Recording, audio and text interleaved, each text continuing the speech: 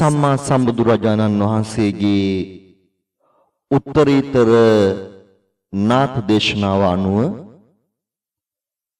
දැන් පින්වත් ඇත්තන් සමග සාකච්ඡා කරන්නට යන්නේ සිත් 89 විස්තරාත්මකව. මෙහිදී අප බලාපොරොත්තු වෙනවා කාමාවචර සිත් 54 පිළිබඳ යම් දැනුමක් ලබා දෙන්න විශේෂයෙන්ම මෙම කාමාවචර සිත් 54 තමයි බොහෝ සෙයින් අපට වැදගත් වනු ලබන්නේ. අන්‍ය වූ රූපාවචර සිත් 54ත් අරූපාවචර සිත් 12ත් ලෝකෝත්තර සිත් 8ත් පිළිබඳ යම් දැනුමක් ලබා දෙන්නට බලාපොරොත්තු වෙනවා.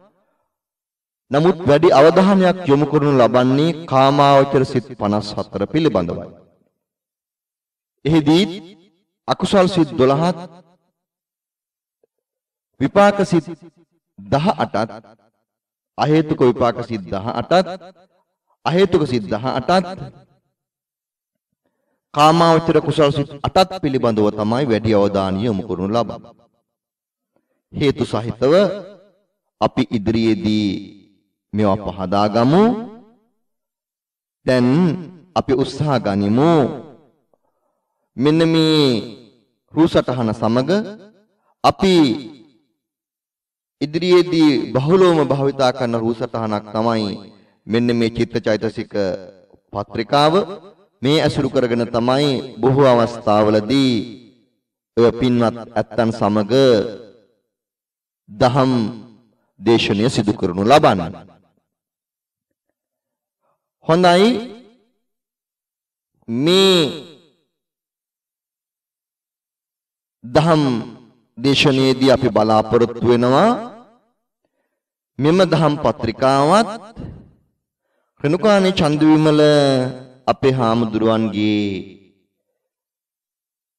අභිධර්ම මාර්ගයේ තිබෙන සිත පිළිබඳ තොරතුරුත් දෙආකාරයෙන්ම අසුරු කරමින් ඔබ සමග මෙම දහම් පැහැදිලි කිරීම ඉදිරියට කරගෙන යන්න. හොඳයි අපි රෙනුකානේ චන්දවිමල හාමුදුරුවන්ගේ ඒ සිත බෙදා දක්වා ඇති එම පිටු අංකය වෙත යොමු වෙමු හොඳයි. පින්වත් ඇත්තොනි අපි දැන් සූදානම් වන්නේ කාමාවචර සිත් 54 පිළිබඳ යම් ධර්මාවබෝධයක් ලබා ගැනීම සඳහා. මෙහිදී කාමාවචර සිත් 54 සම්මා සම්බුදුරජාණන් වහන්සේ විසින් ආකාර තුනකට වෙන් කරනු ලබනවා බෙදා දක්වනු ලබනවා. අකුසල් සිත් 12යි අහේතුක කුසල් අහේතුක සිත් 18යි අහේතුක සිත් 18යි කාමාවචර සෝබන සිත් 24යි කිය. එතකොට මෙහිදී මුලින්ම තියෙනවා අකුසල් සිත සිත් කියන එක අකුසල් සිත හඳුන්වා දීලා තියෙනවා. අපි මේ වෙනකොට දන්නවා තාමත්ම පැහැදිලිව අකුසල් සිතක් කියන්නේ මොකක්ද කියලා. අකුසල් සිතක් කියන්නේ මේ සිත අකුසල් වෙන්නේ සිත සමග නැගෙන අකුසල පක්ෂයේ චිත්තාංග නිසා. අපි දන්නවා අකුසල පක්ෂයේ චිත්තාංග 14ක් තිබෙනවා. සුදුසු පරිදි මෙම සිත සමග අකුසල පක්ෂයේ ධර්මතා නැගෙන නිසා තමයි මේ සිත විඥානයේ චිත්තය අකුසල් බවට පෙරෙලා තියෙන්නේ. ඒකයි මෙහිදී දැනගන්නට ඕනි. මෙහිදී විස්තර කළා තියෙනවා යමෙකුගේ సంతානෙහි ඇති වූහොත් අනාගතයේ ඔහුට අනිෂ්ට විපාක ඇති කරන්නා වූ සිත් අකුසල් සිත් නම් වේ අපි මිහිට පෙර ඉගෙන ගත්තා මේ අකුසල් සිතක් පහළ වුණාට පස්සේ ඒ ෂණත්‍රයේදීම අකුසල් සිත නිරෝධ වෙලා යන එක ඇත්ත. අකුසල් සිත නිරෝධ වුණත් ඒ අකුසල් සිතේ යම්කිසි ධර්මතා ස්වභාවයක් යම්කිසි ශක්තියක් ඉතිරි වෙනවා. ඒ ඉතිරි වෙන ශක්තියට කිව්වා කර්මය කියලා.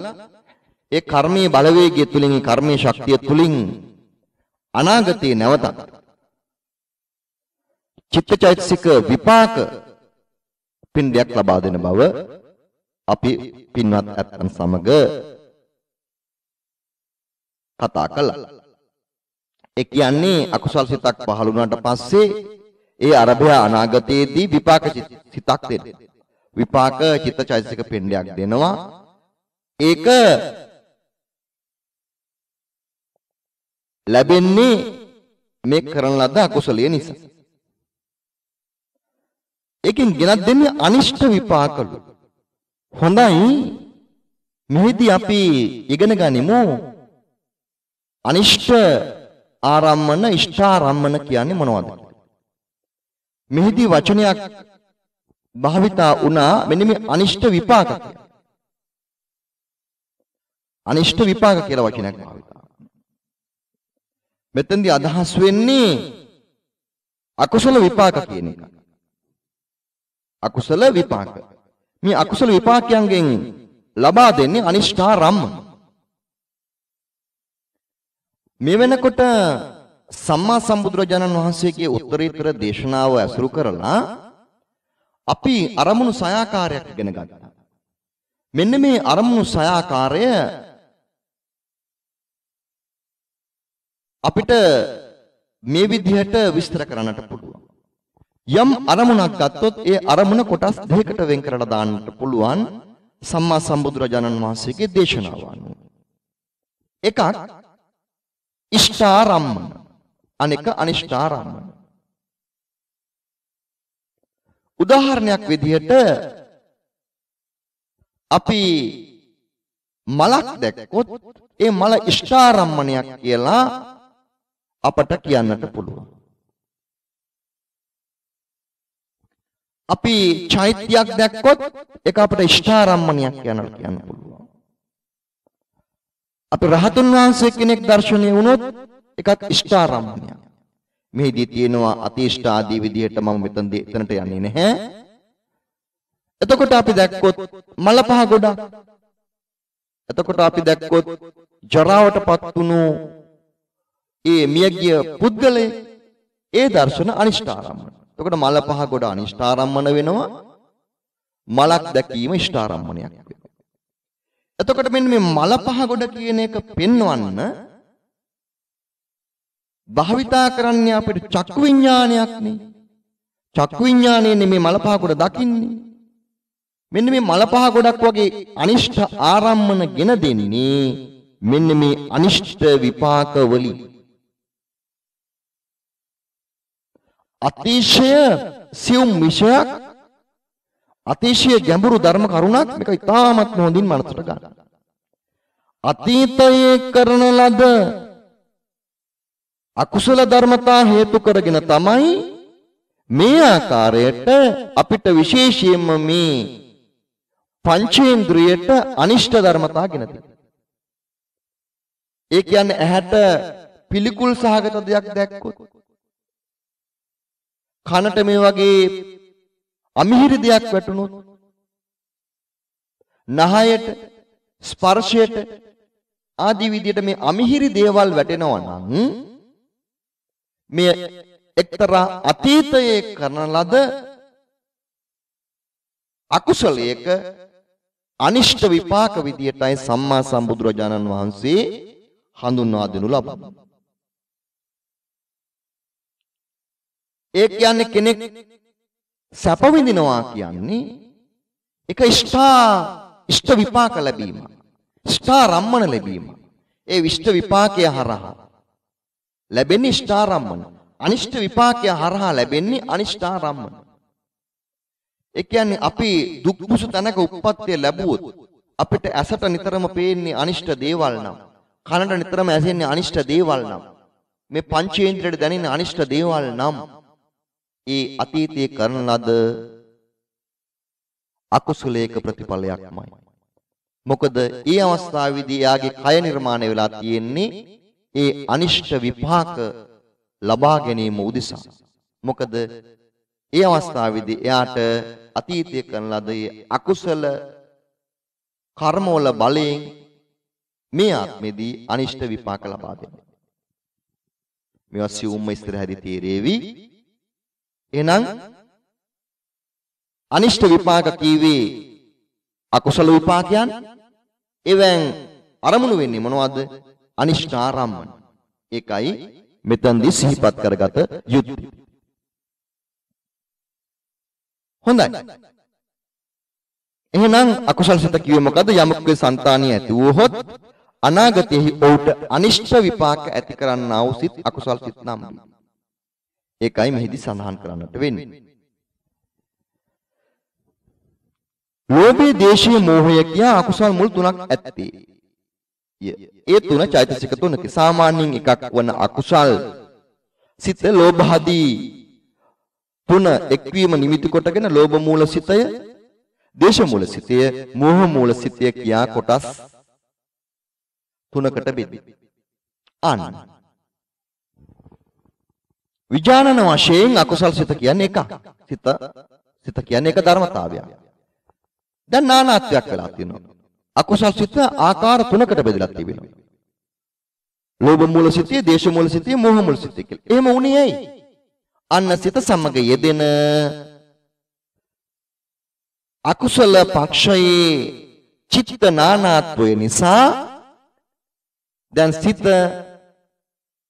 ප්‍රභේද වෙලා කොටස් වලට බෙදිලා. ඒ කියන්නේ සිත සමග නැගෙන අන්‍ය ක්‍රියාවෝ හේවත් චෛතසික නිසා සිත ප්‍රභේද වෙලා වෙන් වෙලා කොටස් වලට බෙදිලා.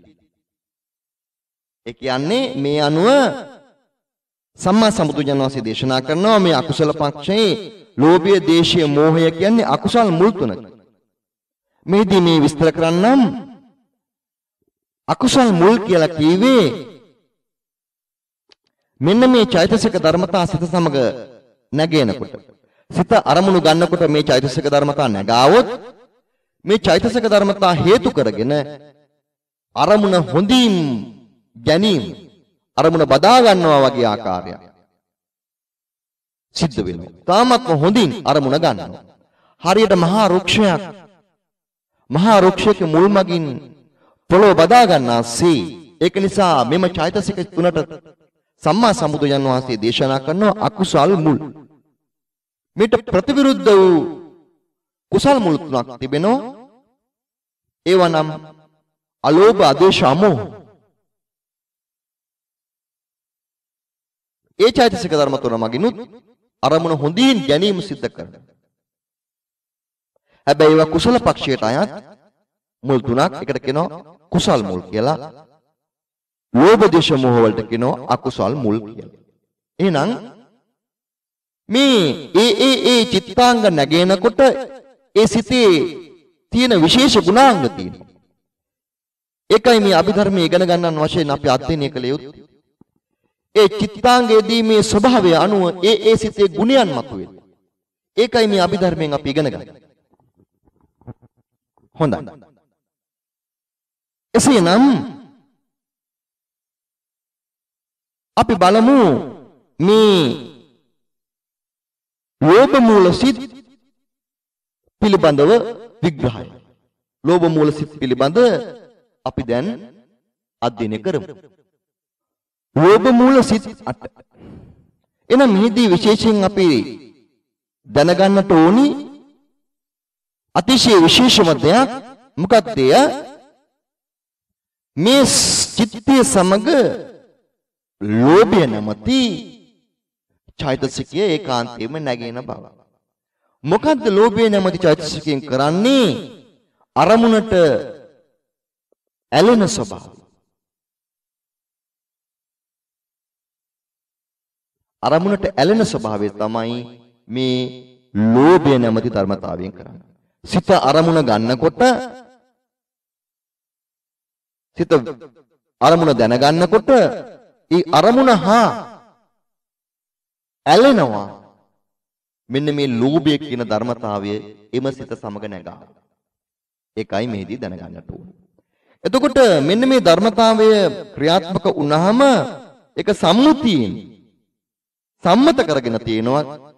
සම්මත භාෂාවෙන් ආශාවක් පහළ වුණා. ඕනෑකම රාගිය ගිජුකම කැතකම ආදරිය ප්‍රේමය යන නම් වලින් කියවෙන්නේද ලෝභයම? අන්න. මේ ලෝභය එක එක මට්ටම්. ඒ ලෝභයේ මට්ටම අනුව අපේ සම්මුතියෙන් අපි මේ ලෝභය හඳුන්වන්නට විවිධාකාර සම්මුති ප්‍රඥප්තියෙන් යොදාගෙන තිබෙනවා. ප්‍රේමය, ලෝභය, ආදරය, රාගය, කතකම, ගිජුකම ආදී නම් වලින් ඇඟෙන්නේ මේ ලෝභය කියන චිත්තාංගය ඒ සිතේ නැග ආවා කියන එකම. එහෙනම් මෙහිදී සිහිපත් කරගන්නට ඕනි මේ සම්මුතියෙන් අපි සම්මත කරගත් ලෝකය ඇත්තටම පරමාර්ථය හා බැඳිච්ච දෙයක්. පරමාර්ථ ගති ලක්ෂණ වලින් නැගෙන ස්වභාවයමයි අපි මේ සම්මුති වචන වලින්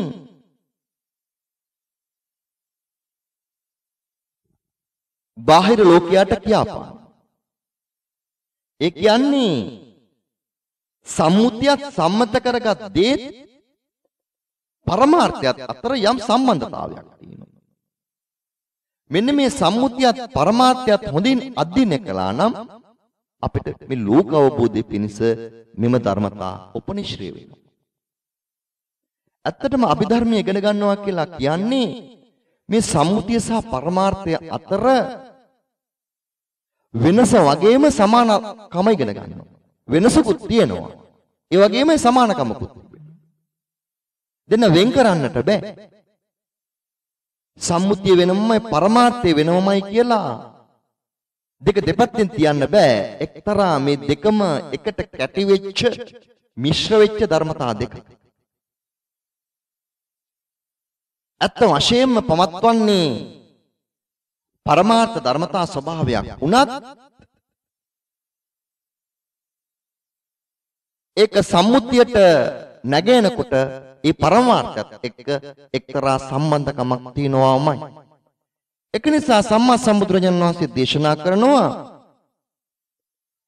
සම්මුතියක් බොරුවක් නෙමෙයි සම්මුතියක් සත්‍යයක් සම්මත කරගෙන තියෙන හේයි. පරමාර්ථය සත්‍යයක් ඒ ධර්ම ස්වභාවයක් පවතිනි. හොඳයි. එහෙනම් මේ ආකාරයට මේ ලෝභය නැමැති පරමාර්ථ ධර්මය මේ ලෝභ මූල සිත් සමග නැගෙන. මෙන්න මේ ලෝභ මූල සිත් සිත සෝමනස සහගතයි උපේක්ෂා සහගතයි කියලා නැවත කොටස් දෙකකට බෙදෙනවා. ඒ කියන්නේ ලෝභ මූල සිත එකක් වූ ලෝභ මූල සිත කොටස් දෙකකට බෙදෙනවා. කොහොමද බෙදෙන්නේ? සෝමනස සහගත සිත සහ උපේක්ෂා සහගත සිත. ඔයාත් මීට පෙර ඉගෙනගෙන තිබෙනවා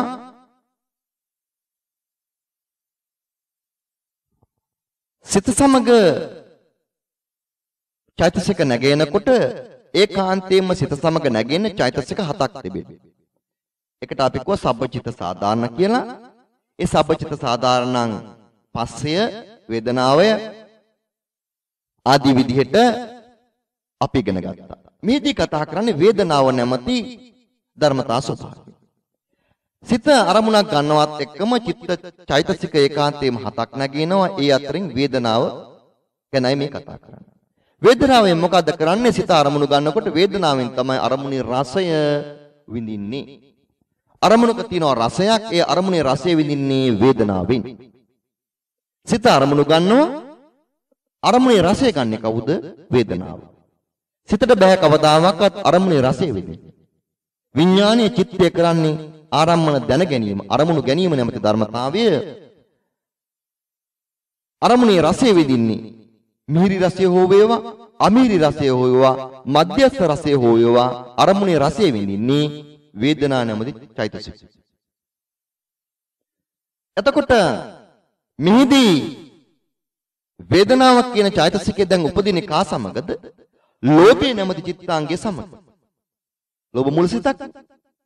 ලෝභය නැමැති චිත්තාංගයේ සමගයි දැන් වේදනාව නැමැති ධර්මතාවයේ පෙරපසු නොවි උපදී. මේ නාම ධර්මතා පුංචි. මෙහිදී විශේෂයෙන් කතා කරන්නට ඕනි මේ ලෝභය මෙම සිතේ තියෙනකොට වේදනා ආකාර තියෙන ඒකාන්ත වශයෙන්ම වේදනා ආකාර දෙකක්. එක්කෝ සෝමනස් ආකාරය ගන්නවා එක්කෝ උපේක්ෂා ආකාරය ගන්නවා. මොකද ලෝභයෙන් කරන්නේ අරමුණට ඇලෙන ස්වභාවයෙන් ලෝභයෙන් කරන්නේ. එහෙනම් ඇලෙනකොට දෝම අරමුණට ඇලෙනකොට දෝමනස්ස කියන රසය උපදින විදියක් නෑ. අරමුණට ඇලෙනකොට දෝමනස්ස කියන රසය උපදින්නේ නෑ. අරමුණට ඇලෙනකොට මොන මොන රසද උපදින්නේ ඒකාන්තයෙන්ම. සෝමනස්ස සහගත වේදනාවක් උපේක්ෂා සහගත වේදනාවක් තමයි මේ ලෝභ මූල සිත්හි යෙදෙන්නේ. එන ලෝභ මූල සිත් ආකාර දෙකයි වේදනා නානත් තුනක් තියෙනවා. තුනෙන් දෙකක් නිසා ලෝභ මූල සිත ආකාර දෙකකට වැටෙනවා. සෝමනස්ස සහගත සිතේ උපේක්ෂා සහගත සිතේ. හොඳයි. එතකොට කිසිම කලක ලෝභ මූල සිතක් දෝමනස සහගතයෙන් යුක්ත වෙන්නේ නැහැ. ඒකයි මේදී සිහිපත් කරගන්නට ඕන. හොඳයි. මේ සිත් දෙකින් එකක් නැවත දෙකකට බෙදෙන්නේ. ඒ මෙසේ සමහර අවස්ථාවකදී මේ ලෝභ මූල සෝමනස්ස සහගත චිත්තය පිම්පව් කියා දෙකක් නැත. පිම්පව් වල විපාක නැත. පරලොවක් නැත. කුමක් කලක් වරදක් නැත. යනාදී පවත්නා මිත්‍යා දිට්ඨියෙන් යුක්ත වෙනවා. සමහර විට ඒ ලෝභ මූල සිත මිත්‍යා දෘෂ්ටිය නැහැ. සමහර විට මිත්‍යා දෘෂ්ටිය තිබෙනවා. සමහර විට මිත්‍යා දෘෂ්ටිය නැහැ. ඒ අනුව නැවත මේ සෝමනස්ස සහගත සිතක් ආකාර දෙකකට බෙදෙනවා. උපේක්ෂා සහගත සිතත් ආකාර දෙකකට බෙදෙනවා. දැන් ලෝභ මූල සිත් හතරක් කොටසක් තිබෙනවා. අපි මෙහිදී විශේෂ දෙයක් සාකච්ඡා කළ යුතු වෙනවා. මේ සිත මේ ආකාරයට ඉගෙන ගැනීමත් සමගම අපි බලමු. චිත්තචෛතසික විග්‍රහය පිළිබඳ අපි බලමු. අපි කතා කරන්නේ මේ අවස්ථාවේදී ලෝභ මූල සිත් නේ? අකුසල් සිත් 12 ලෝභ මූල සිත් 8 එහෙනම් මේ chart එකකින් මේ තියෙන්නේ එකේ ඉඳන් 8 දක්වා මේ පත්‍රිකාවේ යොදලා තියෙන්නේ මේ chart එක යොදලා තියෙන්නේ ලෝභ මූල සිත් 8 කියනවා සෝමනස්ස සහගතයි. ditthිගත සංප්‍රයුක්තයි සෝමනස්ස සහගතයි. ditthිගත විප්‍රයුක්තයි. උපේක්ෂා සහගතයි. ditthිගත සංප්‍රයුක්තයි. උපේක්ෂා සහගතයි. ditthිගත විප්‍රයුක්තයි. ඒ කියන්නේ සමහර විට ලෝභ මූල සිත සමග ditthිය කියන ධර්මතාවය නැගෙනවා. සමහර විට ditthිය කියන ධර්මතාවය නැගෙන්නේ නැහැ. එතකොට මෙහිදී සලකන්න ඕනේ ditthිය කියන්නේ මොකක්ද කියන්නේ. අන්න මේ වෙනකොට මේක හොඳින් අධ්‍යයනය කරන්නේ දිට්ඨිය කියන පරමාර්ථ ධර්මයේ ගුණය හොයන්නට ඕන. එහෙනම් මේ වෙනකොට අර වෙන වෙනම අපි චෛතසික පිළිබඳ 52 පිළිබඳ විස්තරයක් කරා මේකේ තියෙන ගති ලක්ෂණ මේකේ තියෙන ස්වභාව ලක්ෂණ පිළිබඳ අන්න දැන් දිට්ඨිය කියන ගති ලක්ෂණී ස්වභාවය දැන් අවබෝධ කරගන්න. මොකද්ද මේ දිට්ඨිය කියන්නේ? වර්ධවා ගන්නා වූ ස්වභාවය. ඇත්තදී බොරු හැටියට ගන්නවා. බොරු දේ ඇත්ත හැටියට ගන්නවා. කුසල විපාක දෙන දේ අකුසල විපාක දෙන විදිහට ගන්නවා. ආදී විදිහට වැරදි දැක්මක් තියෙනවා. ඒ වැරදි දැක්ම කියන ධර්මතාවය නියෝජනය කරන්නේ එක්තරා ගති ලක්ෂණයකින්. ඒ කියන්නේ මේ වැරදි කම කියන එක ජීවිතය තුළින් මතුවෙන්නේ. දිට්ඨිය කියන එක ජීවිතය තුළින් මතුවෙන්නේ ඒ සිතේ එක්තරා ධර්මතාවයක් පැන ආපු නිසා. ඒ සිතේ එක්තරා ගති ලක්ෂණයක් පැන ආපු නිසා. ඒකයි මෙතනදි විශේෂයෙන් දැනගන්න. මොකක්ද මේ පැන ආපු නැග ආපු යෙදුණු ගති ලක්ෂණය ditthිය නැමැති චෛතසික. ditthිය නැමැති චෛතසික. එහෙනම් මේදී මෙම සිත සමග නැගෙන මේ සිත් අට සමග නැගෙන චෛතසික විග්‍රහයේදී අපට තේරෙන්නට ඕනි ditthිගත සංප්‍රයුක්තයි කියනකොට ඒ සිතේ ditthිය තියෙන්නට ඕනි. Ditthිකට විප්‍රයුක්තයි කියනකොට ඒ සිතේ ditthිය නොයදෙන්නට ඕනි. ඒක තමයි අපි නුවණින් මේක පරිශීලනය කරනකොට අපට නුවණට තේරෙන ධර්මතාවය. හොඳයි අපි බලමු එහෙනම් මේ තියෙන චෛතසික යෙදී.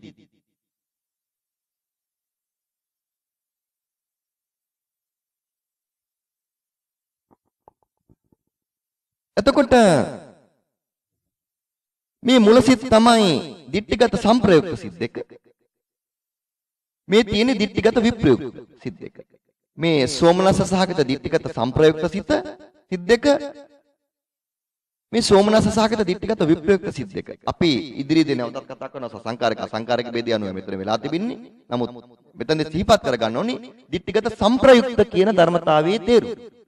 ditthිගත සංප්‍රයුක්තයි. බලන්න සබ්බචිත්ත හත යෙදিলা තිබෙනවා. සුදුසු පරිදි ප්‍රකීර්ණක යෙදিলা තියෙනවා. අකුසල සාධාරණ හතර ඒකාන්තයෙන් යෙදෙනවා. මොකද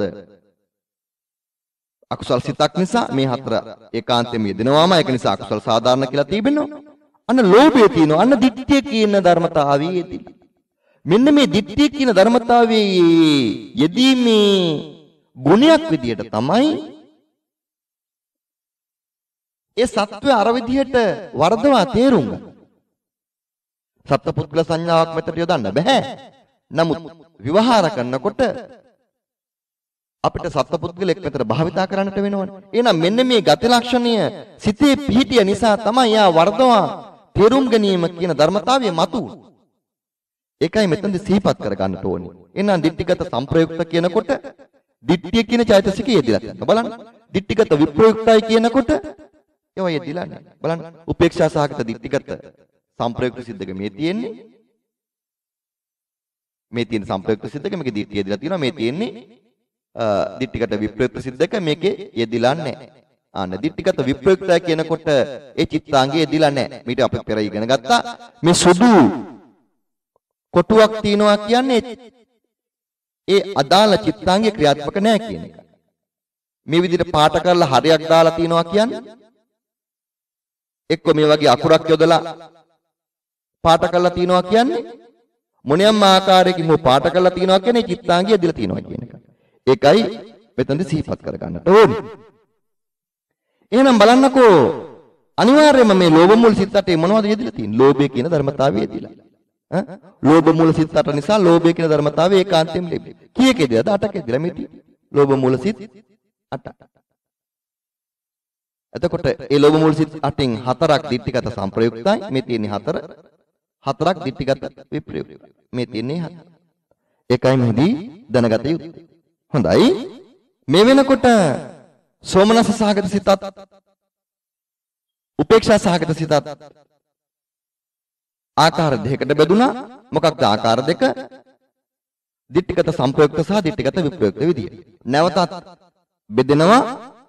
ඒ කියන්නේ ඒ සෝමනස සහගත ditthිගත සංප්‍රයුක්ත සිතත් සෝමනස සහගත ditthිගත විප්‍රයුක්ත සිතත් උපේක්ෂා සහගත ditthිගත සංප්‍රයුක්ත සිතත් උපේක්ෂා සහගත ditthිගත විප්‍රයුක්ත සිතත් යන මේ සිත් හතර නැවතත් ආකාර දෙකකට බෙදෙනවා.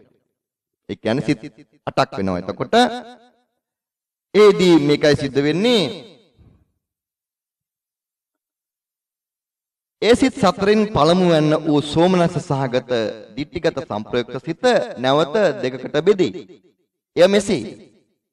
සමහර අවස්ථාවකදී ඒ සිත ඒ සිත ස්වභාවයෙන්ම ඇතිවේ. ඒ කියන්නේ ලෝභ මූල සිත ස්වභාවයෙන්ම ඇති වෙනවලු. සමහර අවස්ථාවකදී අනුන්ගේ මෙහෙවීමකින් හෝ තමා විසින් හෝ අනුන් විසින් හෝ උත්සාහවත් කරවීමකින් ඇතිවේ. මෙහෙ මෙහෙයුමකින් මෙහෙවීමකින් උත්සාහවත් කරවීමකින් කරවීමක් නැතුව ඇතිවන සිතට අසංකාරික සිත කියලා කියනවා. මෙහෙවීමකින් උත්සාහවත් කරවීමකින් ඇතිවන සිතට සසංකාරික සිත කියලා කියනවා. මේදී විශේෂත්වය මේකයි සමහර අවස්ථාවලදී යම් කෙනෙකුට කිසිම උත්සාහවත් කිරීමක් මුකුත් නැහැ ස්වභාවයෙන්ම යට ලෝභය සිත් ඇති වෙනවා. සාමාන්‍යයෙන් එහෙම උදවිය ඉන්නවනේ. යා ස්වභාවයෙන්ම ලෝභ. අන්න එක අසංකාරික මට්ටම. සමහරු තමා විසින් උත්සාහවත් කරවීමකින් වූ අනිත් අය අනිත් අය උත්සාහවත් කරලා ලෝභ මූල සිත පහළ වෙන්නට පුළුවන්. අන්න ඒ වගේ සිතක් සසංකාරිකයි. එවැනි සිතක් සසංකාරිකයි. එතකොට මේ සිත් දෙකෙන් අසංකාරික සිත බලවත්. බලවත් අකුසලයක්. සසංකාරික සිත අකුසල් භාවයේ ඊට වඩා අඩු. මෙම අසංකාරික සිත ස්වභාවයෙන්ම පහළ වෙන සිත. කවුරුත් උත්සාහවත් කරවන්නෙත් නැහැ. තමා හිතලා කරන්නෙත් නැහැ. ස්වභාවයෙන්ම ඒ චිත්තසංතානිය නැඹුරු වෙලා තියෙන්නේ ලෝභයට. එක අසංකාරික සිත. සමහර විට යමෙක් බල කළා හෝ තමා හිතෙන් හිතලා යම් දෙයක් ගැන ලෝභය පහල කරගන්නට පුළුවන්. ඒක සසංකාරික භාවයට අයත් ලෝභ මූල සිත. ඒකයි මෙහිදී දැනගන්නට ඕනේ. මේති මේ සසංකාරික අසංකාරික බෙහෙදය කියන්නේ අතිශය සියුම් ධර්මතා ස්වභාවය. දැන් ලෝභ මූල සිතක් කියනකොට ලෝභය කියන ධර්මතාවයේ චෛතසිකයක් විදිහට සිතේ සංප්‍රයුක්ත විදිහටම ඉදලා තියෙනවා. දිට්ඨිගත සංප්‍රයුක්තයි කියනකොටත් දිට්ඨිය නැමැති ධර්මතාවය සංප්‍රයුක්තව යෙදලා තියෙනවා. දිට්ඨිගත විප්‍රයුක්තය කියන්නේ දිට්ඨිය නෑ කියන්නේ. ඒකට දිට්ඨිය යෙදිලා නෑ. ඒ කියන්නේ චිත්තාංගයේ යෙදීම නොයෙදීම මත පැහැදිලිවම දිට්ඨිගත දිට්ඨිගත විප්‍රයුක්තය කියන එක පැහැදිලි කර දෙන්නට පුළුවන්. සසංකාරික අසංකාරික ભેදය එහෙම නෙවෙයි. ඒකට චිත්තාංගයක් භාවිතා වෙන්නේ නෑ. සසංකාරිකයි කියලා චිත්තාංගයක් වැඩි වෙන්නේත් නෑ. අසංකාරිකයි කියලා චිත්තාංගයක් වැඩි හෝ අඩු වෙන්නේ නෑ. ඒ කියන්නේ චිත්තාංගයක් ඉපදීම මක් තුලින් ඒ සිද්ධිය පැහැදිලි කරන්නට බෑ. මොකද ඒක ඊ타ත්ම සියුම් සිද්ධියක්. මේ සම්මා සම්බුදුජන් වහන්සේගේ දේශනාව අනුව අපට පැහැදිලි වෙනවා උන්වහන්සේ මේ අපට අරමුණු කරන්නට පුළුවන් මට්ටමක් විතරයි දේශනා කළා තිබෙන්නේ. යමෙක් ඇහුවොත් පරමාර්ථ ධර්ම 82 විතරමද තියෙන්නේ කියලා අපිට දෙන්න තියෙන උත්තරය තමයි නෑ. සම්මා සම්බුදුජන් වහන්සේ දේශනා කළා තියෙන්නේ පරමාර්ථ ධර්ම 82. මීට වඩා උන්වහන්සේගේ මහා බුද්ධියට මහා ප්‍රඥාවට අරමුණු වෙන පරමාර්ථ ධර්ම තියනවද කියලා අපි දන්නේ නැහැ. මේ කියලා තියෙන්නේ ශ්‍රාවක මට්ටමින් අරමුණු කරන්නට පුළුවන් ධර්මතා කොට්ටාශයක් විතරයි. සම්මා සම්බුදුරජාණන් වහන්සේලාට පමණක් අරමුණු වෙන ධර්මතා තව කොපමණ තියනවද කියලා අපි දන්නේ නැහැ. ඒ අයුරින්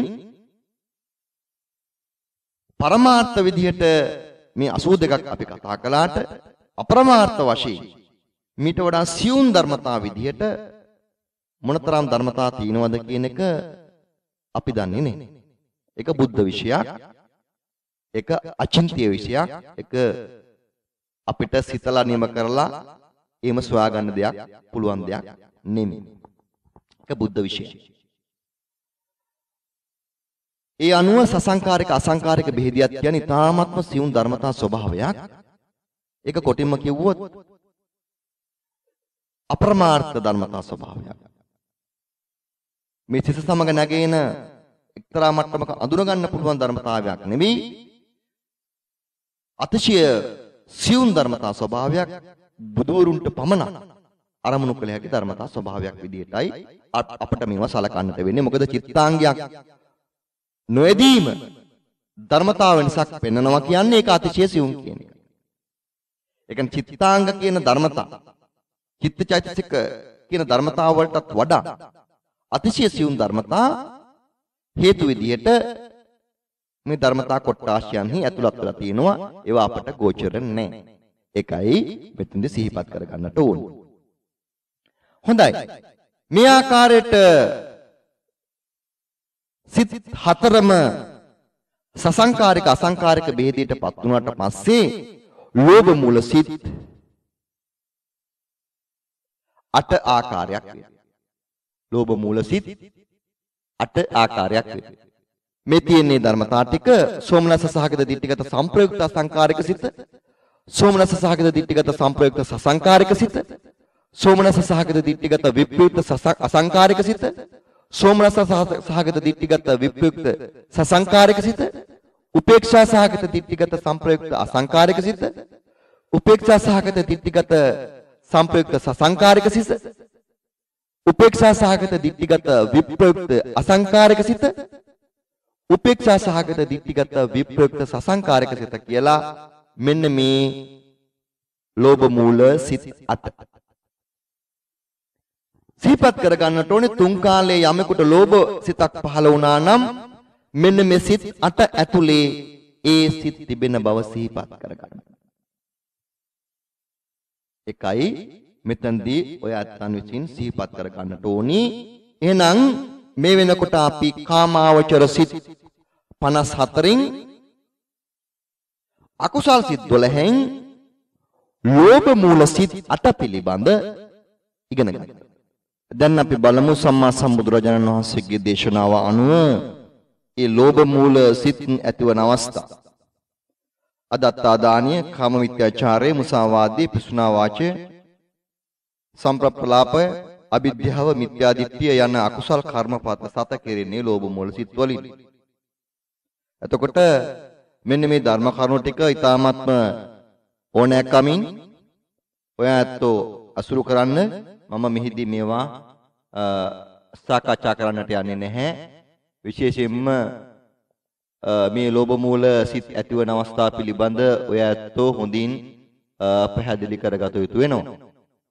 මේවා තමන්ට කියවලා අවබෝධ කර ගැනීමේ හැකියාව තියෙනවා. එම නිසා විශේෂයෙන්ම මෙහිදී මේවා පැහැදිලි කරන්නට යන්නේ නැහැ.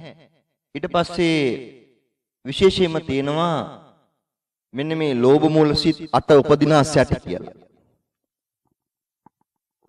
එම ධර්ම කරුණු අතිශය වැදගත්. මේ පළවෙනි ලෝභ මූල සිත් ඇතිවන ආකාරය.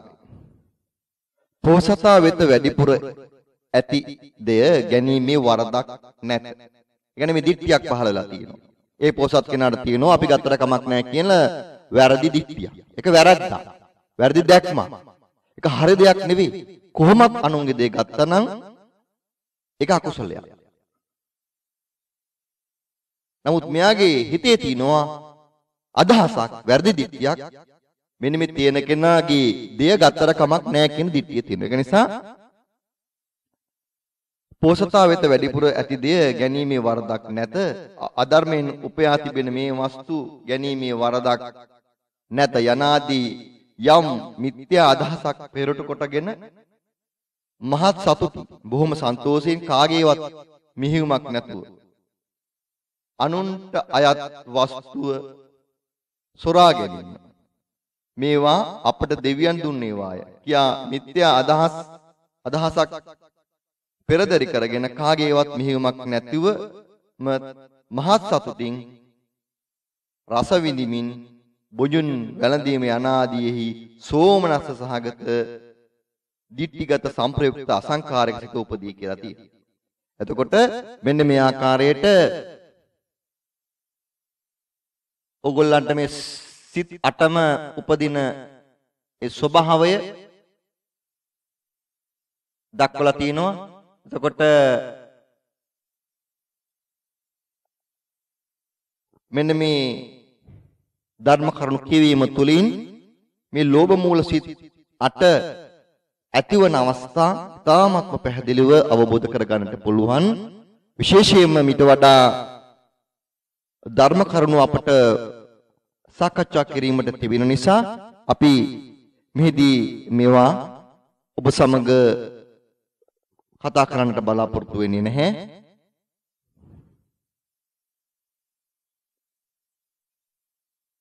එතකොට මේවා තමා විසින් අවබෝධ කරගත යුතු වෙනවා.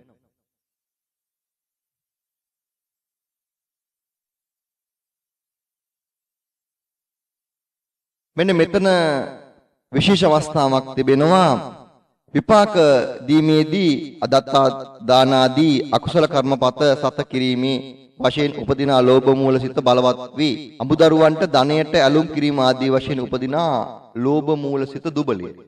ඒ වායේ විපාක දීම අනියතේ. ditthi විප්‍රයුක්ත සිත් වලට වඩා ditthi සංප්‍රයුක්ත අකුසල් සිත බලවත් වේ. මොකද ditthi ගත වීම තමයි අකුසල් සිතක් බලවත් වෙන්න ප්‍රධානම හේතුව. සසංකාරික සිතට වඩා අසංකාරික සිත බලවත් වේ. සෝමනස සහගත සිතට වඩා උපේක්ෂා සහගත සිත බලවත් වේ. මෙන්න මෙතන විශේෂ අවස්ථාවක් තිබෙනවා.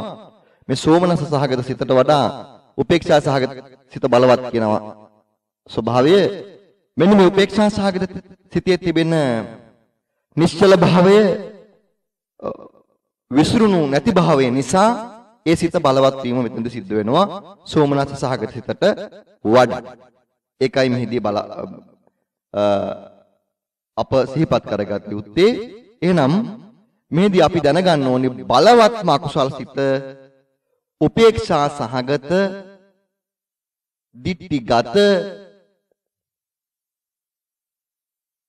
අසංකාරික සිතයි කියන එක. බලවත්ම අකුසල් සිත කියලා ඇහුවොත් උපේක්ෂා සහගත දිට්ඨිගත සංප්‍රයුක්ත උපේක්ෂා සහගත දිට්ඨිගත සංප්‍රයුක්ත අසංකාරික අකුසල් සිත තමයි මහා බලවත් කියලා සම්මා සම්බුදුරජාණන් වහන්සේ මෙහිදී දේශනා කරනු ලබන්නේ. ඒකයි මෙහිදී සිහිපත් කරගන්නට ඕනි. ඉතින් මේ ආකාරයට ඔය අත්තන්ට පුළුවන් මේ අදාළ ප්‍රශ්න වලට උත්තර දෙමින් මෙහි තිබෙන මේ රෙනුකානේ චන්දවිමල් හාමුදුරුවන්ගේ ඒ ධර්මතා අනුව මේවා අවබෝධ කරගෙන යන්න ඊට පස්සේ විශේෂයෙන් අපි දැන් කතා කරන්නේ දේශ මූල සිත් දෙක. එතකොට ලෝභ මූල සිත්හි පහළ වුණු විශේෂම අකුසල මූලය තමයි ලෝභය කියන අකුසල් මුල. ලෝභය නැමැති අකුසල් මුල අසුරු කරගෙන පහළ වෙච්ච නිසා ඒක ලෝභ මූල සිත් කිව්වා. මෙතන ද්වේෂය නැමැති අකුසල් මුල පහළ වීම හේතු කරගෙන ද්වේෂය කියලා කියනවා. එතකොට සිතින් ගන්න අරමුණ කෙරෙහි ඇතිවන විරුද්ධ භාවය ද්වේෂයයි. සිතින් ගන්න අරමුණ කෙරෙහි ඇතිවන විරුද්ධ භාවය. ලෝභය කිව්වේ සිතින් ගන්න අරමුණ කෙරෙහි ඇලුණු ස්වභාවය. එතකොට ලෝභයත් ද්වේෂයත් අකුසල පක්ෂයේ තමයි හැබැයි විරුද්ධ ධර්මතා දෙකක්. එකිනෙකට විරුද්ධයි. ලෝභයෙන් අරමුණ සහ ඇලෙනවා. අරමුණට ඇලුම් කරනවා. ද්වේෂයෙන් අරමුණ සහ ගැටෙනවා නැත්නම් අරමුණට විරුද්ධ ස්වභාවයක් දක්වනවා. එහෙනම් මෙහිදී සිහිපත් කරගන්නට ඕනි ලෝභය සහ ද්වේෂය කියන්නේ එකිනෙකට විරුද්ධ චිත්තාංග දෙකක්. වරකදී අරමුණට ඇලෙනවා නම් ඒක ලෝභය වෙනවා. සමහර විට ඒ අරමුණ සමගම වරකදී ගැටෙන්නට පුළුවන්. එතකොට ඒ ගැටෙන්නේ ද්වේෂය කියන ධර්මතාවයේ ඇසුරු කරගෙන. එතකොට ලෝභය සහ ද්වේෂය එකිනෙකට විරුද්ධ ධර්මතා දෙකක් කවදාවත් එකම සිතක පහළ වෙන්න විදියක් නැහැ මේ ධර්මතා දෙක. අරමුණට නොකමැති ස්වභාවය කෝපය තරහව වෛරය භය අප්‍රියාව නොසතුට යන වචන වලින් කියවෙන්නේද ද්වේෂයයි. අරමුණේ හැපෙන්නාත් මෙන් වන බැවින් එයට ප්‍රතිගයයි කියනු ලැබේ. අනේ ඊටමත් විශේෂ ධර්ම කරුණක් සම්මා සම්බුදුජන් වහන්සේට මේ ධර්මතාවය පේනවා අරමුණ සමග ගැටෙන බව. එක්තරා රළු ධර්මතා ස්වභාවයක් සිදුවෙන බවක් පේන නිසා එතනට විශේෂ නමක් යොදනවා ප්‍රතිග කියලා. ප්‍රතිග කියන්නේ මේ ගැටෙන කියන දැඩිව ගැටෙන කියන අවස්ථාව. ප්‍රතිග ගැටීම රළු කියන ධර්මතාවය එතනින් ඉස්මතු වෙනවා. දේශමූල චිත්තය ලෝභ මූල චිත්තයෙන් වේදනා වශයෙන් ભેදයට පැමිණෙන්නේ නැහැ. එය සෑම කල්ලිම දෝමනස් වේදනාවෙම යුක්ත වේ. දෝමනස් වේදනාවිය යනු අරමුණේ නරක ගතිය ආස්වාදනය කරන ස්වභාවයයි. ශෝකයයි කියනුවේද දෝමනස් වේදනාවටය. දේශ මූල චිත්තය ભેදයට පැමිණෙන්නේ සසංකාර වශයෙන් පමණි. ඒ කියන්නේ දේශ මූල සිත බෙදෙන්නේ සසංකාරික අසංකාරික ભેදයෙන් පමණයි. වේදනා ભેදයක් එහි නැහැ. ඒකාන්තයෙන්ම දේශ මූල චිත්තයක වේදනා ස්වභාවය තමයි දෝමනස සහගත බව. ඒ වගේමයි සම්මා සම්බුදුරජාන් වහන්සේට නෝනින් පේනවා මෙම ද්වේෂ මූල සිතක මේ ද්වේෂය සහ අරමුණ අතර ගැටීම ප්‍රතිගයි කියන ධර්මතාවය උන්වහන්සේට නෝනින් පේනවා. ඒක නිසා එම දේශ මූල සිත් දෙකට නමක් භාවිතා කරනවා ප්‍රතිග සම්ප්‍රයුක්ත කියලා. මේ තියෙන්නේ දේශ මූල සිත් දෙකට යොදාගත් තියෙන නම් දෙක. දෝමනස සහගත ප්‍රතිග සම්ප්‍රයුක්ත අසංකාරික සිත දෝමනස සහගත ප්‍රතිග සම්ප්‍රයුක්ත සසංකාරික සිත කියලා. එතකොට දේශ මූල සිත් දෙක ආකාර නානත්වයක් තිබෙනවා. සිත් දෙකක්. කෙනෙකුගේ මෙහෙවීමක් නැතුව තමාගේ ඕනෑකමින් ප්‍රාණඝාත ආදිය සිදු කිරීමේදී පළමුවන සිත ඇතිවේ මෙහෙවීමකින් ප්‍රාණඝාත ආදිය කිරීමේදී දෙවන සිත ඇතිවේ අසංකාරික සිත කිසිම මෙහෙයුමක් නැතුව ස්වභාවිකවම පහළ වෙන සිතක් සසංකාරික සිත පහළ වෙන්නේ තමා උත්සාහවත් වීමකින් හෝ අනිකා තමා උත්සාහවත් කිරීමකින් කියලා ධර්මතා ස්වභාවය.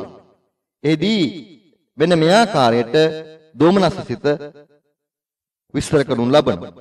විශේෂයෙන්ම සිහිපත් කර ගන්නට ඕනි මෙහිදී සඳහන් කරලා තිබෙනවා ඒකාන්තයෙන්ම මොනියම් මහකාරයෙක් හෝ සතෙකුගේ ප්‍රාණයක් විනාශ කරනවා නම් සතෙකු මරා දමනවා නම් ඊ타ත්ම සුළු මොහොතකට හෝ පහළ වෙන්නේ ඒකාන්තයෙන්ම මේ ද්වේෂ මූල සිත්මයි. ඒක සිහිපත් කරගත යුතුයි.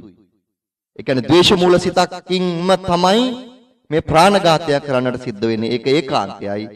සමහර අවස්ථාවලදී මේ සුරත මේ සුරතලයට මේ ක්‍රීඩාව පිණිස සතුන් මරණ කල්හිද පහළ වෙන්නේ දේශමූල සිත් කියලා මෙහිදී සඳහන් කරලා තියෙන එකයි. මොනියම් ආකාරයකින් හෝ සත්‍යෙක් මරා දමනවා නම් මේ මරා දමන සුළු මොහොතට හෝ පහළ වෙන්නේ කාන්තේම ද්වේෂමූල සිත් බව සිහිපත් කරගන්න. ඒ සතාගේ විශාලත්වය වැඩි වෙන්න වැඩි වෙන්න ඒ පහළ වෙන ද්වේෂමූල සිත් ප්‍රමාණය වැඩි වෙනවා. සතා පුංචි වෙන්න පුංචි වෙන්න ඊටමත් අඩු කාලයකදී සතා මරා දැමීමට හැකි නිසා බොහොම අඩු ද්වේෂමූල සිත් ප්‍රමාණයකින් ඒ සතාව මරා දැමීමේ හැකියාව තිබෙනවා.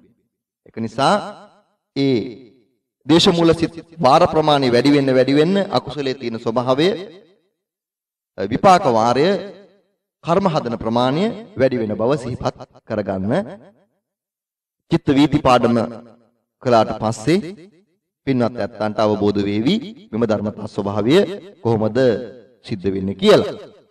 මෙහිදී සඳහන් කළා තිනවා දේශ මූල සිත් උපදින අවස්ථා කියලා ප්‍රාණඝාතය, පරස වචනය, ව්‍යාපාදය, අදත්තා දානය, මුසාමාදය, පයිශූන්‍ය වචන, සම්පප්පලාපය යන අකුසල් කර්මපත සත සිදු කෙරෙන්නේ ද්වේෂ මූල සිත්මයි. එතකොට මේවා පිළිබඳ ඔය ඇත්තෝ අධ්‍යයනය කරන්න විශේෂයෙන්ම රණුකානේ චන්දවිමල හාමුදුරුවන්ගේ බෞද්ධ අත්පොත නැමැති ක්‍රාන්තිය තුල ඉතාමත්ම පැහැදිලිව මේ ධර්මතා සඳහන් කරලා තිබෙනවා.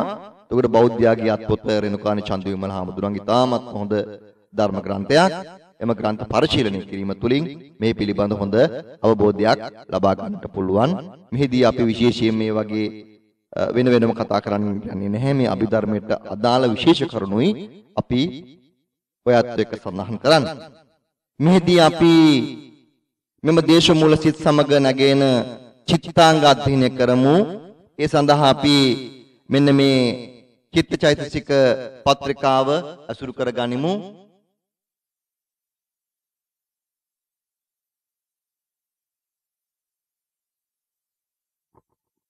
මේ තියෙන්නේ දේශ මූල සිත් දෙක දේශමූල සිත් දෙක කියන්නේ 9 සහ 10 සිත්. දෝමනස සහගත ප්‍රතික සංප්‍රයුක්ත අසංකාරික සිත, දෝමනස සහගත ප්‍රතික සංප්‍රයුක්ත සසංකාරික සිත. සුදුසු පරිදි ඒකාන්තයෙන්ම මේ සබ්බචිත්ත හත යෙදෙනවා. ඊට පස්සේ සුදුසු පරිදි ප්‍රකීර්ණක යෙදিলা තිබෙනවා. ඒදී විශේෂයෙන්ම සිහිපත් කර ගන්න ඕනි ප්‍රීතිය නැමැති ඒ ප්‍රකීර්ණක චෛතසිකය මෙහිදී යෙදෙන්නේ නැහැ. මොකද මෙහි වේදනා ස්වභාවය දෝමනස්ය නිසා. වේදනා ස්වභාවය දෝමනස්ස වුණත් වේදනා ස්වභාවය උපේක්ෂා වුණත් මේ ප්‍රීතිය කියන ධර්මතාවයේ සිටේ යෙදෙන්නේ නැහැ. මොකද ප්‍රීතිය කියන්නේ පිනා යන ධර්මතා ස්වභාවයක් නිසා මේ ප්‍රීතිය කියන ධර්මතාවය උපේක්ෂා සහගත සිත්වල සහ දෝමනස සහගත සිත්වල පහළ වීමක් සිද්ධ වෙන්නේ නැහැ. ඊට පස්සේ බලමු අපි බලන්න ඒ දෝමනස සහගත සිතේ ලෝභය නැමැති චිත්තාංගය දෙන්නේ නැහැ.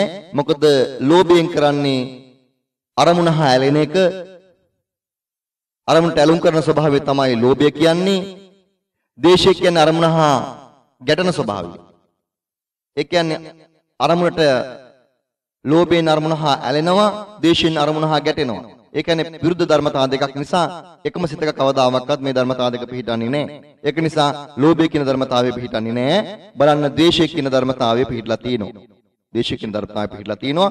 සුදුසු පරිදි අනිත් අනිකුත් චිත්තාංගයෝ මෙහි පහළ වීම සිද්ධ වෙනවා. මොනවද අනිකුත් පහළ වුණු චිත්තාංගයන්? මෙහිදී පැහැදිලිවම සඳහන් වෙනවා. අසංකාරික සිත සමග ඉස්සා මච්චරේ කුච්චය නැමැති චිත්තාංග සමහරට පහළ වෙන්නත් පුළුවන් සමහරට පහළ නොවෙන්නත් පුළුවන්. සසංකාරික සිත සමග ඉස්සා මච්චරේ කුච්ච තීන මිද්දාදී ඒ චිත්තාංග පහළ වෙන්නත් පුළුවන් නොවෙන්නත් පුළුවන්. ආදී විදිහට මේ චිත්තාංග පැතිරීම පිළිබඳ අධ්‍යයනය කරන්න විශේෂයෙන්ම සිතක් ගැන අධ්‍යයනය කරනකොට එහි චිත්තාංග පැතිරීම පිළිබඳ හොඳින් අවබෝධ කරගන්න. මෙන්න මේ ධර්මයේ මේ ආකාරයට ධර්මතා ස්වභාවය අවබෝධය තුලින් සිත ගැන උත්තරීතර දැනුමක් ලබා ගැනීමට ওই පින්වත් ඇත්තන්ට හැකි වෙනවා. ඊට පස්සේ අපේ අධ්‍යයනය කිරීමට යන්නේ මොහ මූල සිත් දෙක අපි බලමු මොහ මූල සිත් දෙක ස්වභාවය කොහොමද කියලා විශේෂයෙන්ම අපි ඉගෙන ගනිමු මේ මෝහය කියන්නේ මොකක්ද කියන එක. එතකොට මේ වෙනකොට අපි දන්නවා මෝහය කියන්නේ සිත සමග නැගෙන මිශ්‍ර ක්‍රියාවක්. ඒකට කියනවා අවිද්‍යාව කියලා. සම්මා සම්බුදුජාණන් වහන්සේගේ දේශනාවේ අකුසල ධර්මතා තුළ අකුසල රාශිය තුළ මහ බලවත්ම ධාතුව විදියට සම්මා සම්බුදුන් වහන්සේ දේශනා කරන්නේ මෙන්න මේ අවිද්‍යාව නැත්තම් මෝහය කියන ධර්මතා ස්වභාවය. මොකක්ද මෝහය කියන්නේ? මේදී අපි මේ ආකාරයට ඉගෙන ගනිමු. ඒ තැනට සුදුසු ආකාරයට සිතින් අරමුණු ගන්නවා. සිතින් කරන්නේ අරමුණු ගැනීම. අරමුණු විජානන. ඒක තමයි සිත කරන්නේ. මෙන්න මේ සිතින් අරමුණු ගන්නකොට අරමුණේ සැබෑ ස්වභාවය වසන එක්තරා අඳුරකට තමයි මේ මෝහය කියලා කියන්නේ. අරමුණේ සැබෑ ස්වභාවය වසන වසා දමන එක්තරා අඳුරකටයි මේ මෝහය කියලා දේශනා කරලා ලබන්නේ. ඇත්තම මෝහය කියන්නේ පරමාර්ථ ධර්ම ස්වභාවයයි. ඒ පරමාර්ථ ධර්ම ස්වභාවය මහා ගණඳුරු වලාකුලක් වාගේ මේ අරමුණේ සැබෑ යථාර්ථය සැබෑව වසනවා. එතකොට සිතට අරමුණේ සැබෑ යථාර්ථය ගැනීමට නොහැකි වෙනවා. එහෙනම් අරමුණේ සැබෑ ස්වභාවය වසන අඳුරක් වැනි ස්වභාවය තමයි මේ මෝහය කියලා සම්මා සම්බුදුරජාණන් වහන්සේ දේශනා කරනු ලබන්නේ. සාමාන්‍යයෙන් සෑම අකුසල් සිතකම මෝහය කියන ධර්මතාවය පිහිටනවා. අපි චිත්තචෛතසික පත්‍රිකාවේ දැක්කා මෝහය කියන්නේ අකුසල සාධාරණ චෛතසිකය. මෝහය මෝහ මෝහය අහිරිකය අනුත්ප්පය උද්දච්චය කියන්නේ අකුසල සාධාරණ චෛතසික. සෑම සිතකම නැගෙන සෑම අකුසල් සිතකම නැගෙන අකුසල සාධාරණ චෛතසික හතරක් තමයි මෝහය, අහිරිකය, අනුත්ප්පය, උද්දච්චය කියන්නේ. එහෙනම් ඔයත් සිහිපත් කරගන්න ඕනි මෝහය කියන ධර්මතාවයේ සෑම අකුසල් සිතක් එකම නැගේ. නමුත් සම්මා සම්බුදුරජාණන් වහන්සේට නුවණින් පේනවා එක්තරා සිද්ධෙක මෝහය බලවත්ව පහළ වෙනවා. අනිත් සිත්වල වඩා මෙම සිද්දකේ මෝහයේ බලවත් භාවය නිසා මෝහ මූලික නමින් මෙන්න මේ සිද්දක සම්මා සම්බුදුරජාණන් වහන්සේ අකුසල් සිත් ලෙස ඉදිරිපත් කරනු ලබනවා. මේ ආකාරයෙන් අකුසල් සිත් 12න් අවසාන සිද්දකයි අපි මේ විග්‍රහ කරනු ලබන්නේ. අපි බලමු දැන් කොහොමද මේ මෝහ මූල සිත කියන්නේ. මෝහ මූල චිත්තය බෙදෙන්නේ විචිකිච්ඡා උද්දච්ච යන චෛතසික දෙකකින්. මෙහිදී වැදගත් වෙනවා විචිකිච්ඡා සහ උද්දච්චය කියන ඒ චිත්ත ඒ චෛතසික ධර්ම වල ගති ලක්ෂණ. එතකොට ඔය ඇත්තන්ට මේ එකම විචිකිච්ඡාව කියන ඒ ගති ලක්ෂණය කොහොමද කියලා බලන්න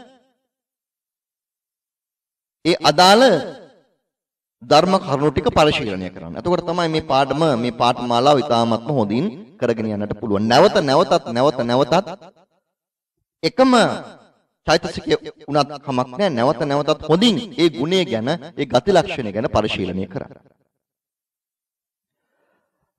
මෙහිදී විචිකිච්ඡාව කියන ධර්මතාවය ගති ලක්ෂණය පහදා දෙනවා. බුද්ධාදී රත්නත්වයේ ගැන හා පින්පව් වල විපාක. මරණින් මතු නැවත ඉපදීම යන යනාදිය ගැන හටගන්නා වූ සැකය විචිකිච්ඡාව නම් වේ.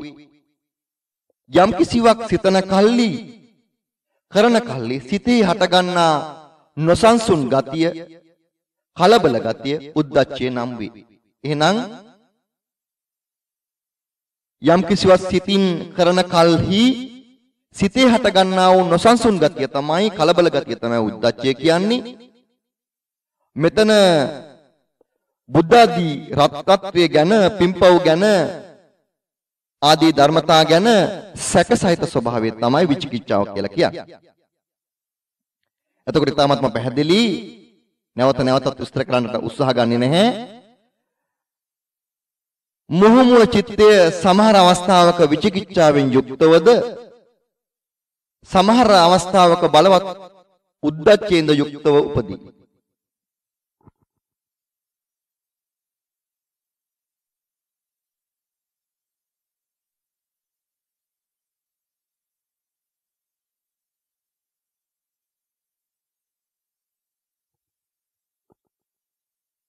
මෝහ මූල චිත්තයේ අරමුණේ සැටි වසන මෝහයෙන් යුක්ත වන නිසාද?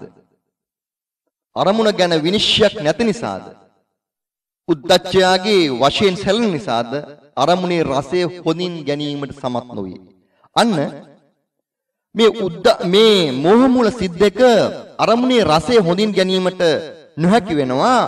මොකද උද්දච්ච නැමැති උද්දච්චය නැමැති චිත්තාංගේ ක්‍රියාත්මක වෙන නිසා අරමුණ සිතට හොඳින් ගන්නට බැරි වෙනවා. සැලීමක් සිද්ධ වෙන නිසා අරමුණ හොඳින් ගැනීමට සමත් වෙන්නේ නැහැ. සහ අරමුණේ සැබෑ ස්වභාවය වසා දමන නිසා අරමුණේ යථාභූත ස්වභාවයක් ගන්න වෙන්නේ නැහැ. ඒක නිසා නිතරම මෝහ මූල සිතක් උපේක්ෂා සහගතයි වෙන්නේ. එනම් මෝහ මූල සිත උපේක්ෂා සහගතයි. සැකය නොසන්සුන් කමය යන මේ දෙක ප්‍රകൃතියෙන් ම සත්වයන් තුල ඇතිවන කරුණු දෙක. ඒවා කෙනෙකුගේ මෙහෙයමින් ඇතිවන ධර්ම නොවේ. එබැවින් මෝහ මූල චිත්තේ සංඛාර ભેදයක් නොලැබේ. සියලුම මෝහ මූල සිත් අසංකාරිකය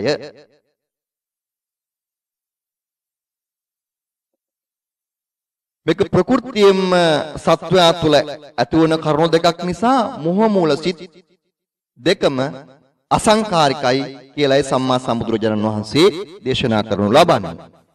එහෙනම් අපි තව බලමු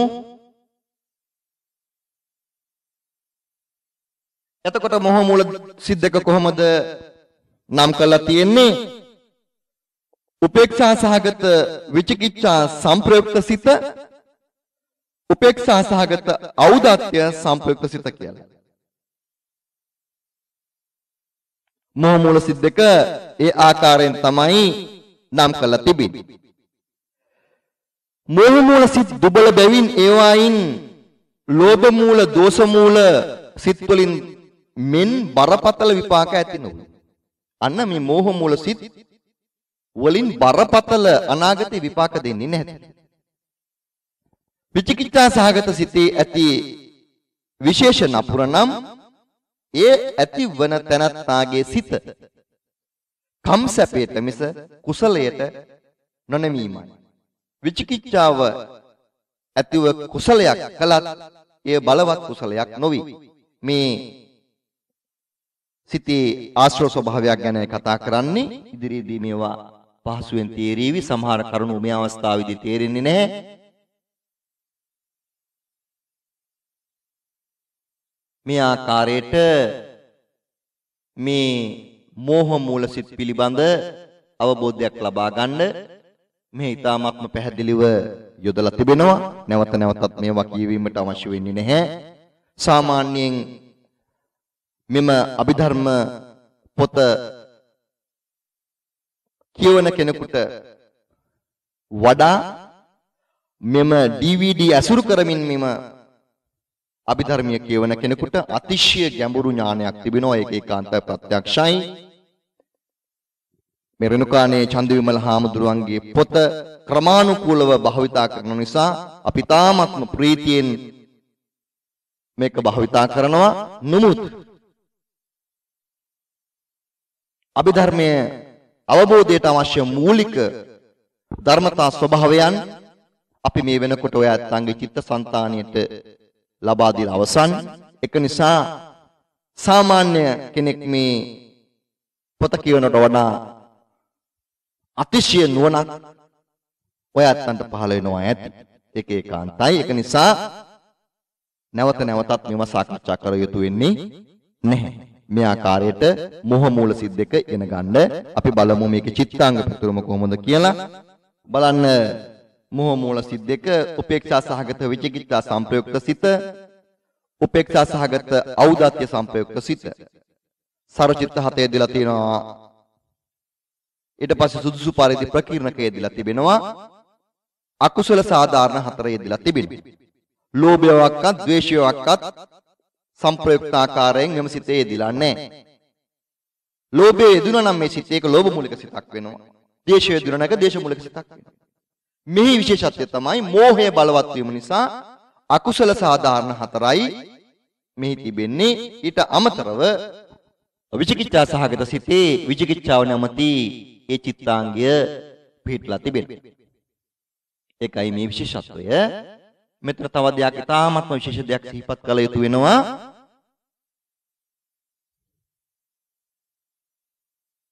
ඔය ඇත්තන්ට බලන්න මෙන්න මේ මෝහ මූල සිතේ මේ විචිකිච්ඡා සංප්‍රයුක්ත මෝහ මූල සිතේ විචිකිච්ඡාව කියන සැකසහිත ස්වභාවය නිසා එහි ආදිමෝක්ෂය කියන ධර්මතාවය දෙන්නේ නැහැ. ආදිමෝක්ෂය කියන චිත්තාංගය දෙන්නේ නැහැ. හොඳට අධ්‍යයනය කරන්න දැන් චෛතසිකවල ස්වභාවය ආදිමෝක්ෂයත් විචිකිච්ඡාවත් කියන්නේ එකිනෙකට විරුද්ධ ලක්ෂණ තියෙන චිත්තාංග දෙකක්. ආදිමෝක්ෂය කියන්නේ අරමුණේ සැටි විනිශ්චය කරන ස්වභාවය. හරියට හෝ වැරදියට හෝ ඒවා අරමුණ එකාකාරයකින් ගැනීමේ ස්වභාවය ආදිමෝක්ෂය විසින් කරනවා. නමුත් අරමුණේ සැටි විනිශ්චය කරගන්න විදිහක් නැහැ. මෙන්න මේ විචිකිච්ඡාව නැමැති ධර්මතාවයේ පිහිටන නිසා.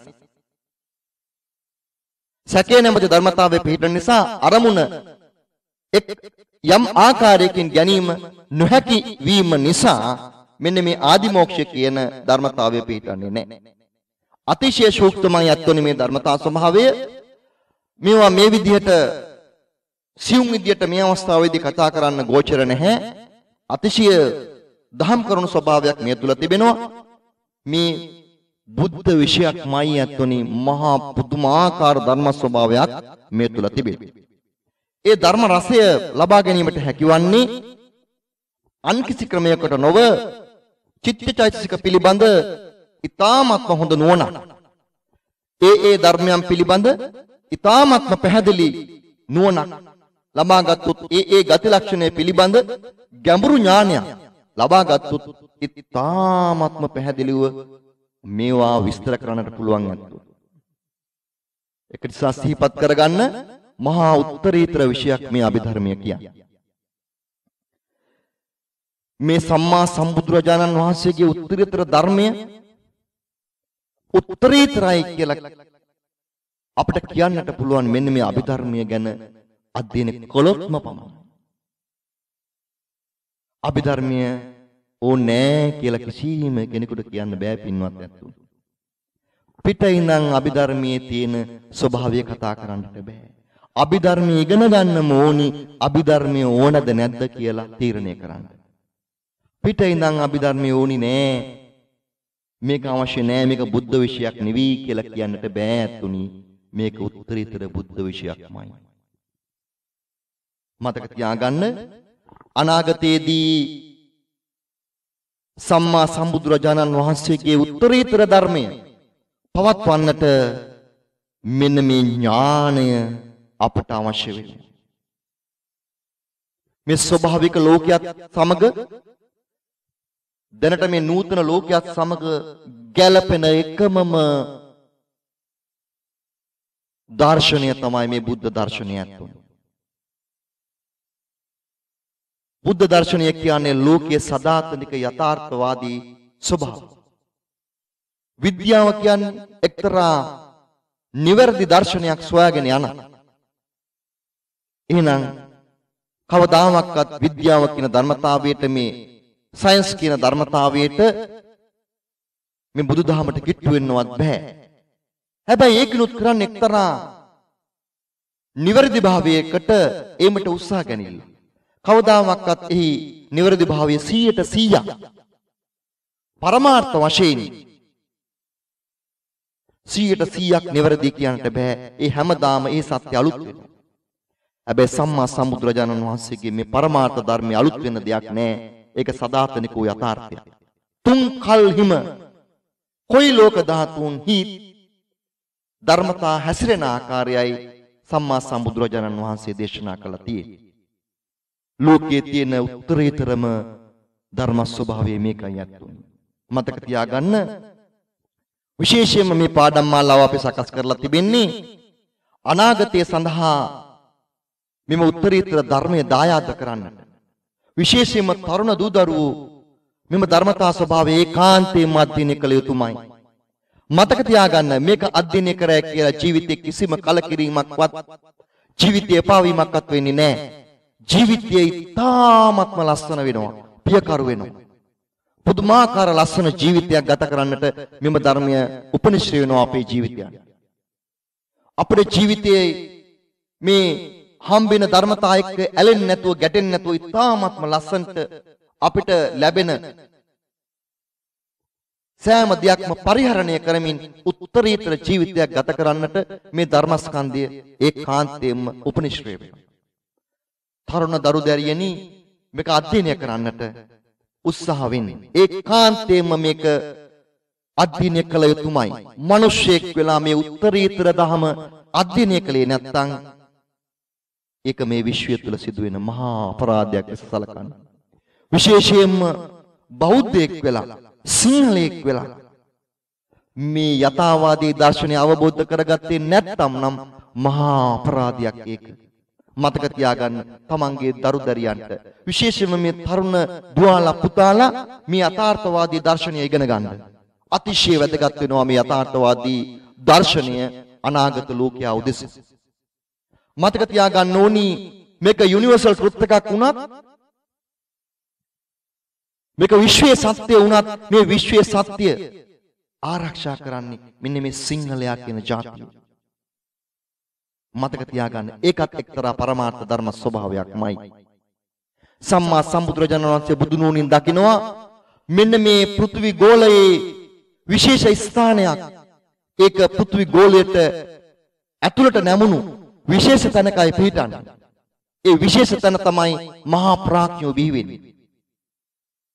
ගුරුත්වයෙන් ඊ타ත්ම අඩු ස්ථානයක් විදියටයි අද විද්‍යාවෙන් මේ භූමිය හඳුන්වන්නේ. මේ ශ්‍රී ලංකාව කියන භූමි ප්‍රදේශීය ලෝක ගෝලය සමග සසඳන විට මහා පුදුමාකාරම ස්ථානයක් සිත සිතවිලි පවත්වන්නට.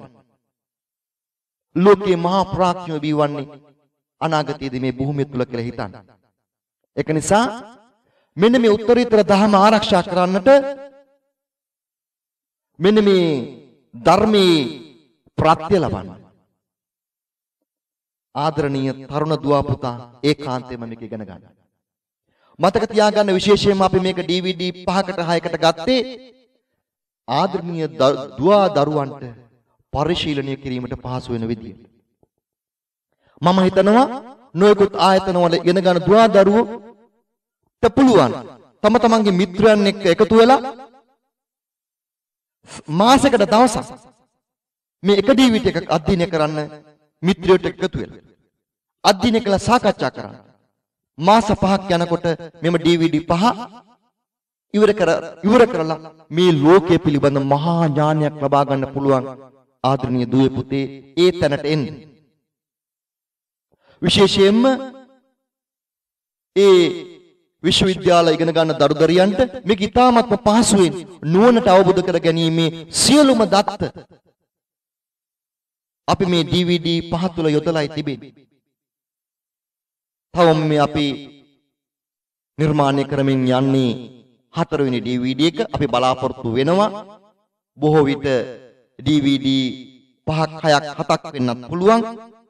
කොයි ආකාරයකින් හෝ මෙම පාඨමාලාව සම්පූර්ණ DVD ප්‍රමාණය මොන ආකාරයකින් හෝ මේ මිතුරෝ එකතු වෙලා මේක අධ්‍යයනය කරන්න සාකච්ඡා කරන ලෝකයේ යථාර්ථය පිළිබඳ මතක තියාගන්න සිංහලයා සිංහලකම බෞද්ධයා බෞද්ධකම ආරක්ෂා කරගන්න තියෙන එකමම උපක්‍රමය තමයි මෙන්න මේ සදාතනික යථාර්ථය අධ්‍යයනය කිරීම. ඒ කාන්තයෙන්ම ඒ සිතුවිල්ල සිතා ගන්න. මුළු මහත් ලෝකයාටම සාධාරණ වූ ධර්මතාවයක් වුණාට මේක මේකේ භාරකරුවා සිංහලයා කියලා හිතන්න. මේක භාරකරුවා සිංහලයා. සිංහලයා තමයි මේක මුළු විශ්වයටම බෙදා හරින්නේ. ඒක අප නෙමේ දකින්නේ සම්මා සම්බුදුරජාණන් වහන්සේ නෝනින් දකිනවා. මේ අපේ උතුම් මාතෘ භූමිය නම සැරයකට මේ මාතෘ භූමිය වටේ වැඩම කරලා මේක ආරක්ෂා කරනවා පින්වත් ඇත්තුනි. උත්තරීතර භූමියකයි අපි වාසය කරන්නේ.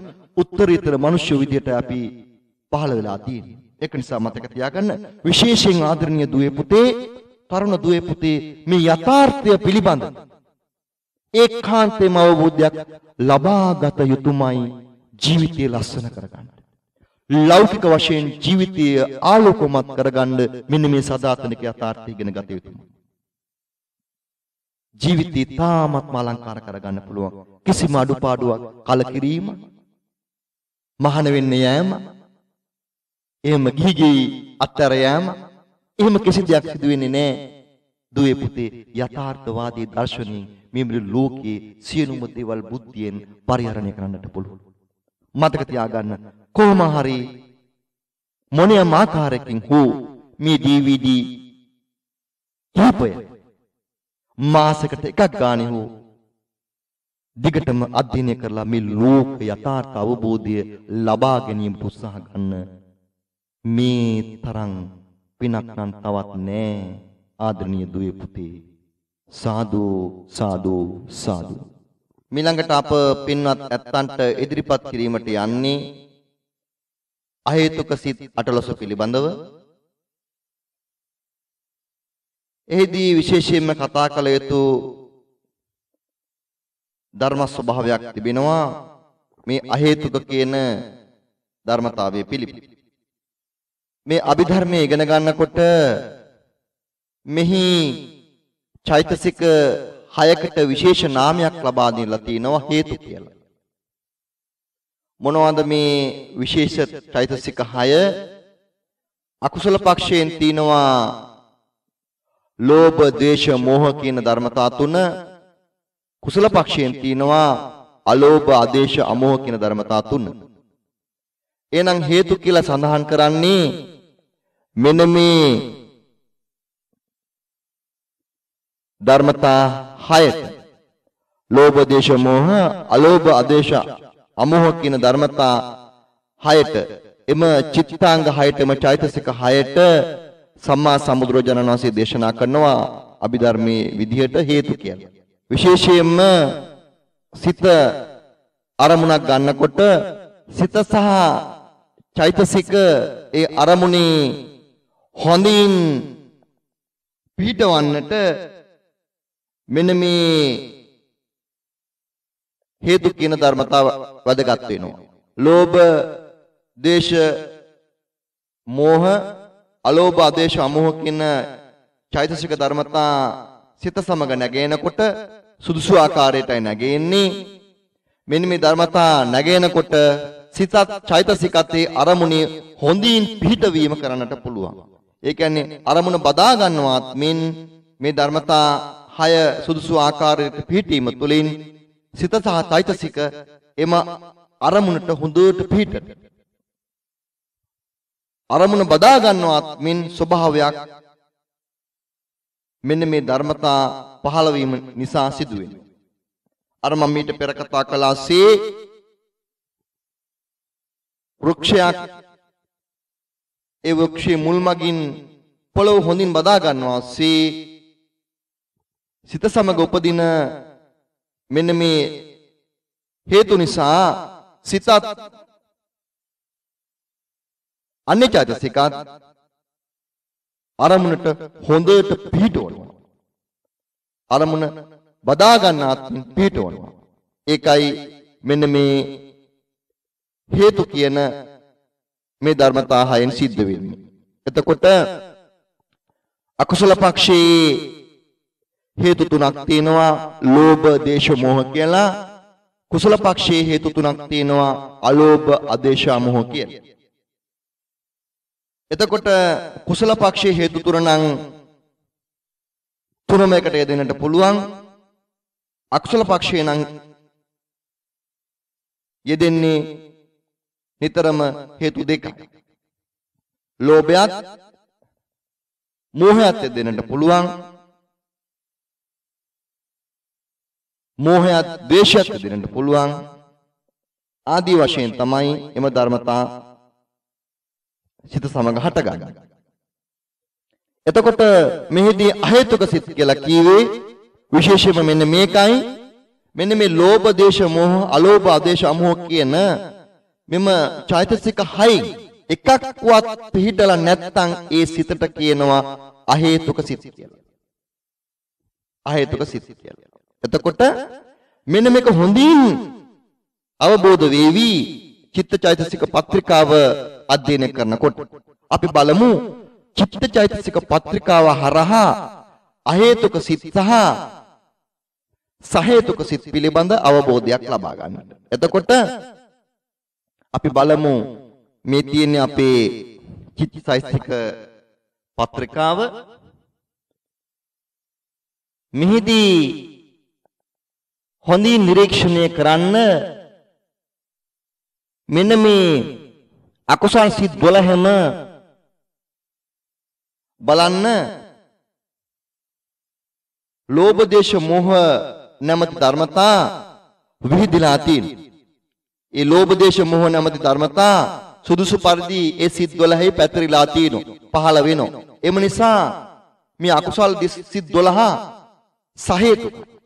අයි සහේතුක උනේ ඒ හේතු භාවයෙන් යුතු චෛතසික එම සිත්හි පිහිටන නිසා මේ ලෝභ මූල සිත් 8ත් දේශ මූල සිත් දෙකත් මෝහ මූල සිත් දෙකත් මේ අකුසල සිත් 12ම සහේතුක ඊට අමතරව බලන්න මෙන්න මේ අහේතුක සිද්ධාට හොඳින් නිරීක්ෂණය කරන්න මෙහි චිත්තාංග පැතිරීම මේ අහේතුක සිද්ධා 8 බලන්න අහේතුක සිත් පටන් ගන්නේ 13 වෙනි සිතේ ඉඳලා 13 වෙනි සිතේ ඉඳලා 30 වෙනි සිත දක්වාම මේ අහේතුක සිත් තියෙන්නේ. බලන්න ඒ සිත් 18 චිත්තාංග පැවැත්මේ චිත්තාංග පහළ වෙලා තියෙන ආකාරය මොනම ආකාරයකටවත් එම අහේතුක සිත්වල ලෝභ දේශ මොහ අලෝභ ආදේශ අමෝහ යන හේතු නැමැති චෛතසික ධර්ම සංප්‍රයුක්ත විදිහට එම සිත්වල යෙදිලා නැහැ. ඒක නිසා එම සිත්වලට විශේෂ නමක් යොදනවා අහේතුක සිත් කියලා. ඊට අමතරව අන්‍ය සියලුම සිත් ඒ කියන්නේ සිත් 89 සිත් 89 සිත් 18යි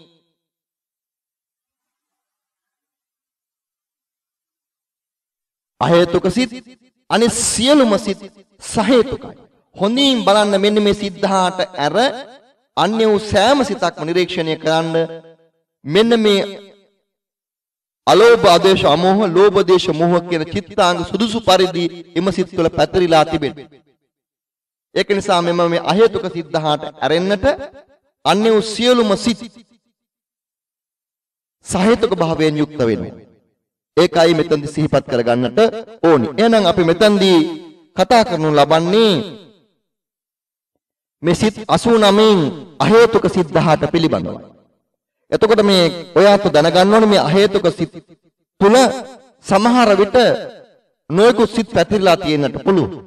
මෙහිදී පැතිරෙන්නේ කුසල විපාක තියෙනවා අකුසල විපාක තියෙනවා ක්‍රියාසිත දෙකක් තියෙනවා හසිතුප්පාදය කියන ඒ රහතුන් වහන්සේලාට සිනහව සිනහව උපදවන සිත තියෙනවා. එතකොට ක්‍රියාසිත තුනක් තියෙනවා විපාක සිත් 15ක් තිබෙනවා. එතකොට එහෙනම් මොනවද තින්නේ? අහේතුක සිත් 18 මොනවද තින්නේ? ක්‍රියාසිත තියෙනවා විපාක සිත් තියෙනවා. ක්‍රියාසිත තියෙනවා විපාක සිත් තියෙනවා. එහෙනම් කවර කවදාවත්වත්ම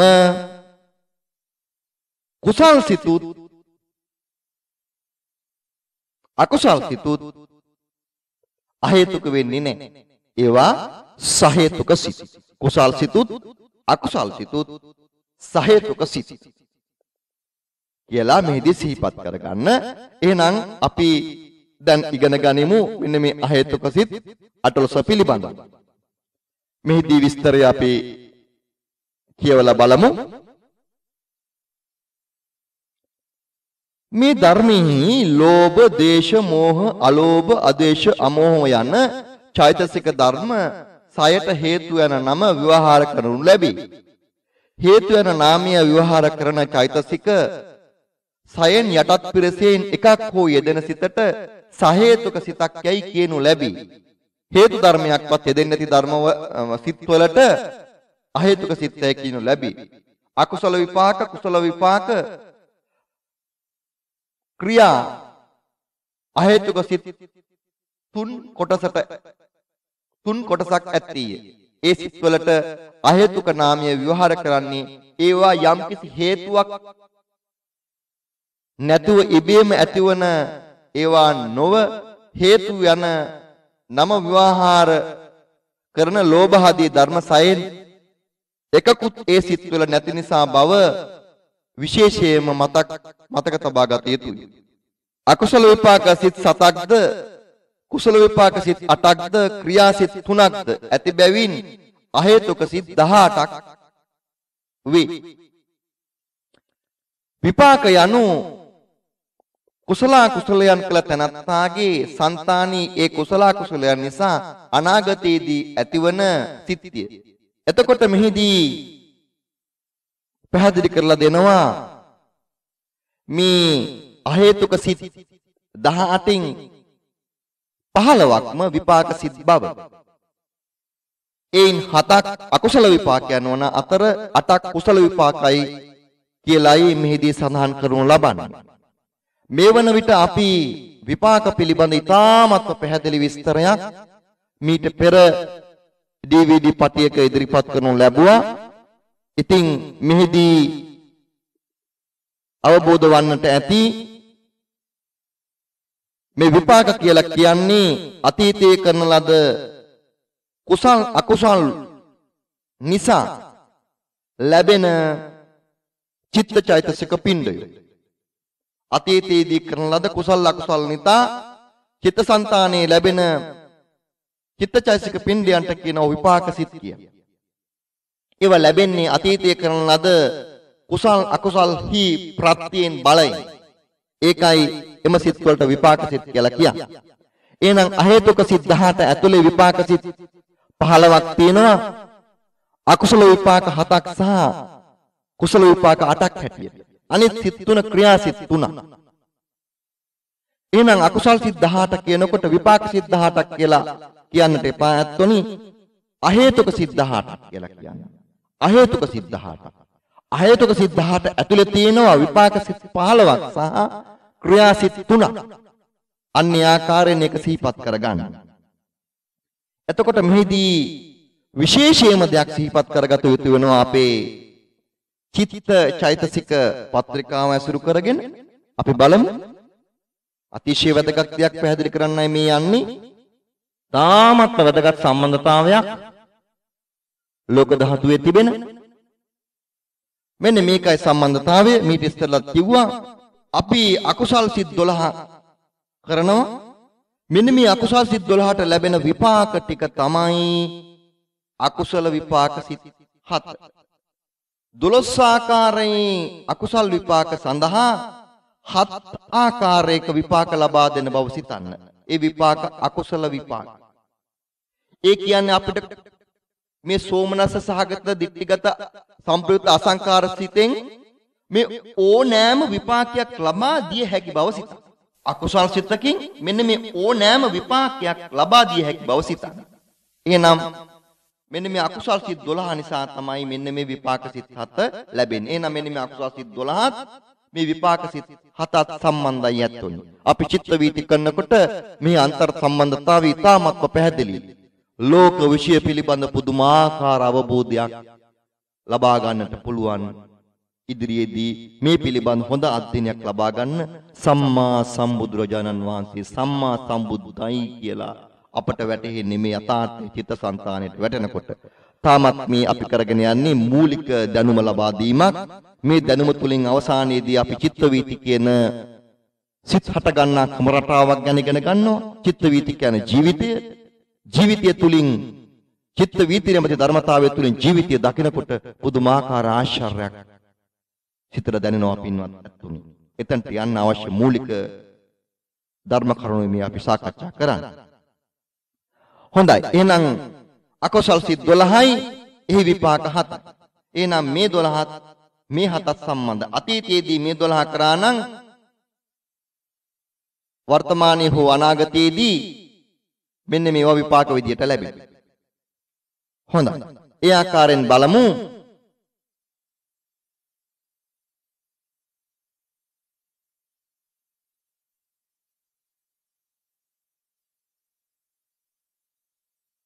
තවම අපි කරේ නැහැ කාමාවතර කුසල් සිත් 8. තාම අපි කාමාවතර කුසල් සිත් 8 කරේ නැහැ.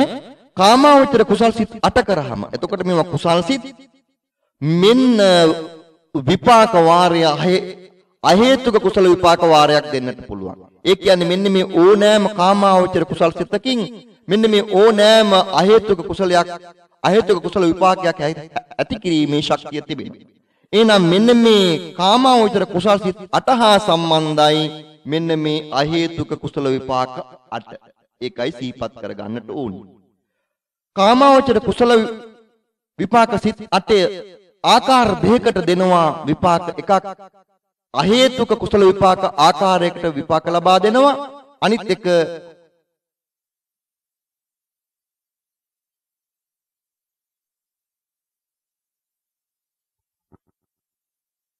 සහේතුක විපාක ආකාරයකට විපාක ලබා දෙනවා. මෙන්න මේ කාමාවතර කුසල් සිත් 8 කළා නම් 16 ආකාරයකට විපාක ලැබෙනවා. 8 ආකාරයක් සහේතුකයි 8 ආකාරයක් අහේතුකයි. එහෙනම් කාමාවචර කුසල කරන තැනැත්තෙකුට 16 ආකාරයකට විපාක ලැබීම සිද්ධ වෙනවා. එහෙනම් මෙන්න මේ 8 මෙන්න මේ 8 හා සම්බන්ධයි. ඉහළ අපි ගන්නන ලද අහේතුක අහේතුක කුසල විපාක 8 මෙන්න මේ කාමාවචර කුසල් සිත් 8 හා සම්බන්ධයි. එහෙනම් මෙන්න මේ කාමාවචර කුසල් සිත් 8න් සුදුසු පරිදි මෙන්න මේ කාමාවචර විපාක ලබා දෙන්නට පුළුවන්. ඒ වගේමයි මෙන්න මේ අහේතුක කුසල විපාක ලබා දෙන්නත් පුළුවන්. එහෙනම් මතක තියාගන්න ඕනි අන්න ඒ ධර්මතාවයයි අතිශය වැදගත්. එහෙනම් 12 ආකාරයේ අකුසලයන් සඳහා හත් ආකාරයේ අකුසල විපාක තිබෙනවා. අට ආකාරයේ කාමාවතර කුසල් සිත් සඳහා 16 ආකාරයක විපාක තිබෙනවා. ඒ 16 ආකාරක විපාකයන්ගෙන් 8ක් අහේතුක විපාක 8ක් සහේතුක විපාක ආකාරයකට සිහිපත් කරගත යුතු වෙනවා. එහෙනම් ඊ타ත්ම පැහැදිලි මෙන්න මේ අකුසල විපාක හත කියන එක අහේතුක කුසල විපාක 8 කියන එක. අපි නම් වශයෙන් ඉස්සරහදී විස්තර කරමු. ඊට පස්සේ බලමු අහේතුක ක්‍රියාසිත තුනක් තියෙනවා. ක්‍රියාසිත තුනක් උපේක්ෂා සහගත පංචද්වාරා වර්ජණය උපේක්ෂා සහගත මනෝද්වාරා වර්ජණය සෝමනස සහගත හසිතුප්පාදය කියලා. මෙන්න මේ සෝමනස සහගත හසිතුප්පාද කියන සිත පහළ වෙන්නේ රහතුන් වහන්සේලාට සිනහයිපද්දීමක් වශයෙන්. මෙන්න මේ උපේක්ෂා සහගත පංචද්වාරා වර්ජණයත් උපේක්ෂා සහගත මනෝද්වාරා වර්ජනයත් පිළිබඳ චිත්ත වීති කරනකොට ඊ타ත්ම පැහැදිලි වේවි. හොඳයි. අපි බලමු නැවතත් අහේතුක සිත් පිළිබඳව ඉගෙන ගන්න ඒ අභිධර්ම මාර්ගයේ පොතට පිවිසෙමු. මෙන්න මෙතන තියෙනවා කුසල විපාක හත පිළිබඳ විස්තර කළා. සාමාන්‍යයෙන් අකුසල විපාක එකක් වුවද සිත් උපදිනා ස්ථානයන්ගේ වශයෙන්ද සිත් වලින් සිදු කරන කෘත්‍යයන්ගේ වශයෙන්ද අකුසල විපාක සතක් වේ. අන්න මෙහිදී කියනවා අකුසල විපාක හත්තාරයක් කියලා. මොකක් විදිහටද අකුසල විපාකේ හත්තාරය? අකුසල විපාක උපදින ස්ථානය අනුව සහ කරන කෘත්‍ය අනුව අකුසල් සිත් හතක්. ඇස කන නාසය දිව හෘදය රූපය කියා සිත් උපදින ස්ථාන සයක් ඇත්තේ. එහෙනම් මේ වෙනකොට අපි කතා කරා වස්තු රූප හයක් තියෙනවා කියලා. මේ වස්තු රූප හය ගැන තමයි මේ කියන්නේ. චක්කු ප්‍රසාද, සෝත ප්‍රසාද, ගාන ප්‍රසාද, ජීව ප්‍රසාද, කාය ප්‍රසාද. වස්තු රූප ආදී ධර්මතාවයි මේ විස්තර කරලා තියෙන්නේ. විපාක සිත් අතර ඇසේ උපදිනා සිත් ඇත්තේ. කනේ උපදිනා සිත් ඇත්තේ. නාසයේ උපදිනා සිද්ද, දිවේ උපදිනා සිද්ද, කයේ උපදිනා සිද්ද ඇත්තේ. ඒ සිත් වලට උපදිනා ස්ථානය අනුව නම් දී තිබේ. හෘද රූපෙහි උපදිනා සිත් බොහෝ බැවින් ඒවාට උපත් ස්ථානය අනුව නම් කළ නොහැක. අහේතුක සිත්වල හෘදයේ උපදිනා සිත්වලට ඒ ඒ සිතින් සිදු කරන කෘත්‍ය අනුව නම් දී තිබේ. මෙහිදී සඳහන් කරන්නේ අකුසල විපාක සඳහන් නම් දෙනකොට චක්ක ප්‍රසාද සෝත ප්‍රසාද ආදී පංච ප්‍රසාදයන් අසුරු කරගෙන අකුසල් සිත් පහළ වෙනකොට කෙලින්ම අපිට ස්ථානය අනුව ඒ සිත ඒ විඥානය නම් කරන්නට පුළුවන්. නමුත් අපි දන්නවා පංච ප්‍රසාදයන්හි ඒ දීපංච විඥානය පහළ වෙනවා. නමුත් හෘද වස්තුවේ වස්තු රූපය අසුරු කරගෙන සිත් 79ක් පහළ වෙනවා. එතකොට සිත් විශාල සංඛ්‍යාවක් ඒ වස්තු රූපය අසුරු කරගෙන පහළ වෙන නිසා එහිදී ස්ථානය අසුරු කරගෙන නම් දීම සිදු කරන්නට බෑ. ඒක නිසා එහි පහළ වෙන විපාක සිත් කෘත්‍යයෙන් තමයි නම දීලා තියෙන්නේ. ඒකයි මේ මෙතන පහදලා දීලා තියෙන්නේ. ඉදිරියේදී මේවා ඉතාමත්ම පැහැදිලි වෙවි. නමුත් සමහර විට සමහර අවස්ථාවලදී මේවා මුල් වාරයට කන වැටෙනකොට යම් සංකීර්ණ බවක් ඉපදෙවි. නමුත් ක්‍රමානුකූලව කාලයාගේ ඇවෑමෙන් තමයි අභිධර්මයේ කියන එක සිත්තට වැටෙන්නේ. මාසයක් නෙමෙයි මාස දෙකක් නෙමෙයි මාස තුනක් නෙවෙයි. අවුරුදු භාගයක් නෙමෙයි අවුරුද්දක් නෙමෙයි. අවුරුදු කිහිපයක් යනකොට තමයි මෙන්න මේ සදාතනික යථාර්ථය හොඳට සිතට තේරුම් යන්නේ. ඉතින් කාලයාට ඉඩ දෙන්නට ඕනි මේ තේරුම් යාම උදෙසා එක වීරියෙන් කරන්නට පුළුවන් දෙයක්. වීරිය අනුවේ කාලය වෙනස් කර ගන්නට පුළුවන්. ඔය ඇත්ත වීරියවන්ත වෙන්න නිතර නිතර මේ ලෝක අවබෝධය පිණිස මේවා සිතලා. හොඳයි. අපි බලමු මෙන්න අකුසල විපාක සිත් 7 මොනවද අකුසල විපාක සිත් 7 උපේක්ෂා සහගත චක්කු විඥානය කොහෙද මේ උපේක්ෂා සහගත චක්කු විඥානය පහළ වෙන්නේ නම සම්පූර්ණ කිව්වොත් අකුසල විපාක උපේක්ෂා සහගත චක්කු විඥානය කොහෙද පහළ වෙන්නේ? ඇස ඇසුරු කරගෙන. චක්කු ප්‍රසාදය ඇසුරු කරගෙනයි පහළ වෙන්නේ ඇයි පහළ වුනේ? අකුසල විපාක චක්කු විඥානය ඇයි පහළ වුනේ? අතීතයේ කරන ලද අකුසල් සිත් 12 හේතු කරගෙනයි පහළ වුනේ. මොකක්ද මේ අකුසල විපාක චක්කු විඥාණයෙන් පෙන්වන්නේ? මේ අනිෂ්ට විපාකයෙන් පෙන්වන්නේ මොකක්ද? අනිෂ්ඨාරම්මණය. මේකෙන් පෙන්වන්නේ අනිෂ්ඨාරම්මණය. අන්න ඒ බවයි වටහා ගන්නට ඕනේ. පුදුමාකාර සම්බන්ධතාවයක් අතීතය සහ අනාගතය අතර මේ ධහම උත්පාදනය කළා දෙනවා පින්වත් ඇතුණි සම්මා සම්බුද්දයි කියන්නේ ඒකයි පුදුමාකාර ධම් ස්වභාවයක් තමයි අප තථාගත සම්මා සම්බුදු රජාණන් වහන්සේ මේ ලෝකයට ඉදිරිපත් කරනු ලබන්නේ හරිම ආශ්චර්යජනකයි මේ අවබෝධ වෙනකොට එහෙනම් මෙන්න මෙතන තවත් සිතක් තියෙනවා අකුසල විපාක උපේක්ෂා සහගත සෝත විඥාන. මේක පහළ වෙන්නේ කනින්. එහෙනම් ඔයත් මීට පෙර දැනගත්ත කනේ කනේ නැත්තම් සෝත ප්‍රසාදයේ පහළ වෙන්නේ සිත් 89න් සිත් දෙකයි. චක්කු ප්‍රසාදයේ පහළ වෙන්නේ සිත් 89න් සිත් දෙකයි. මොකද්ද චක්කු ප්‍රසාදයේ පහළ වෙන සිත් දෙක එකක් අකුසල විපාක උපේක්ෂා සහගත චක්කු විඥානීය අනිත් එක කුසල විපාක උපේක්ෂා සහගත චක්කු විඥානය. මෙතන කතා කරන්නේ අකුසල විපාක උපේක්ෂා සහගත චක්කු විඥානය පහළ වීම පිළිබඳ. එහෙනම් අකුසල විපාක උපේක්ෂා සහගත ගාහන විඥානය, අකුසල විපාක උපේක්ෂා සහගත ජීවහා විඥානය, දුක්ඛ සහගත කාය විඥානය. මෙන්න කය ඇසුරු කරන් පහළ වෙන ඒ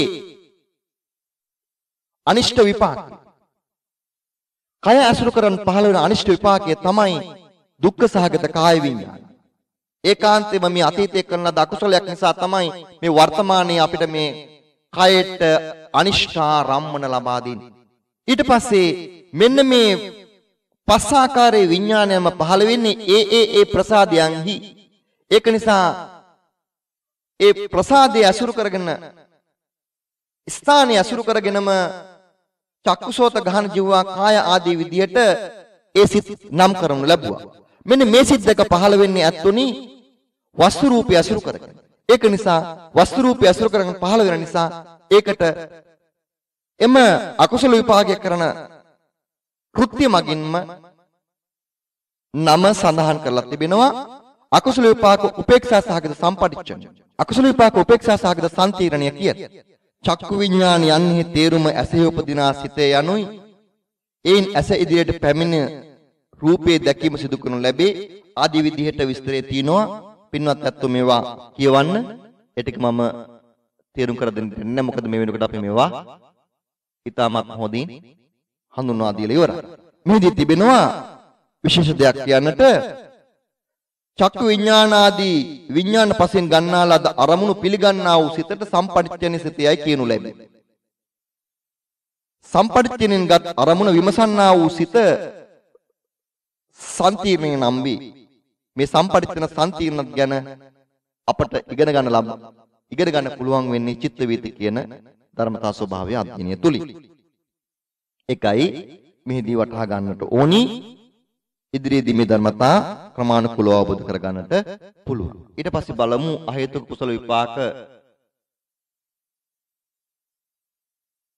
අට පිළිබඳ මෙහිදී මේ සිත් අට ලැබෙන්නේ අතීතයේ කරන ලද කුසල කර්ම හේතු කරගෙන අතීතයේදී කරන ලද කාමාවචර කුසල කර්ම හේතු කරගෙන තමයි මෙන්න මේ ධර්මතාවට පහළ වීම සිද්ධ වෙන්නේ. මෙහිදී සිත් පහක් ඒ ඒ ඒ ප්‍රසාදයන්හි පහළ වෙනවා. මේ සිත් වලින් අපිට ලබා දෙන්නේ ඉෂ්ඨාරම්මන බව සිහිපත් කරගන්න. ඒ කියන්නේ කුසල විපාක උපේක්ෂා සහගත චක්කු විඥාණයට ලැබෙන්නේ ඉෂ්ඨාරම්මණය. ඒකින් බලන්නේ මල. ඒකින් බලන්නේ චෛත්‍ය. ඒකින්ට අසු වෙන්නේ රහතුන් වහන්සේගේ රූපාරම්මණය. මේදී අපි දැනට ගැඹුරු විස්තරයක් කරන්නට යන්නේ නැහැ. එහෙනම් ඉෂ්ඨාරම්මන තමයි මෙන්න මේ අහේතුක කුසල විපාක සිත් අටහරහා ලබා ගන්න. අකුසල විපාක සිත් තරහා ලැබෙන්නේ අනිෂ්ඨාරම් අනිෂ්ඨාරම් හොඳයි මේ ආකාරයට වස්තු රූපය අසුර කරන් පහළ වෙන සිත් තුනක් පහළ වෙනවා උපේක්ෂා සහගත සම්පටිච්ඡනය සෝමනස සහගත සම්තීරණය උපේක්ෂා සහගත සම්තීරණය කියලා මේ ආකාරයෙන් අහේතුක කුසල විපාක 8ක් මෙහිදී සඳහන් වෙනවා. මෙහිදී තවදුරටත් මෙන්න මේ ආකාරයට විස්තර කරලා තිබෙනවා. අකුසල් සිත් වලින් ඇති කරන්නේ අහේතුක විපාක පමණි. අපි මීට මීට පෙර කතා කරා අකුසල් සිත් වලින් ඇති කරන්නේ අකුසල් කර්ම වලින් ඇති කරන්නේ අකුසල විපාක පමණමයි. එක සිහිපත් කර ගන්නවා. කුසල් සිත් වලින් අහේතුක සහේතුක විපාක දෙවර්ගයම ඇති කරනු ලැබෙනවා. අකුසල් සිත් වලින් ඇති කරන්නේ අහේතුක විපාක පමණයි. අහේතුක විපාක පමණමයි අකුසල් කර්ම වලින් ඇති කරන්නේ. නමුත් කුසල කර්ම වලින් හැම නෙවෙයි සහේතුක විපාකත් අහේතුක විපාකත් කියන වර්ග දෙකමම පහල කරනවා. ඒකයි මෙහිදී විශේෂයෙන් දැනගත යුතු. කුසලයෙන් ඇති කරන සහේතුක විපාක පසුව දත හැකිවනු ඇත. අහේතුක කුසල විපාක සිත් මිස අහේතුක කුසල් සිත් කොටසක් නැති බව මතක තබා ගත යුතුය. අහේතුක කුසල විපාක කියලා තිබුණාට අහේතුක කුසල් නැති බවයි එහිදී සඳහන් කරන්නේ මතක තියාගන්නට ඕනි සෑම කුසල් සිතක්ම සහේතුකයි සෑම අකුසල් සිතකුම සහේතුකයි මීට පෙර අපි සඳහන් කළා ඒ පිළිබඳ. අකුසල විපාක වලට වඩා අහේතුක කුසල විපාක වල ඇති වෙනස කාය විඥානයේ සුඛ සහගත වීමත් සංකීර්ණ දෙකක් වීමත්. ඒ කියන්නේ මෙහිදී සඳහන් කරන්නේ මෙන්න මේ අවස්ථාව පිළිබඳවයි. එකක් සුඛසහගත කාය විඥානයක් ලබා දෙනවා. අනික සංකීර්ණ දෙකක් ලබා දෙනවා ඒකයි මේ විශේෂත්වය. ඉතින් මේවා ඉදිරියේදී චිත්ත වීති වල ක්‍රියාත්මක වන ආකාරය ගැන ගත්තට පස්සේ මේ සිත් පිළිබඳ අවබෝධය ලබා ගන්නට පුළුවන්. ඒ පිළිබඳ සිහිපත් කරගන්න. හොඳයි. ඊට පස්සේ තියෙනවා අහේතුක ක්‍රියාසිත තුන ගැන පිළිබඳව විස්තර කළා. අපි මීට පෙර ක්‍රියාසිත කියන එක ඉතාමත්ම හොඳින් ඉගෙන ගනු ලැබුවා. ඒ අනුව මෙතන තියෙන විස්තරය විපාක උපදවන ස්වභාවයක් නැති යම්කිසි කර්මයක විපාකයක්ද නොවන සිත් ක්‍රියාසිතය. යම්කිසි කෘත්‍යයක් සිදු කිරීම සෑම සිතකම ස්වභාවයයි. විපාක උපදවන සිත්වලට කුසල්ලේ අකුසල්ලේ යන නම් දුන් බැවිනුත් ඒවායින් උපදවන සිත් වලට විපාකයන් නම දුන් බැවිනුත් ඉතිරි වන සිත් කොටසට ඒ ඒ කෘත්‍යයන් සිදු කිරීම වශයෙන් ඇතිවීම නිමිති කොටගෙන ක්‍රියා යන නාමය විවහාර කරනු ලැබී. අහේතුක ක්‍රියා සිත් වලට නම් තබා ඇත්තේද ඒ සිත් වලින් සිදු කරන කෘත්‍ය අනුවයි. එහෙනම් මෙහිදී අහේතුක ක්‍රියා සිත් තුනක් තිබෙනවා. උපේක්ෂා සහගත පංචද්වාරා වර්ජණය, උපේක්ෂා සහගත මනෝද්වාරා වර්ජණය, සෝමනස්ස සහගත හසිතුප්පාදේ කියලා. මෙහිදී අපි මේ පිළිබඳ වැඩිදුර කතා කරන්නට යන්නේ නැහැ චිත්ත වේද අධ්‍යයනයේදී මේ සිත ඊ타මත්ම හොඳින් අපි අධ්‍යයනය කරනවා. මේදී මෙන්න මේ කාරණා ටික සිහිපත් කරනවා පංචද්වාරා වර්චනය යනු පංචද්වාරයට පැමිණෙන අරමුණු මෙනෙහි කරන සිතය. මේවා ඉදිරියේදී කතා කරනවා. නමුත් මෙතනදී මේ සිහිපත් කිරීමක් කරන්නේ මනෝද්වාරා වර්ජනය යනු මනෝද්වාරයට පැමිණෙන අරමුණු පළමුවෙන්ම මෙනෙහි කරන සිතය. මේ සිත් දෙක පිළිබඳ අවබෝධය ඇති කරගත හැකි වන්නේ වීතිකාණ්ඩය ඉගෙන ගැනීමනි කියලයි අපේ හාමුදුරුවෝ මෙහිදී සඳහන් කළා තියෙන්නේ. ඊට පස්සේ සඳහන් කළා තියෙන හසිතුප්පාද සිත හසිතුප්පාද සිත කියන්නේ මේ රහතුන් වහන්සේලාට සිනහව පමණක් උපදවන සිතක්. ඒ හසිතුප්පාද සිතෙන් මේ තොල් විසිරුවා හැරීම මිස වෙනත් ක්‍රියාවක් කරන්නට බෑ. සිනාව ඉපදීම පමණයි මෙන්න මේ හසිතුප්පාද සිතෙන් කිරීමට පුළුවන් වෙන්නේ. ඒක සාමාන්‍ය පෘථග්ජන කෙනාට නොලැබෙන රහතුන් වහන්සේලාට පමණක් ලැබෙන සිතක්. ඒක ක්‍රියාසිතක් බව සිහිපත් කරගන්න.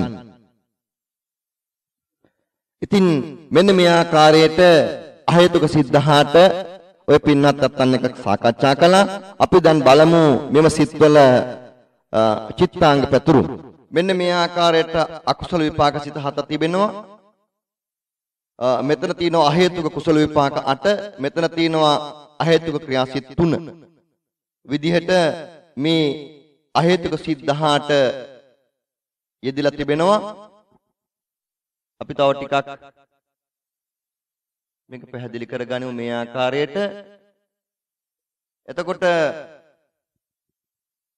13 වෙනි සිතේ ඉඳලා මෙන්න මේ 30 වෙනි සිත දක්වා ඒ සිත් 18 අහේතුක සිත් 18යි. ඒ චිත්තාංග පැතිරීම බලමු.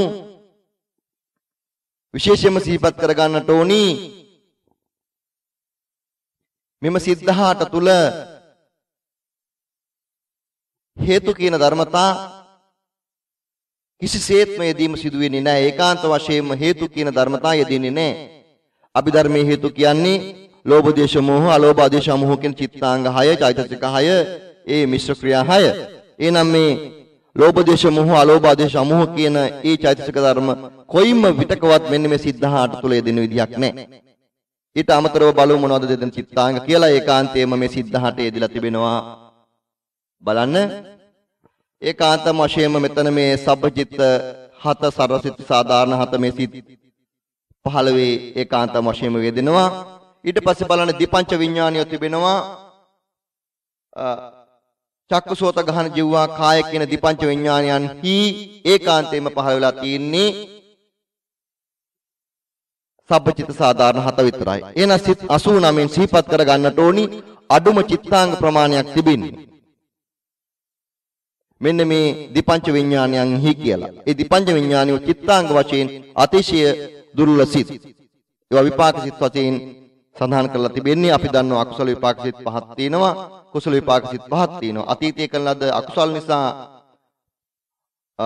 ඒ පංචද්වාරේ ඒ සිත් පහළ වෙනවා. අතීතයේ කළ ලද කුසලයන් නිසා පංචද්වාරේ තවත් සිත් පහක් පහළ වෙනවා. ඒ ආකාරයෙන් මේ දීපංච විඥානිය තමයි අඩුම චිත්තාංග ප්‍රමාණයක් තිබෙන සිත් විදියට සම්මා සම්බුදුරජාණන් වහන්සේ දේශනා කරනු ලබන්නේ.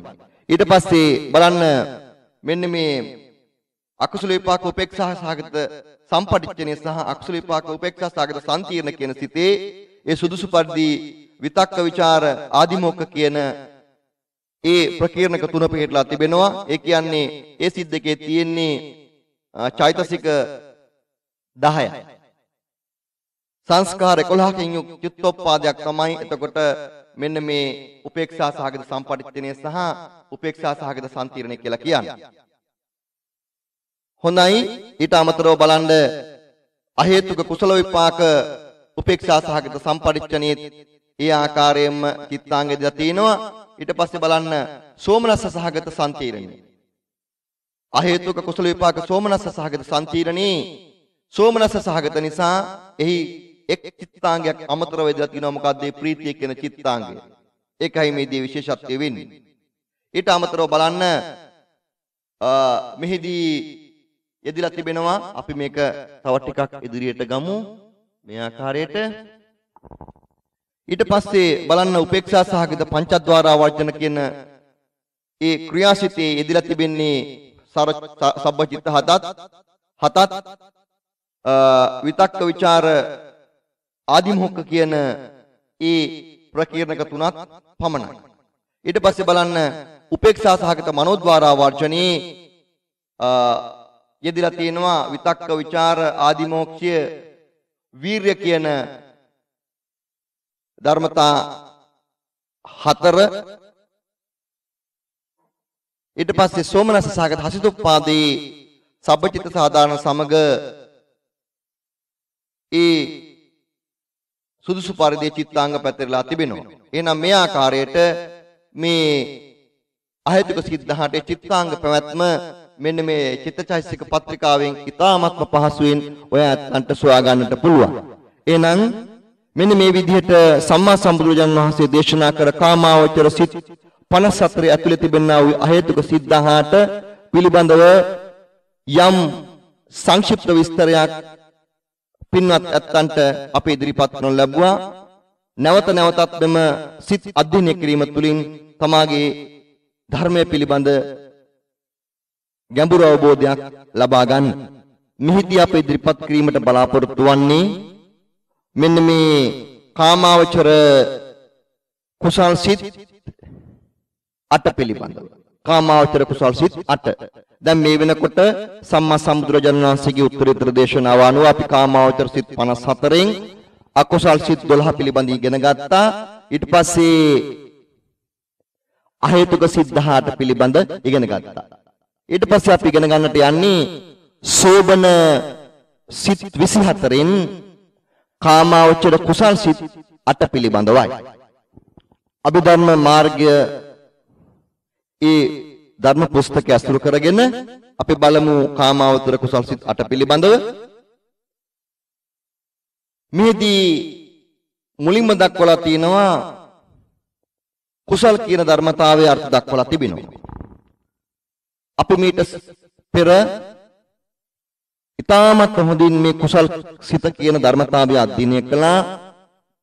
කුසල් සිතක් කියන්නේ සෝබන චෛතසික සමග චිත්තයක් නගාවට පස්සේ ඒ සෝබන රාශී සෞම්‍ය පිනවන ලක්ෂණය ඒ චිත්තයේද රැගෙන සිතක් උපදිනවා ඒ සිතට අපි කියවා කුසල් සිතක් කියලා. ඒ කුසල් සිත පහළ වුණාට පස්සේ ඒ කුසල් සිතේ එක්තරා ශක්තිමය ස්වභාවයක් ඉතිරි වෙනවා. ඒකට කියවා කර්මය කියලා. ඒ කර්ම නිසා අනාගතයේදී නැවතත් චිත්තචෛතසික පින්ඩයක් හෙවත් විපාක චෛතසික ධර්මතා ලබා දෙනවා. අන්න ඒ විපාක ඉෂ්ට විපාක විදිහටයි සම්මා සම්බුදුරජාන් වහන්සේ දේශනා කරනු ලබන්නේ. එහෙනම් යම් කිසි යම් කිසියෙකුගේ సంతානයේ ඇති වූහොත් ඒතරත්තාගේ సంతානයේ අනාගතයේ ඉෂ්ට විපාක ඇති කරන්නා වූ සිත් වලට කුසල් සිත්ය කියනු ලැබී ඉෂ්ට විපාක කියන්නේ මොකක්ද? කුසල විපාක සිත්. ඒකයි ඉෂ්ට විපාක කියන්නේ. ඒ කුසල විපාක විපාක සිත් වලින් අරමුණු කරන්නේ මොනවද? ඉෂ්ඨාරම්මන. ඒකයි මේ කුසලයේ තියෙන විශේෂත්වය.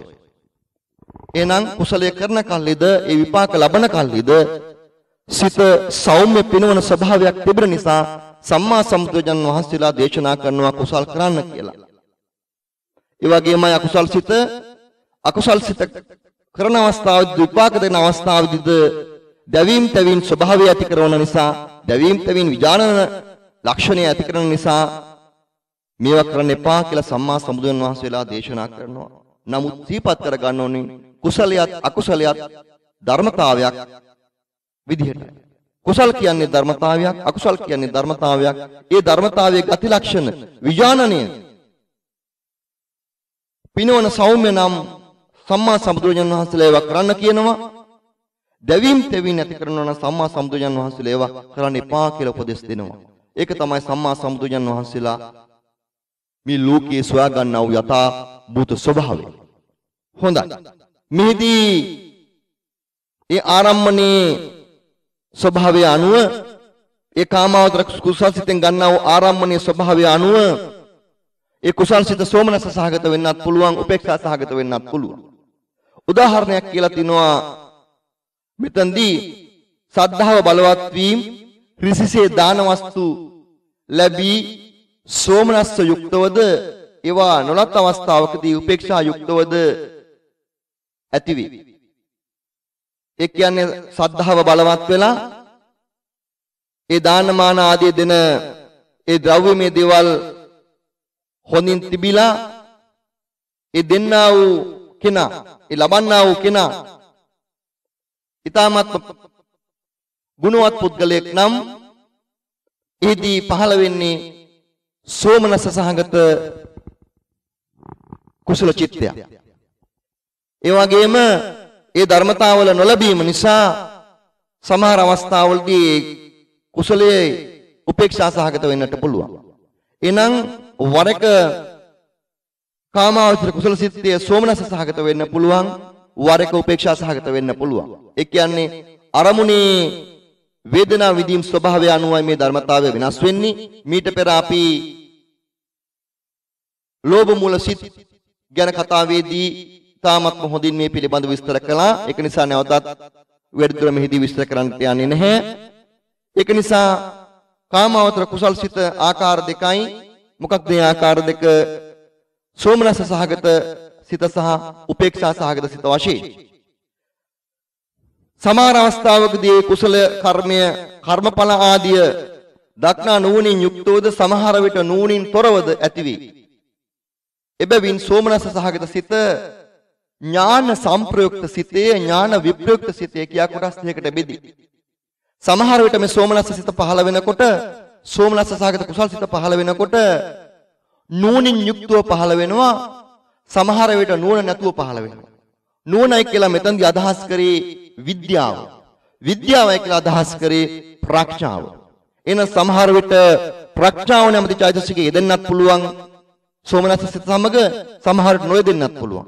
සෝමනස්ස සහගත චිත්තය සමග ප්‍රඥාව යෙදුණා නම් ඒකට කියනවා සෝමනස්ස සහගත ඥාන සංප්‍රයුක්ත කියලා. ප්‍රඥාව යෙදුනේ නැත්නම් කියනවා සෝමනස්ස සහගත ඥාන විප්‍රයුක්ත කියලා.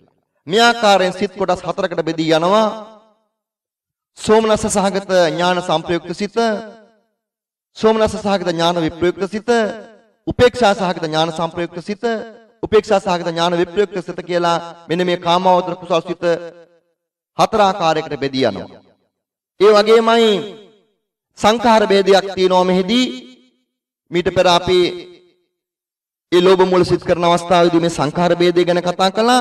ඒ අනුව සංඛාර ભેදයක් එකතු වුණාට පස්සේ මෙම කාමාවතර කුසල් සිත සිත් හතර නැවතත් කොටස් දෙකකට බෙදලා කාමාවතර කුසල් සිත් 8ක් බවට පත් වෙනවා. මොකක්ද කාමාවතර කුසල් සිත් 8 මෙහිදී සඳහන් වෙනවා මේ ආකාරයට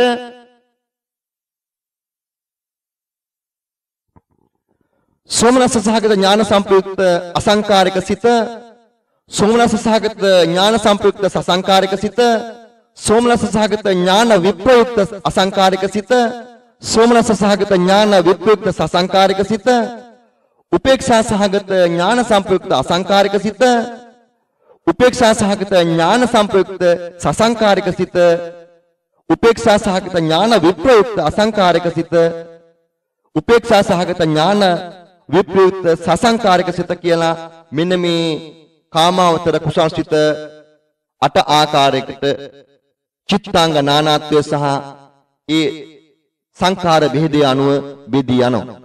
එහෙනම් මෙහිදී දැනගන්නට ඕනි අතිශය විශේෂයි මෙම කාමාවචර ඥාන සම්පයුක්ත සිත් මොකද මේදී සෝමනස උපේක්ෂා සසංකාරික අසංකාරික ભેදයන්ට වඩා විශේෂයෙන්ම වැදගත් වෙන්නේ ඥාන සංප්‍රයුක්ත වෙනවාද නැද්ද යන්නයි. එහෙනම් කාමාවතර කුසල් සිතක බලවත් භාවය තීරණය වෙන්නේ ඥාන විප්‍රයුක්තද ඥාන සංප්‍රයුක්තද කියන ධර්මතාවය මතයි. අනිත් ඒවා ඒ තරම් බලවත් භාවයක් නැති බව සිහිපත් කරගන්න. විශේෂයෙන්ම එහෙනම් වැදගත් වෙන්නේ මහා බලවත් කුසලයක් වෙන්නේ ඥාන සංප්‍රයුක්ත කුසලයක් බව සිහිපත් කරගන්න. අන්‍ය කුමන කරුණ යෙදුනත් ඥාන සංප්‍රයුක්ත භාවය ඉක්මවා යන්නට බැරි බව සිහිපත් කරගන්න බලවත්ම සිත තමයි එතකොට ඥාන සංප්‍රයුක්ත කුසල් සිත්. එහෙනම් මෙහිදී විශේෂයෙන්ම කතා කරන්නට ඕනි අපි ඔය ඇත්තන් එක්ක අපේ ජීවිතේ පුරාම අපි කුසල් කරනවා කියලා කියන්නේ මෙන්න මේ කුසල් සිත් අටෙන් එකක් පහල කර ගැනීම. සුදුසු පරිදි අපේ ජීවිතයේ කුසල කරන අවස්ථාවේදී කුසලයක් කරනවා පිනක් කරනවා හොඳ දෙයක් කරනවා යහපත් දෙයක් කරනවා කියලා කිවීමේ පරමාර්ථ අර්ථ තමයි මෙන්න මේ වගේ කුසල් සිතක් පතන වීම. ඒකයි මෙහිදී සිහිපත් කර ගන්නට ඕනි. මේ ආකාරයේ කුසල් සිතක් පතන වීම තුලින් තමයි ඒ සම්මුති සිද්ධිය හොඳයි යහපත් කුසල් පින් කියන සම්මුති අර්ථකථනය ළමා දෙන්නේ පරමාර්ථ වශයෙන් මෙන්න මේ වගේ සිතක් පහළ වීම තුලින්. එහෙනම් මේදී සිහිපත් කර ගන්නට ඕනි අපේ ජීවිතේ පුරා අපට කුසලයක් පහළ වෙනවා නම් ඒකාන්තයෙන්ම පහළ වෙන්නේ මෙන්න මේ කාමාවචර කුසල් සිත් අටෙන් එකක්. අපේ ජීවිතයේ අකුසලයක් පහළ වෙනවා නම් පහළ වෙන්නේ අර පෙර කියන ලද අකුසල් 12න් එකක්. එහෙනම් කුසල් අකුසල් කියන ධර්මතාවය තුලදී අපේ ජීවිතය සකස් වෙනවා නම් මේ කාමාවචර සත්වයන්ට නැත්තම් මේ මිනිස්යන් වන අපට කුසල් කරනවා කියන්නේ මෙන්න මේ කාමාවචර කුසල් සිත් අටෙන් එකක් පහළ වීමත් අකුසල් කරනවා කියන්නේ ඒ අකුසල් සිත් 12න් එකක් පහළ වීමත් කියලා සිහිපත් කරගන්නට ඕනේ. එහෙනම් අපේ ජීවිතය තුළදී මෙන්න මේ කාමාවචර මේ මනුෂ්‍ය මට්ටමේදී අපි වඩාත්ම බහුලවම භාවිතා කරන කාමාවචර සිත් 20 තමයි මෙන්න මේ අකුසල් සිත් 12 කුසල් සිත් 8. එහෙනම් අප ජීවිතය තුළදී වඩාත්ම හොඳින් අධ්‍යයනය කළ යුතු සිත් 20ක් තියෙනවා මෙන්න මේ සිත් 89 තුල. කුසල් සිත් 8ත් මෙන්න මේ අකුසල් සිත් 12ත් පිළිබඳ අතිශය ගැඹුරු අවබෝධයක් තිබිය යුතු වෙනවා. මේවා නැගෙනකොට මේවායේ ස්වභාවය අවබෝධ කර ගැනීමේ අවශ්‍යතාවය අපට ඉතාමත් වටිනා භාවනාවේදී දැන් මට පහළ වුණේ කුසලයක් කිය දැන් මට පහළ වුණේ අකුසලයක් කියන එක අවබෝධය පිණිස මෙන්න මේ ගුණයන් විදිහට මේ සිත් 20 ඉතාමත්ම හොඳින් අවබෝධ කරගතු වෙනවා. ඒක නිසා සිහිපත් කරගන්න මේ සිත් 89න් අතිශය වැදගත් වූ සිත් 20 තමයි කාමාවතර සිත්. වලින් අකුසල් සිත් 12ත් මෙන්න මේ කාමාවතර කුසල් සිත් 8ක් මේක නැවත නැවතත් නැවත නැවතත් පරිශීලනය කිරීම තුළින් මේ තියෙන ගුණයන් මේ ජීවිතේ නැගෙනකොට මේක අකුසලයක් මේක කුසලයක් කියලා කියන ධර්මතාවය අපි සම්මුති මට්ටමින් අපේ ජීවිතයෙන් අවබෝධ කරගත යුතු වෙනවා. ඒකයි මේ ධහමේ තියෙන ප්‍රථම මූලික ක්‍රියාවලිය. මුලින් අපි අඳුරගන්න ඕනි මට වරදක් වෙනවා මට අකුසලයක් වෙනවා කියන සිද්ධිය අපි මුලින්ම අඳුන ගැනීම සිදු කරන්නට ඕනි ඒ අකුසලයෙන් වැළකීම උදෙසා. සම්මා සම්බුදුරජාණන් වහන්සේ පහළ වෙලා තමයි මෙන්න මේ කුසලයේ සහ අකුසලයේ අතර සියුම් පරතරය කියා දෙන්නේ. සාමාන්‍ය ජීවිතයේදී සාමාන්‍ය ප්‍රඥෙකුට මේ ලෝකයේ සදාතනික යථාර්ථය යථාභූත ස්වභාවය තේරෙන්නේ නැහැ. මොකද ඒ තරම් මේ සිත් අතිශය වේගින් පහළ වෙනවා. සමහර අකුසල් තියෙනවා අපිට තේරෙනවා ඒක හරියට කුසලයක් වාගේ. අපි බලකොට කරලා තියෙන්නේ කුසල් කියලා අකුසල්. එහෙනම් මෙන්න මේ සිත් තුළ යථාභූත ස්වභාවය අවබෝධ කරගත්තට පස්සේ අපිට පුළුවන් කුසලයේ සහ අකුසලයේ තියෙන සියුම් පරතරය අවබෝධ කරගෙන ලැබෙනා වූ සියුම් අකුසලයෙන් පවා මිදිලා ඒක කුසල් බවට පරිවර්තනය කරගෙන මෙන්න මේ ලෝක යථාර්ථය අවබෝධ කරගෙන මෙන්න මේ සංසාර දුකින් මිදවීමේ මූලික ක්‍රියාවට අපිට එන්නට පුළුවන් මෙන්න මේ සිත් විස්ස පිළිබඳ මනා අවබෝධය තුලින් ඒක නිසා සිහිපත් කරගන්න ඔය ඇත්ත මෙන්න මේ කාමාවචර සිත් 20 පිළිබඳ ඉතාමත්ම හොඳින් මේවා නැගෙන්නේ මොන මොන අවස්ථාවලදීද මේවා නැගාවමම సంతානී ස්වභාවය කොහොමද කියන එක ජීවිතයට ගලප්පා ගන්නට උත්සාහගත යුතු වෙනවා. හොඳයි මේ ආකාරයෙන් අපි තවදුරටත් ඉදිරියට පාඩම කතා කරගෙන යනවා. මෙන්න මේ කාමාවචර කුසලයට කියනවා මහා කුසලයයි කියලා. මහා කුසලය කියලා කියන්නේ විශේෂ හේතුවක් තිබෙනවා. මෙන්න මේ කුසලය 31 තලයේම සත්වවාසීන්ට පහළ වෙනවා ඒ අසඤ්ඤ සන්තයේ සත්වයන්ට හැර. ඒ කියන්නේ සතර පා සත්වයන්ටත් මේ කුසල් සිත් අට පහළ වීමේ අවස්ථාවක් තිබෙනවා. බොහෝ විට පහළ වෙන්නේ නැහැ. නමුත් මේ කුසල් සිත් පහළ වීමේ නොවනවයි කියලා කියන්න බෑ සතර පා සත්වයින්. එනම් තිරිසන් සත්තුන්ට පවා කුසල කරන්නට පුළුවන්. ඒ වෙන කුසලයේ නම් මෙන්න මේ කාමාවචර කුසලයයි. ඒක නිසා මෙන්න මේ 30 තලයේම මේක පැතිරී තිබෙන නිසා මේකට කියනවා මහා කුසලයයි කියන්නේ. සම්මුතියෙන් මහා කුසලයයි කියන්නේ මෙන්න මේ කාමාවචර කුසල් සිත් 8ට. මේ රූපාවචර අරූපාවචර ලෝකෝත්තර කුසලයේ තරම් බලවත් නොවුනත් ලෝකයේ සෑම තැනකම වෙසෙන බොහෝ දිනාට ඇති වුණ කුසලයේ නිසා මේකට මහා කුසලයයි කියලා කියන්නේ.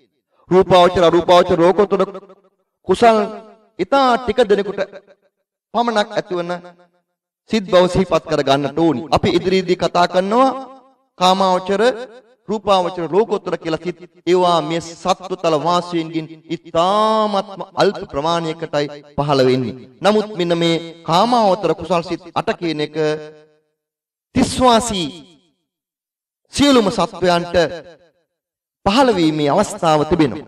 ඒක නිසා මේකට කියනවා මහා කුසලයයි කියලා.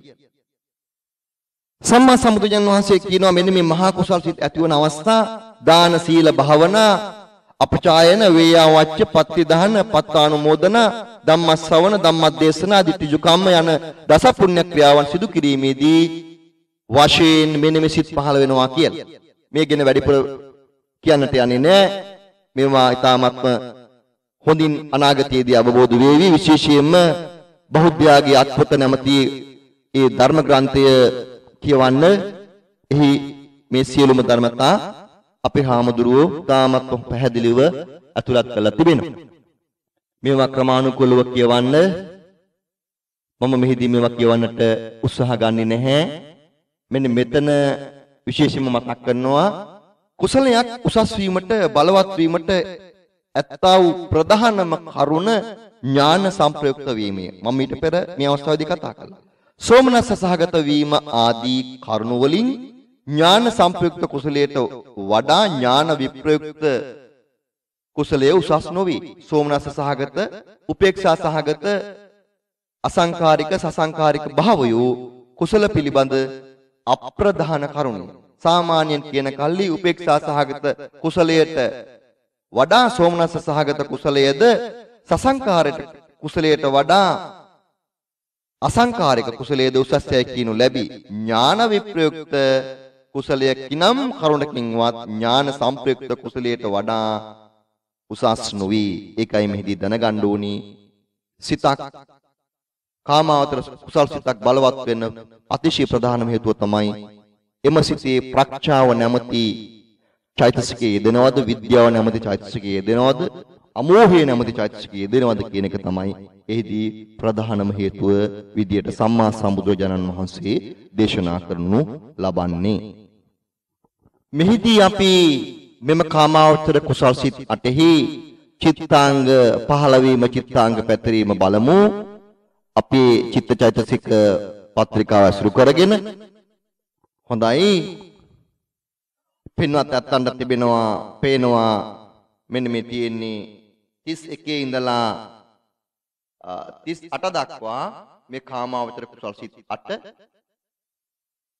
අතිශය වැදගත් වෙනවා කාමාවචර සත්වයන් සඳහා අපි සඳහා මේ මනුෂ්‍ය ජීවිතය සඳහා අතිශයින් වැදගත් වෙන සිත් ටික තමයි මේ. සාමාන්‍ය මනුෂ්‍ය ජීවිතයක බහුල වශයෙන් පහළ වෙන සිත් ටික තමයි අකුසල සිත් 12. මනුෂ්‍ය ජීවිතයකට අත්‍යවශ්‍යම පහළ විය යුතු ධර්මතා ටික තමයි මෙන්න මේ කුසල් සිත් කාමාවචර කුසල් සිත් අට මෙන්න මේක තමයි අපි පහල කරගන්න උත්සාහ කරගන්නට ඕන ස්වභාවයෙන්ම අපේ චිත්තසංතානිය නැඹුරුලා තියෙන්නේ ඒ ආසව අනුශ ආකාරයෙන් අකුසල් සිත් 12 පතනීමේ මුදිසා. ඒක තමයි ස්වභාවයෙන්ම යන ධර්මතාවය. ඒක අනුසෝතගාමී ප්‍රතිපදා ස්වභාවය. එක්තරා මට්ටමක මේ මෙන්න මේ සිත් නැවත නැවතත් නැවත නැවතත් පහල කරගනිමින් ලෝකයේ යථාභූත ස්වභාවය අවබෝධ කර ගනිමින් ඒ දර්ශනයට කියන පටිසෝතගාමී. අතර සෝතය කියලා අදහස් කරේ තෘෂ්ණාව කියන එකයි. අනුසෝතගාමී කියන්නේ තෘෂ්ණාව අනු යනවා කියන එකයි. සාමාන්‍ය ජීවිතයේ සාමාන්‍ය මිනිසයා සාමාන්‍ය සත්වයා කරන්නේ මේ තෘෂ්ණාවට අනුව සංසාර ගමනේ ඒ සාමාන්‍ය ස්වභාවික න්‍යාය අසුරු කරගනිමින් සංසාර ගමන යන්නේ. ඒක අනුසෝතගාමි ප්‍රතිපදා ක්‍රමයක්. ඊට වෙනස් ක්‍රමයක් තියෙනවා මෙන්න මේ සිත් අට පහල කරගනිමින් ඥාන සම්ප්‍රයුක්තව විදර්ශනාවෙන් යන ගමන පටිසෝධගාමි ක්‍රමයක්.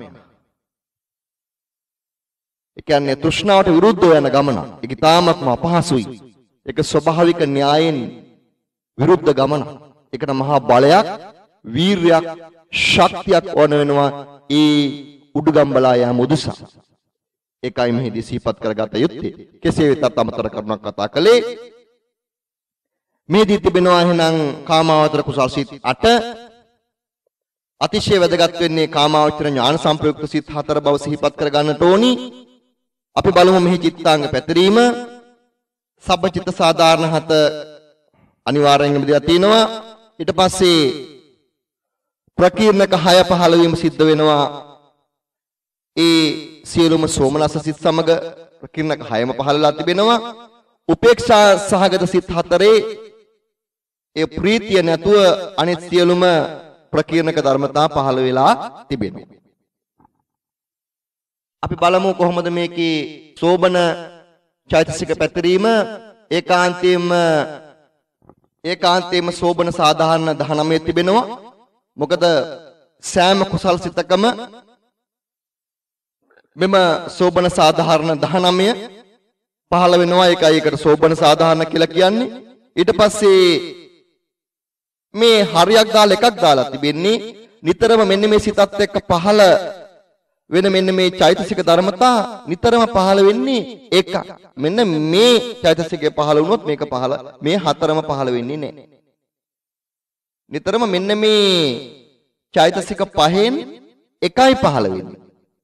ඒකයි මෙතනදී විශේෂත්වය මේක කාමාවචර කුසලයක් නිසා. ඊට පස්සේ මෙන්න මේ ප්‍රඥාව නැත්තම් අමෝහය නැත්තම් විද්‍යාව. මේක ඥාන සංප්‍රයුක්ත සිත් දෙක නිසා ඒ ඥාන සංප්‍රයුක්ත සිත් දෙකේ ප්‍රඥාව ඉදලා තියෙනවා. මේ මේ සෝමනස්ස සහගත ඥාන සංප්‍රයුක්ත සිත් දෙක එක තියෙනවා ප්‍රඥාව කියන චෛතසික සංප්‍රයුක්ත විදියට යෙදිලා මේ තියෙන්නේ සෝමනස්ස සහගත ඥාන විප්‍රයුක්ත සිත් දෙක මේක බලවත් නෑ ඊතරම්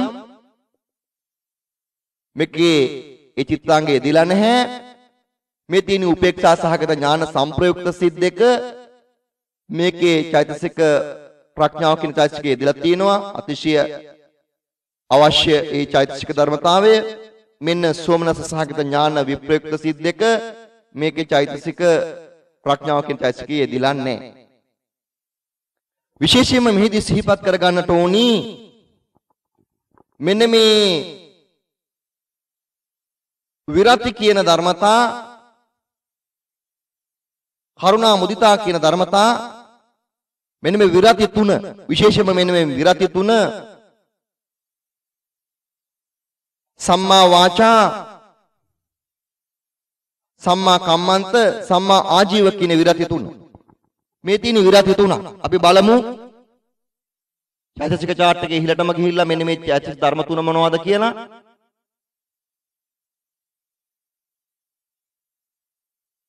මේ තියෙන්නේ සෝබන සාධාරණ 19 සම්මා වාචා සම්මා කම්මන්ත සම්මා ආජීව කරුණා මුදිතා. මෙන්න මේ චෛතසික පහ විශේෂයි. කොහොමද අපි බලමු මෙහි ධර්ම ස්වභාවය මේ සම්මා කම්මන්ත සම්මා වාචා සම්මා කම්මන්ත සම්මා ආජීව කියන විරති තුන සාමාන්‍ය කුසල් සිතක එක සැරේ පහළ වීමක් සිද්ධ වෙන්නේ නැහැ. කාමාවචර කුසල් සිත් තුනේ පහළ වෙන්නේ මේ විරති තුනෙන් එකයි.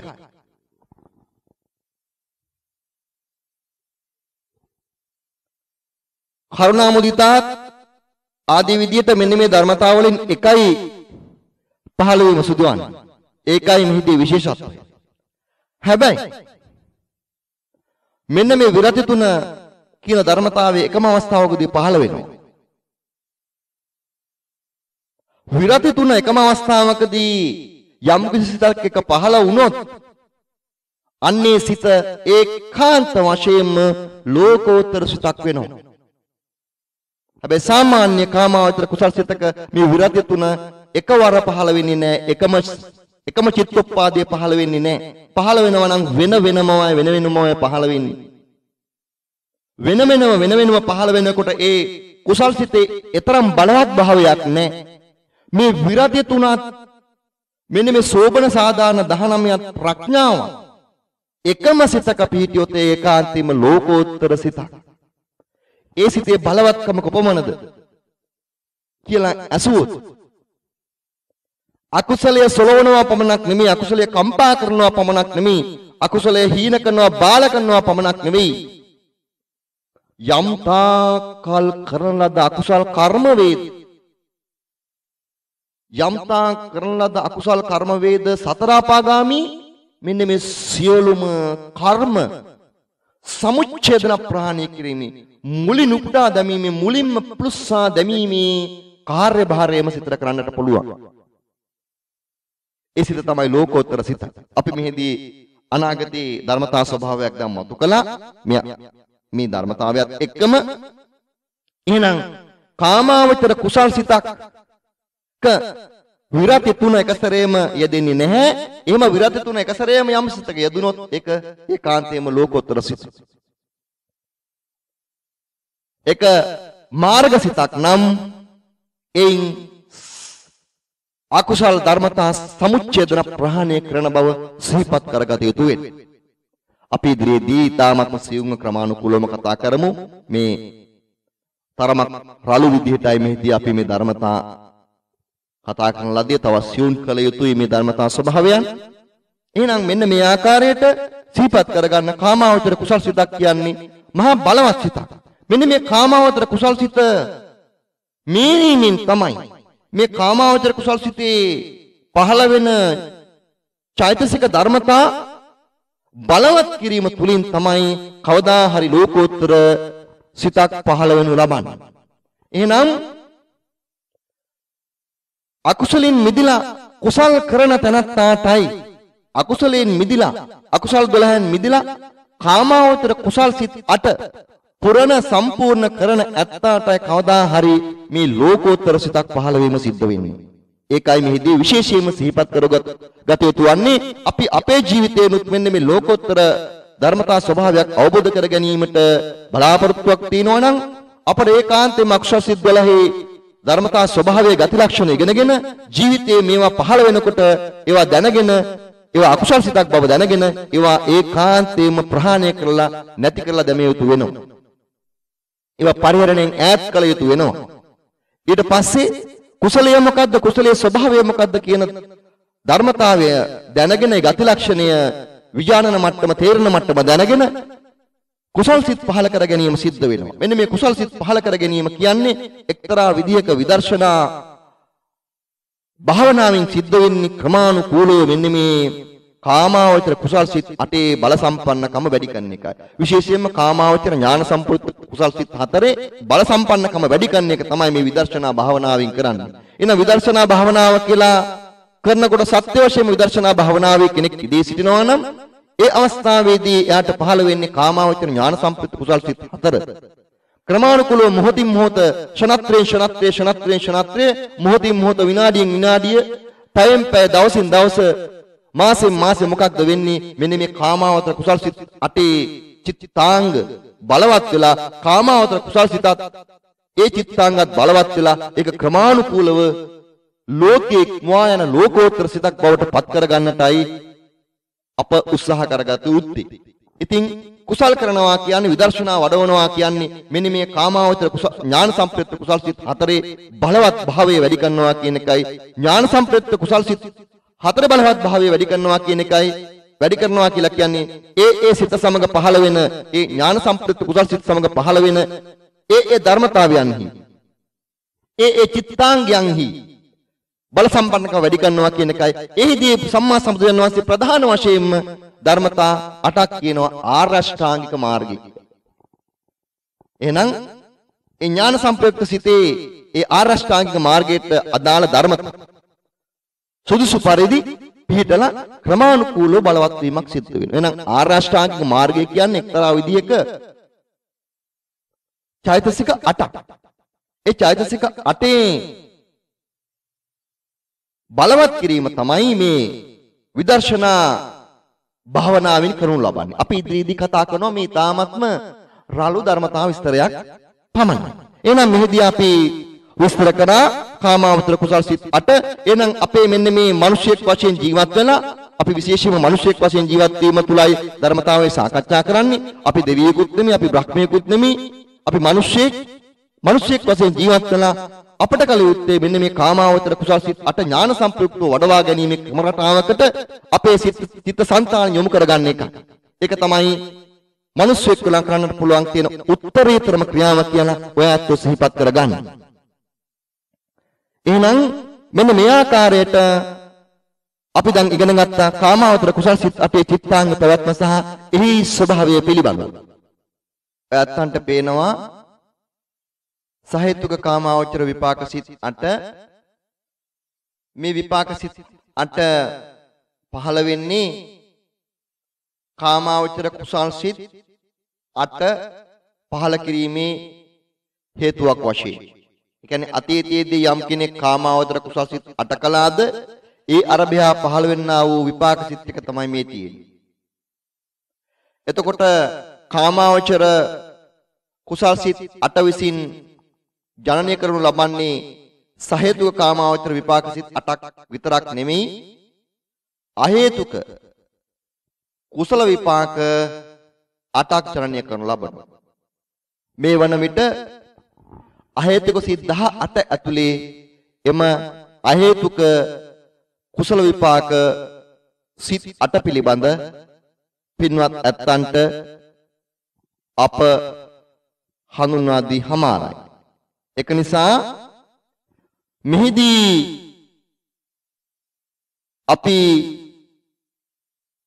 සාකච්ඡා කරනු ලබන්නේ මෙන්න මේ සහේතුක කාමාවචර විපාක සිත් 8 පිළිබඳවයි. පහසුයි මේකේ විපාකය ඒ කුසල සිත් ආකාරයටමයි මේ විපාක සිතුත් නම් කරලා තිබෙන්නේ වේදනා ඥාන සංස්කාරයන් අනුව කාමාවචර කුසලයේ සේම සහේතුක කාමාවචර විපාක සිද්ධ අටක් වී. එතකොට මෙන්න මේ ආකාරයෙන් සිතන්න විශේෂත්වය මේ සිත විපාක සිතක් වීම පමණයි. සෝමනස සහගත ඥාන සම්ප්‍රයුක්ත අසංකාරික විපාක සිත.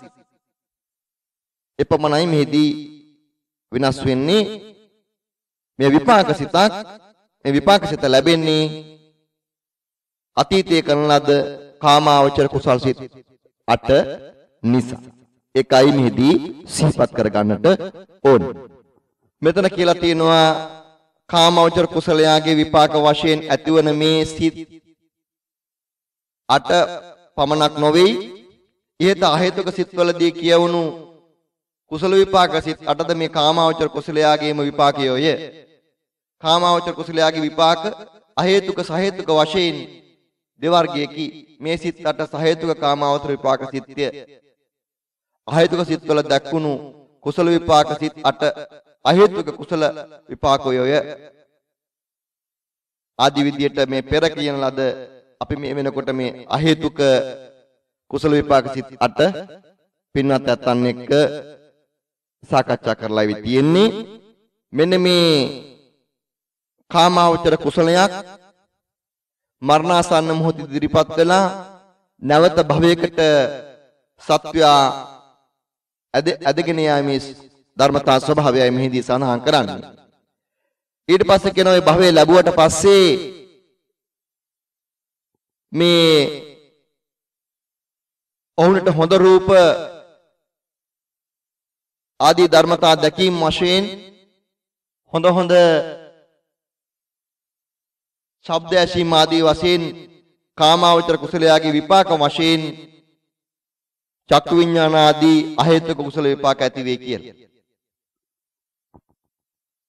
මේදී දේශනා කරනු ලබන්නේ මෙන්න මේ කාමාවචර කුසල විපාක අට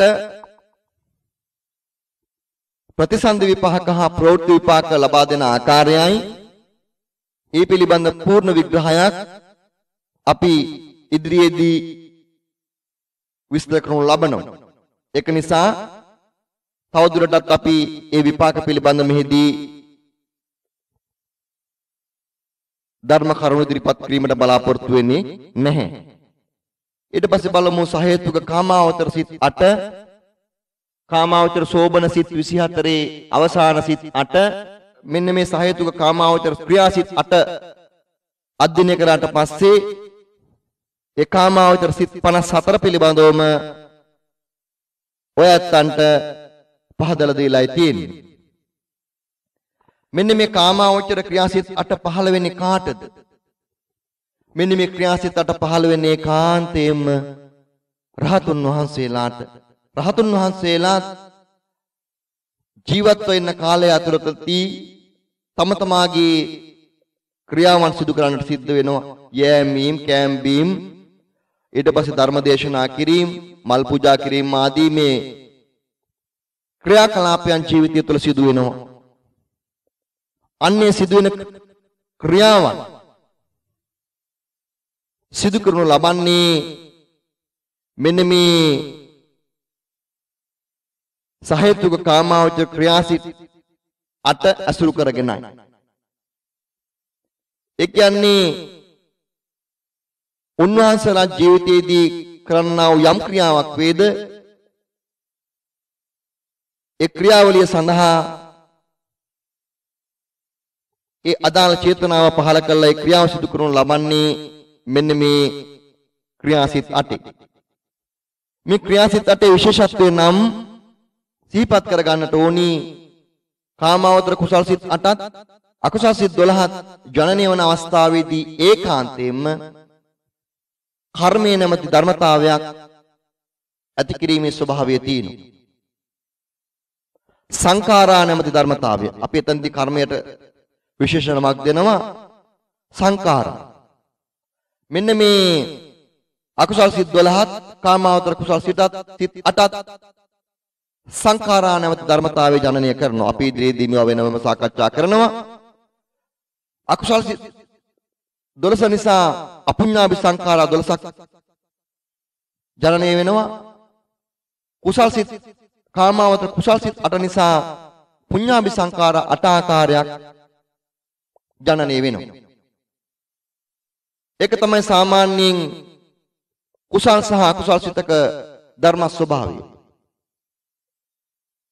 කුසල් සිතක් අකුසල් සිතක් කියන්නේ ඒ අවිද්‍යා සහගත ස්වභාවය නිසා එම සිත් ජනනය වීම තුලින් එම සිතට පුළුවන් වෙනවා අනාගතයට විපාකයක් දෙන්නට සුදුසු ධර්මතාවයක් සකස් කරන්නට.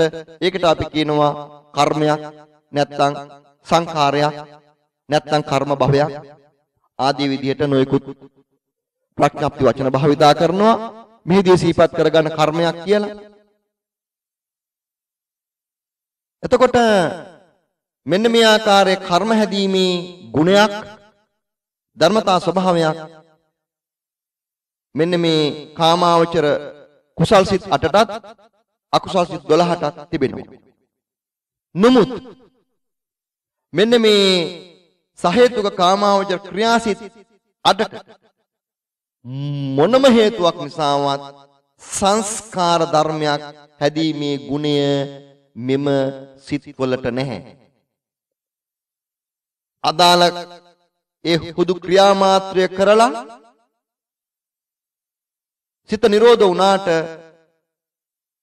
ඒ සිත පහළ වීම හේතු කරගෙන අනාගතයේදී විපාක චිත්තචෛතසිකයක් චෛතසික පින්ඩයක් ඇති කරවීමේ ගුණය ඒ සිත් වලට නැහැ.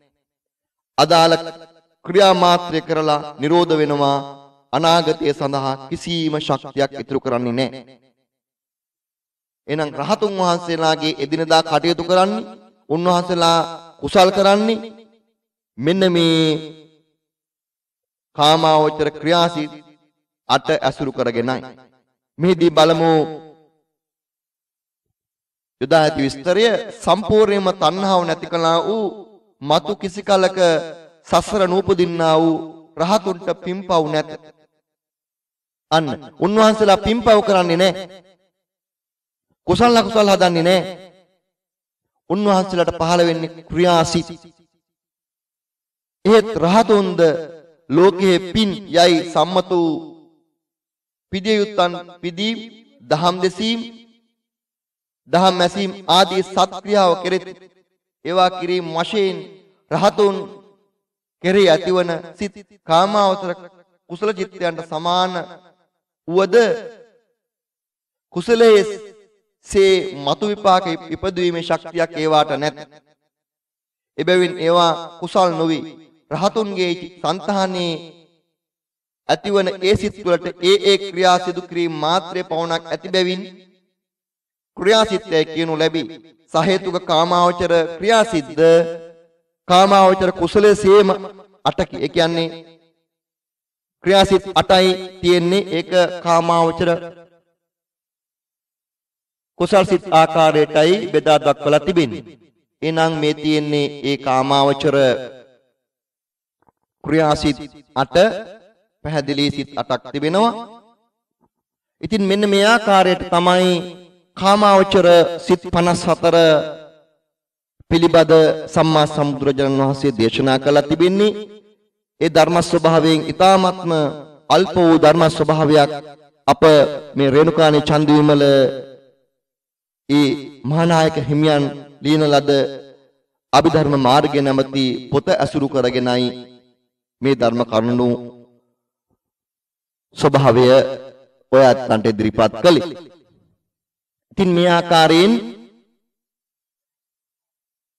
කාමාවතර කුසල් සිත් 8 8ය සහේතුක විපාක සිත් 8ය සහේතුක කාමාවතර කියා සිත් 8යි කාමාවචර සෝබන සිත් 27 සූවිස්සක 24ක ඒ සෝමනස්ස සහගත සිත් 12ක ආදී විදිහට විභාග විස්තරයක් කරලා තිබෙනවා. ඒවා ඔයාත් ක්‍රමානුකූලව අධ්‍යයනය කරන්න. අවශ්‍ය මූලික හඳුන්වා දීම් මූලික පියවර අපි විසින් යොදලයි තියෙන්නේ. හොඳයි මෙහිදී සිහිපත් කරගන්න ඕනේ පින්වත් ඇත්තෝ අපි මනුෂ්‍ය ජීවිතයක් ගත කරන්නේ මෙන්න මේ මනුෂ්‍ය ජීවිතයෙන් ගත කිරීම වශයෙන් අපි ඉපදීමේ සිට මරණය දක්වාම සාමාන්‍ය මිනිස්සෙකගේ ජීවිතයේ අනිවාර්යයෙන්ම පහළනු ලබන්නේ මෙන්න මේ කාමාවචර සිත් 54න් සිත් 45ක් පමණයි. සිහිපත් කර ගන්නට ඕනි කාමාවචර ක්‍රියාසිත 8ත් ඒ සෝමනස සාගත හසිතුප්පාද කියන ඒ අහේතුක ක්‍රියාසිතත් සාමාන්‍ය මිනිස්යන්ට පහළ වෙන්නේ නැහැ. මෙන්න මේ සිත් 54න් මෙන්න මේ සිත් 9 අරුණට පස්සේ අපේ ජීවිතේ පුරාම පහළ වෙන්නේ සිත් 45යි. මේ සිත් 45නුත් අපට වඩාත්ම වැදගත් වෙනු ලබන්නේ හොඳින් සිහිපත් කරගන්න අකුසල් සිත් 12ත් කාමාවතර කුසල් සිත් 8ත් බව. අපි ජීවත් වෙනවා කියලා ජීවත් වෙන්නේ සාමාන්‍යයෙන් බැලුවොත් එක්ක යම් කිසි ක්‍රියාවක නිරත වේවි එක්ක යම්කිසි කතාවක් කරાવી එක්ක යම්කිසි දෙයක් සිතින් සිතාවි. ඔයිට අමතරව අපි කරන්නේ නිදිය ගැනීම කියන එක. ඔය නිදි ගැනීමට අමතරව අපේ ජීවිතයේ තියෙන්නේ කයින් කරන ක්‍රියාව ක්‍රියානුත් වචනයෙන් කරන ක්‍රියාවොත් සිතින් හිතන ක්‍රියාවොත් පමණයි. ඒකට සම්මා සම්බුදුන් වහන්සේ දේශනා කරනවා ඒ බුද්ධ භාෂාවෙන් කාය කර්ම, වචී කර්ම, මනක් කර්ම කියලා. ඕක තමයි අපේ ජීවිතය කියන්නේ. එහෙනම් ජීවිතය කියලා අපි ජීවත් වෙනවා කියලා කියන්නේ මෙන්න මේ ආකාරයේ අකුසල් සිත් 12ත් කාමාවචර කුසල් සිත් 8ත් පරිහරණය කිරීමයි. මේට අමතර සුදුසු පරිදි විපාක සිත් ජනනය වෙනවා. මේදී වැඩි ප්‍රමුඛ ස්ථානයක් දෙනු ලබන්නේ මෙන්න මේ අකුසල් සිත් 12ටත් කාමාවචර කුසල් සිත් 8ටත්. මොකද ජීවිතේ පුරාම යම්කිසි ක්‍රියාවක් කරනවා නම් කතාවක් කරනවා නම් හිතින් හිතනවා නම් මෙන්න මේ ක්‍රියාවලිය සඳහා අවශ්‍ය බලය ශක්තිය ජනනය කරන්නේ මෙන්න මේ සිත් 20 චේතනාවේ බලමහිමින්. ඒකයි මේ තියෙන විශේෂත්වය. එහෙනම් අකුසල් සිත් 12 කාමාවචර කුසල් සිත් 8 තියෙන චේතනාවේ බලමහිමින් තමයි අපි ජීවිතේ පුරාම මෙන්න මේ කයින් කරන වචනයෙන් කරන මනසින් කරන මෙන්න මේ සියලුම ක්‍රියා සිදු කරනු ලබන්නේ. ඒකයි මෙහි තියෙන විශේෂත්වය. ඔයත් සිහිපත් කරගන්න අපේ ජීවිතේ පුරාම සම්මා සම්බුදුරජාණන් වහන්සේගේ ධර්මය නොහැසුනොත් අසුරු නොකළහොත් අපි බොහෝ සෙයින්ම අප ජීවිතය ගත කරනු ලබන්නේ මෙන්න මේ අකුසල් සිත් 12 නැමැති ධර්මතාවය අසුරු කරගෙනයි. ස්වභාවයෙන්ම සත්වයාගේ චිත්තසංතානය නැමිලා තිබෙන්නේ මෙන්න මේ අකුසල් සිත් 12 ජනනය වීමටයි. සාමාන්‍යයෙන් සත්වයාගේ ස්වභාවය තමයි ලෝභ මූල සිත් පහළ වීම යම් අරමුණකට ඇලීම හෝ අරමුණ හා ගැටීම හෝ බොහෝසෙන් අරමුණ වර්ධවා ගැනීම හේවත් මෝහ මූල සිත් පහළ වීම. මෙන්න මේ 12 ආකාරයේ අකුසල් සිත් පහළ වීම තමයි සාමාන්‍ය චිත්තසංතානයක සිද්ධ වෙන්නේ. සම්මා සම්බුදුරජාණන් වහන්සේගේ උත්තරීතර මේ ධර්මය මුණගැසුනේ නැත්තම් අවබෝධ කරගත්තේ නැත්නම් පරිහරණය කරන්නේ නැත්නම් ජීවිතය යොදවා ගන්නේ නැත්නම් අපට බොහෝ සෙයින් ජීවිතේ පුරාවටම පහළ වෙන්නේ මෙන්න මේ අකුසල් සිත් 12. සම්මා සම්බුදුරජාණන් වහන්සේගේ උත්තරීතර ධර්මය කනවැඩුණාට පස්සේ ඒක ජීවිතයට ගලපනකොට අප අපේ කාය කර්ම, වචී කර්ම, මනක් කර්ම නැත්නම් මේ කායික ක්‍රියා, වාචික ක්‍රියා, මානසික ක්‍රියා නැත්නම් මේ කිරීම කියුම් සිතුම්. මෙන්න මේ ධර්මතා සිදු කරනු ලබන්නේ කාමාවචර කුසල් සිත් බලයෙන්. ඒකයි මේ විශේෂත්වය. කාමාවචර කුසල් සිත් පහළ වේ නම් කාමාවචර කුසල් සිත් පහළ වීමකින් මෙන්න මේ යම් ඊම් කියුම් කිරීම ආදී ධර්මතා සිදු වේ නම් එතන සිදු වෙලා තියෙන්නේ කුසල කර්මයක් ජනනය වීම. එසේ නැත්නම් අන්‍ය සෑම අවස්ථාවකදීම සිදු වෙලා තිබෙන්නේ අකුසල් සිත් 12ේ බලවේගයෙන් මේ ධර්මතා තුන සිදු කිරීමයි. එසේනම් සාමාන්‍ය පු탁ජන චිත්තසංතානයේ ස්වභාවයෙන්ම නැමිලා තියෙන්නේ මෙන්න මේ ආකාරයේ අකුසල් සිත් 12න් තමාගේ එදිනදා ජීවිතයේ වැඩ කටයුතු කිරීමට එනම් සම්මා සම්බුදුරජාණන් වහන්සේගේ මේ උත්තරීතර ධර්මය ඇසුරු කරන්නන් වශයෙන් මේ යථාභූත ස්වභාවය අවබෝධ කරගෙන අපි උත්සාහ ගන්නට ඕනි හැකිතාක් ජීවිතේ මෙන්න මේ කාමාවචර ඥාන සංප්‍රයුක්ත සිත් පහල කර ගැනීම සඳහා ඒකයි මෙහි තියෙන විශේෂත්වය. තිරිසන් සත්වයෙක් ගත්තොත් තිරිසන් සත්වයෝද තමාගේ කායික ක්‍රියා ඒ වාචසික ක්‍රියා මානසික ක්‍රියා ආදී සියල්ල සිදු කිරීමට භාවිතා කරන්නේ බොහෝ සෙයින්ම මෙන්න මේ අකුසල් සිත් 12. ඔවුන්ට නුවණ කියන ධර්මතාවය බොහෝ සෙයින් නොයදින නිසා කාමාවචර කුසල් සිත් අට කර ගැනීමේ අවස්ථාව ඔවුන්ට අහිමි වී යනවා. විශේෂයෙන්ම සියලු සත්වයෝ මේ තිරිසන් සත්වයෝ ඒ තම තමන්ගේ යෑම් ඊම් කීම් සිතීම් ආදිය සිදු කරනු ලබන්නේ මෙන්න මේ අකුසල් සිත් 12 අනුසාරයෙන්. එතකොට තිරිසන් සතෙක් වුණා නම් ජීවිතේ පුරාම සෑම මොහොතක් පාසාම අවදි වී සිටින සෑම මොහොතක් පාසාම ඔවුන් ජනනය කරනු ලබන්නේ අපුඤ්ඤාභි සංඛාරා නැත්නම් අකුසල් නැත්නම් අකුසල කර්ම නැත්නම් අකුසල් කර්ම භව මේ උත්තරීතර මනුෂ්‍ය භවයක් ලබා ගත්තට පස්සේ අපිට පුළුවන් මෙන්න මේ ලෝකයේ සදාතනික ක්‍රියාවලිය අවබෝධ කරගෙන ඒ ක්‍රියාවලිය තුලින් අපේ ජීවිතය මෙන්න මේ කාමාවචර ඥාන සම්ප්‍රයුක්ත කුසල් සිත් වලින් එදිනදා ජීවිතයේ ක්‍රියාකාරීකම් සිදු කරන්නට අන්න ඒකයි මේ බුදුදහම තුල තිබෙන අතිශය උත්තරීතර වටිනාකම.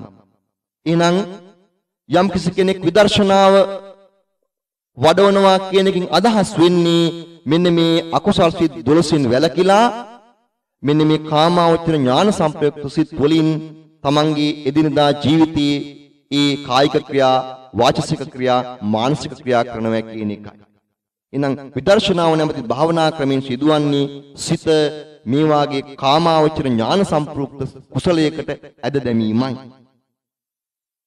මෙන්න මේ ආකාරයට ඔයාත් සිහිපත් කරගන්නට ඕනි මේ සිත් 89න් අතිශය වැදගත් සිත් 54 තමයි කාමාවචර සිත් 54 ඒකිනුත් සාමාන්‍ය මනුෂ්‍ය ජීවිතයට අතිශය වැදගත් වන්නේ සිත් 45යි.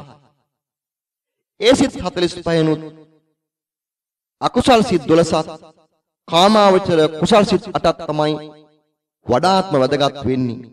මේ අයුරින් සතෙක් වුණත් මිනිසෙක් වුණත් මෙන්න මේ පොදු ධර්මතා අසුරු කරගෙන තමයි මේ ජීවිතයේ එදිනදා ක්‍රියාවලින් සිදුවෙන්නේ. තිරසන් සතෙක් වුණත් මිනිසෙක් වුණත් පරමාර්ථ ක්‍රියාවලිය එකිනෙකට සමානයි කියලා ඔය ඇත්තන්ට දැන් අපූර්වට පැහැදිලි වෙනවා ඇති. මේ පිළිබඳ නුවණ චින්තනය පතුරවන්න නැවත නැවතත් මේ ධර්මතා පරිශීලනය කරන්න මේ විශ්වයේ යථාභූත ස්වභාවය ඔබට අවබෝධ වේවි. මෙහිදී පින්වත් ඇත්තන් සමග අප කාමාවචර සිත් 54 පිළිබඳ යම් අවබෝධයක් ලබා ගත්තා. සම්මා සම්බුදුරජාණන් වහන්සේගේ උත්තරීතර දේශනාව අනුව පින්වත් ඇත්තන්ට සිහිපත් කර ගන්නට පුළුවන් අපි සිත බෙදා දැක්වේ භූමින් අනුව කාමාවචර සිත් 54යි රූපාවචර සිත් 15යි අරූපාවචර සිත් 12යි ලෝකෝත්තර සිත් 8යි එහිදී අපි කාමාවචර සිත් 54 පිළිබඳ තමයි මෙතෙක් විග්‍රහ කරනු ලැබුවේ. ඊට පස්සේ තියෙන්නේ රූපාවචර අරූපාවචර සහ ලෝකෝත්තර සිත් කියන සිත් ටික. මෙහිදී විශේෂයෙන් සිහිපත් කර ගන්න ඕනේ මේ මෙන්න මේ තුන් ආකාරයේ සිත් ඊ타ත්ම කලාතුරකින් පෙර පින් තියෙන උදවියටයි මිනිස්යන්ටයි පහළ වෙන්නේ. ඊ타ත්ම කලාතුරකින් තමයි මේ සිත් පහළ වීම මිනිසියෙකුට සිද්ධ වෙන්නේ. රූපාවචර සිත් 15 රූපාවචර අරූපාවචර ලෝකෝත්තර සිත් තුන් වර්ගය පොදු ජනයාට ඇති නොවන පෙර පින් හා මහා වීර්ය ඇති කාම ආශාවන් බැහැර කළ උසස් පුද්ගලයන් ටික දෙනෙකුට පමණක් ඇතිවන විශේෂ සිත් කොටාසයකි පොදු ජනයාට ඇතිවන්නේ කාමසිත පමණයි.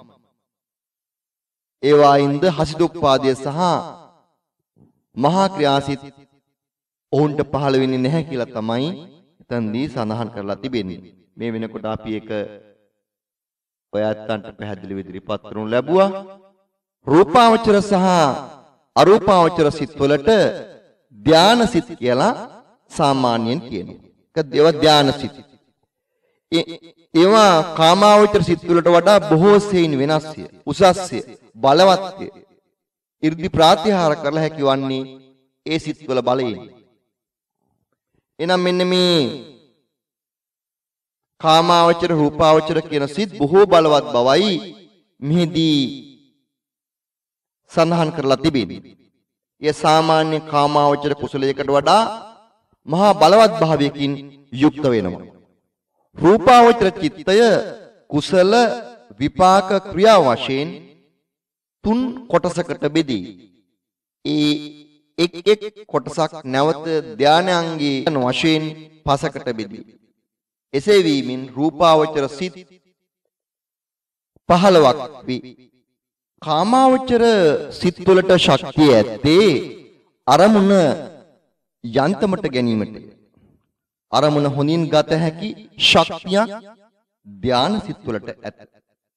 ධාන සිත් තමන් විසින් ගන්නා කසිනාදී ආරම්මන බදා ගන්නාත්මෙන් ඊතා හොඳින්ද තදින්ද ගන්නේ. ධාන සිතට එසේ කළ හැකි වන්නේ ධානයේ බලයෙන්. මෙහිදී සිහිපත් කර ගන්නට ඕනි පින්වත් ඇත්තෝ භාවනාව කියන ඒ ධර්මතාවය තුලදී භාවනා ආකාර දෙකක් සම්මා සම්බුදුජනන් වහන්සේ ඉදිරිපත් කරනු ලබනවා විදර්ශනා භාවනාව හා සමත භාවනාව කියලා. මේ විදර්ශනා භාවනාවෙන් කරනු ලබන්නේ මේ සංස්කාරයන්ගේ යථාභූත ස්වභාවය නුවණින් බැලීම. අපි තුන් කාලෙම ඇසුරු කරන්නේ සංස්කාර මෙන්න මේ ඇසුරු කරන සංස්කාරයන්ගේ අරමුණු කරන සංස්කාරයන්ගේ යථාභූත ස්වභාවය ඇත්ත ඇත්තසැටියෙන් බැලීමේ ක්‍රම රටාව තමයි විදර්ශනාව කියලා කියන්නේ. මෙන්න මේ විදර්ශනාව කියන භවනා ක්‍රමේදී පහළ වෙන කුසල්සිත තමයි කාමාවචර ඥාන සංප්‍රයුක්ත කුසල්සිත හතර. ඒ බවයි ඔය අත සිහිපත් කර ගන්නට ඕනි. චිත්ත වීති ඉගෙන ගන්නකොට අනාගතයේදී තාමත් හොඳින් මේවා තේරෙවි. මොකද අපි නිතරම උත්සාහ ගන්නේ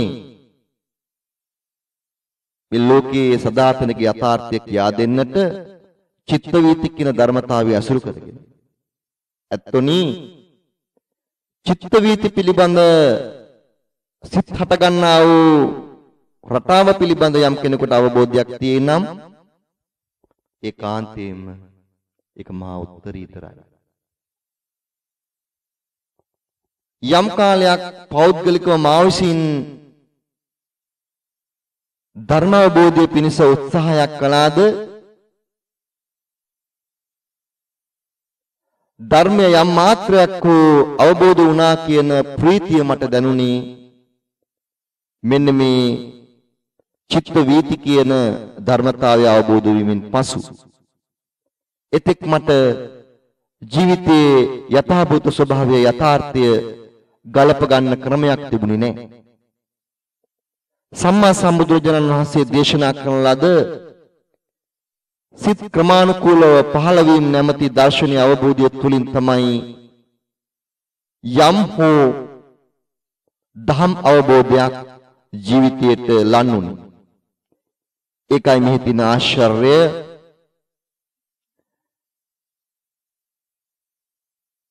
අපි මේ සියලුම ධර්ම කොටස් පහදා දෙනු ලබන්නේ චිත්ත වීතියක් අවබෝධ කරනු පිණිසමයි.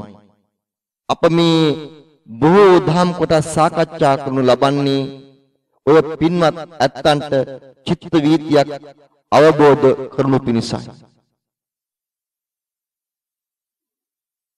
චිත්ත වීතිය කියන්නේ ජීවිතය.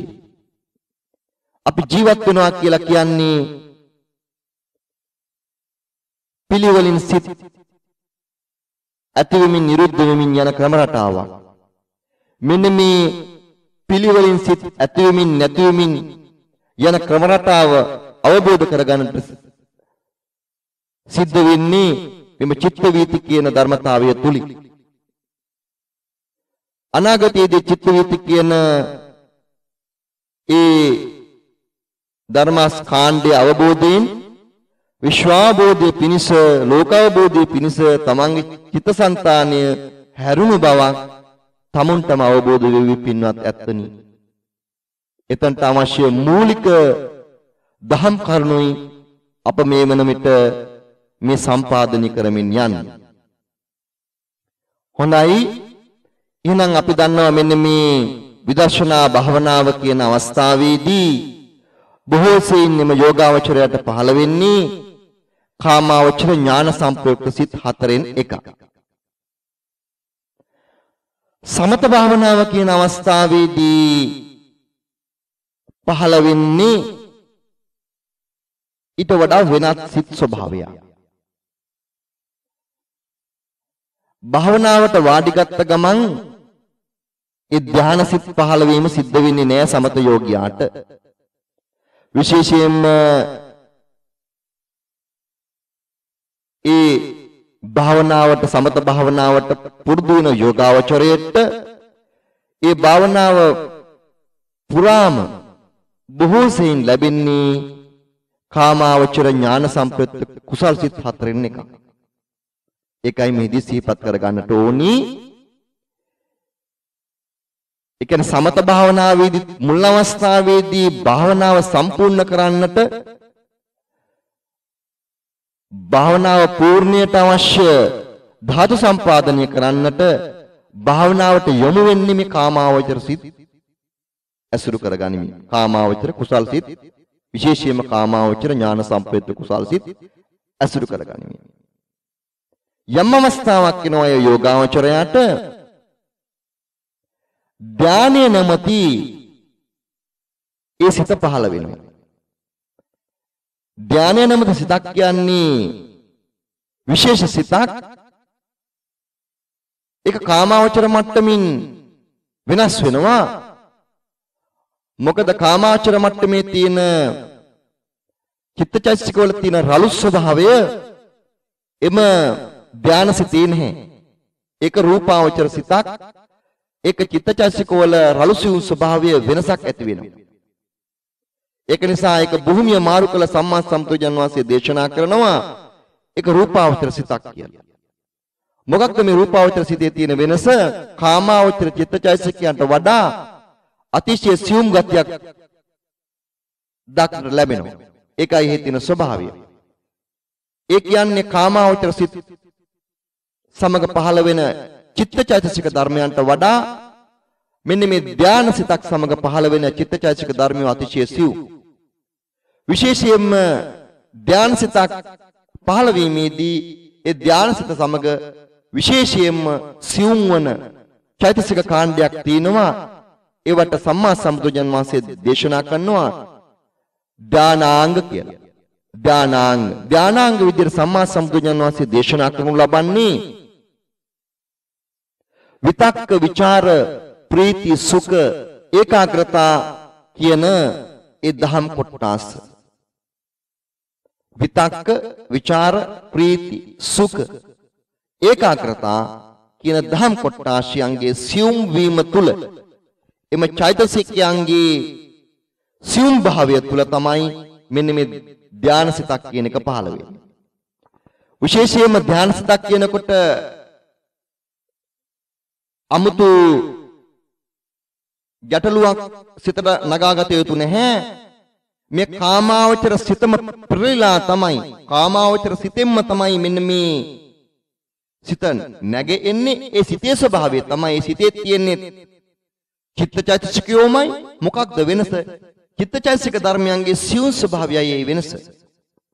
සියුම් ස්වභාවය නිසා ඒක කාමාවචර ධර්මතාවය යටතට සම්මා සම්බුදුජන් වහන්සේ යොදන්නට බෑ ඒක රූපාවචර ධර්මතාවයක් විදිහට උන්වහන්සේ සලකනවා. මොකද සම්මා සම්බුදුන් වහන්සේට මේ ලෝකීය දර්ශනය වෙන්නේ රළුසියුන් ධර්මතා ස්වභාවයක් ආකාරයි. ඒ ආකාරයට තමයි බුදුදහම මේ සකස් කරලා උන්වහන්සේ ක්‍රමානුකූලව දේශනා කරනු ලබන්නේ. හොඳයි. එහෙනම් මෙහිදී දැනගත යුතු වෙන්නේ භාවනාවට වාඩිගත් පමණින් මේ ධානය සිත් කියන ධර්මතාවය පහළ වෙන්නේ නැහැ. ක්‍රමානුකූලව ධානයක් ලබාගත් යෝගාවචරයෙකුට පමණයි මෙන්න මේ ධානය සිත් පහළ වීම සිද්ධ වෙන්නේ. එහෙනම් යම් යෝගාවචරයෙකුට ධානයක් ලබන්නට මේ සමත භාවනා ක්‍රමෙන් ධානයක් ලබන්නට මාස අවුරුදු ගණන් ගත වේ. සමහර විට එතෙක් ගත ගත කරලත් මේ ධාන සිතක් ලබා ගන්නට නොහැකි වේ. එසේනම් එවැනි යෝගාවචරයෙකුට ධානයක් ලැබුණේ නැත්නම් ධාන සිතක් පහළ වුණා කියලා කියන්නට බෑ. එහෙනම් මේ වාගේ කාමාවචර මට්ටමේ ඉඳලා රූපාවචර මට්ටමට පත් වෙන සියුම් සිතක් පහළ වීම ඒකාන්තයෙන්ම සිද්ධ වෙන්නට ඕනි.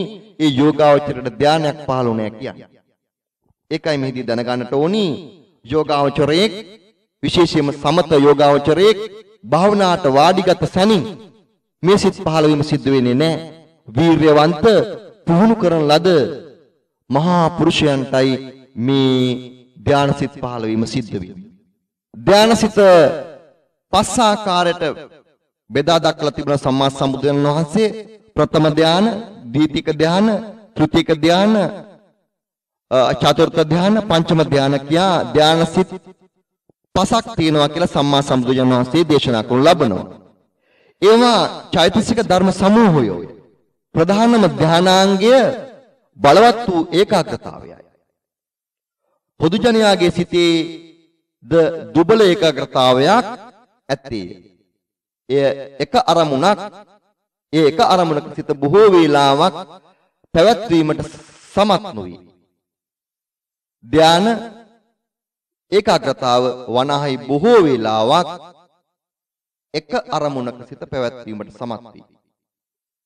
ධානලාභීන්ට පෑ ගණනක් වුවද දවස මුල්ලෙහිම වුවද තමන්ගේ සිත එකම අරමුණක පැවැත්වීමට හැකියි. එහෙනම් මෙන්න මේ කාමාවචර සිතේම පහළ වෙන චිත්තාංග බලවත් කිරීම තුලින් තමයි මේ ධානසිත කියන එක පහළ වෙන්නේ. මොකක්ද මේ ධානසිත පහළ වුණාම සිද්ධ වෙන විශේෂම සිද්ධිය යම් අරමුණක් නැවත නැවතත් නැවත නැවතත් ගනිමින් එකම අරමුණේ සිත පිහිටවීමේ හැකියාව තිබෙනවා. චිත්ත වීති අධ්‍යයනය කරාට පස්සේ ඊ타මත්ම පැහැදිලි වේවි. මේ ධානයකට සමවදිනවා කියන අවස්ථාව ධානයක් පහළ වෙනවා කියන අවස්ථාව. දැන් මේ ගැඹුරු විස්තර පින්වත් අත්තන්ට ඉදිරිපත් කරන්න යන්නේ නැහැ. දැනගන්නට ඕනි. සාමාන්‍යයෙන් කාමාවචර සත්වයකට සාමාන්‍ය කාමාවචර සත්වයක් වන අපිට එකම අරමුණක් නැවත නැවතත් නැවත නැවතත් ගැනීමේ හැකියාවක් නැහැ. මොකද අපේ සිතේ පහළ වෙන ඒකාග්‍රතාව කියන ඒ මිශ්‍ර ක්‍රියාවේ චෛතසිකයේ බලවත් භාවය නැති නිසා සිත විසිරෙන ගතිය සිත විසිරී යනවා නානා ආරම්මන වලට සිත නානා ආරම්මනට විසිරී යනවා නම් සිතේ ඒකාග්‍රතාව කියන චෛතසිකයේ බලවත් භාවයක් නැහැ මෙන්න මේ ඒකාග්‍රතාව කියන චෛතසිකයේ බලවත් කිරීම තුළින් තමයි මෙන්න මේ කාමාවචර මට්ටමේ තිබෙන සිත රූපාවචර මට්ටමට පත් කරන්නට හැකියාව තිබෙන්නේ. එහිදී විශේෂයෙන්ම අපි සඳහන් කරන්නට ඕනි ධානය කෙනෙකුට බය වෙන දෙයක් නැහැ මේ කාමාවචර සිතම දියුණු අවස්ථාව. හැබැයි ඒ චිත්තචෛතසික ධර්මයන්ගේ රළුසියුම් භාවය නිසා එහි නම වෙනස් කරලා තිබෙනවා. කාමාවචර චිත්‍රයන්ට වඩා හරසියුම් චිත්තචෛතසික ධර්ම තමයි මෙම රූප රූපාවචර චිත්තචෛතසිකයන්ගේ ක්‍රියාත්මක වෙන්නේ. ඒක නිසා මේක මට්ටම් දෙකක් හැටියටයි සම්මා සම්බුදුජන් වහන්සේ බුදු නුවණින් දකින්නේ. මේක තමයි අභිධර්මලාභියෙක් විදිහට අභිධර්ම ඉගෙන ගන්නන් කෙනෙක් විදිහට ගති ලක්ෂණ ඉගෙන ගන්නට ඕනි. මම බොහෝ දුරට උත්සාහ ගන්නේ මේ ගති ලක්ෂණ ස්වභාවය ගැන පින්වත් ඇත්තන්ට නිතරම ඉදිරිපත් කරන්නටයි. ඒකාග්‍රතාවට හෙවත් සමාධියට විතක්ක ਵਿਚාර ප්‍රීති සුඛ උපේක්ෂාවේයි උපකාරක ධර්ම පසක් ඇත්තේ. සමාධි චිත්තයට පසුබසින්නට හැකිලෙන්නට නොදී විතක්කිය යෝගාවචරයාගේ සිත නැවත නැවතත් අරමුණට යවයි. විචාරයේ අරමුණ පිරිමත් සිත ප්‍රබෝධමත් කරයි. සුඛයෙන් ආස්වාදී ඇති කරයි. විතක්කාදී ධර්ම සතරේ උපකාරයෙන් සමාධිය බලවත් වී ප්‍රථම ධානය සෑදී. ආදී විදිහට මේ ප්‍රථම ධානය ලැබෙන ආකාරය මෙතනදි සිහිපත් කරලා තිබෙන්නේ. අපි මේවා නැවත නැවතත් විස්තර කරන්න යන්නේ නැහැ. මොකද විශාල කාලයක් නැහැ මේම ධර්ම පින්වත් ඇත්තන් එක සාකච්ඡා කරන්නට ඉදිරිපත් කරන්නට මේවා තමා විසින් තාමත් ඕනෑ කමින් උනන්දුවෙන් මෙම පොත ඇසුරු කරගෙන මෙම දහම අවබෝධ කරගන්න හැකි තාක් දුරට මේ ආකාරයට මේ රූපාවචර කුසසිත පස් ආකාරයට බෙදෙනවා ධානාංග ස්වභාවය මත ධානාංග නැමැති ඒ සිත සමග උපදින චෛතසික ධර්මතා ස්වභාවයන් මත රූපාවචර කුසල් සිත් පහක් තිබෙනවා.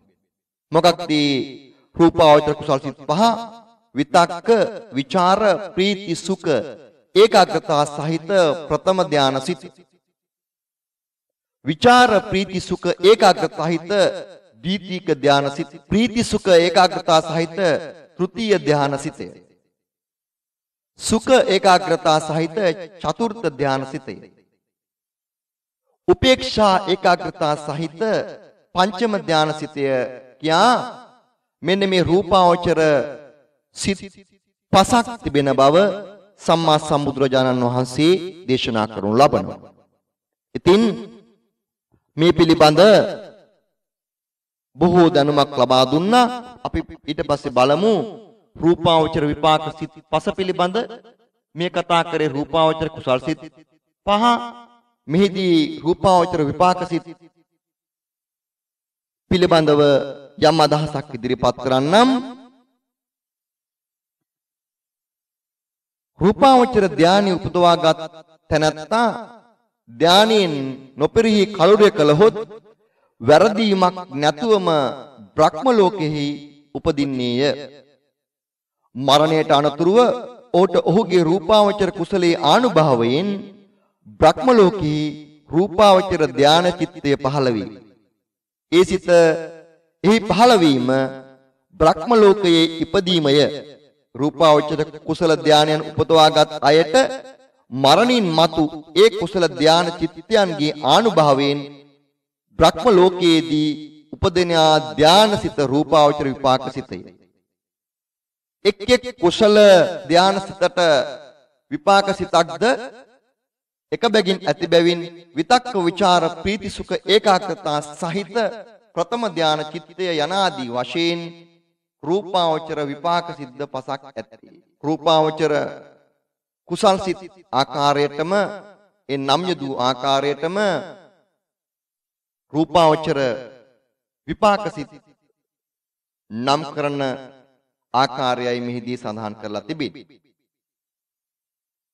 ඊට පස්සේ රූපාවචර ක්‍රියාසිත ධාන සුවෙන් විසිය හැකි වනු පිණිසද 이르දි ප්‍රාතිහාර කිරීමේ බලය ලැබුණු පිණිසද රහත් හුද සමහර විට ධාන උපදවති. එසේ රහතුන් විසින් උපදවන රූපාවචර ධානසිටවල මතු විපාක ඇති කිරීමේ ශක්තියක් නැති බැවින් රූපාවචර ක්‍රියාසිට නම් වේ.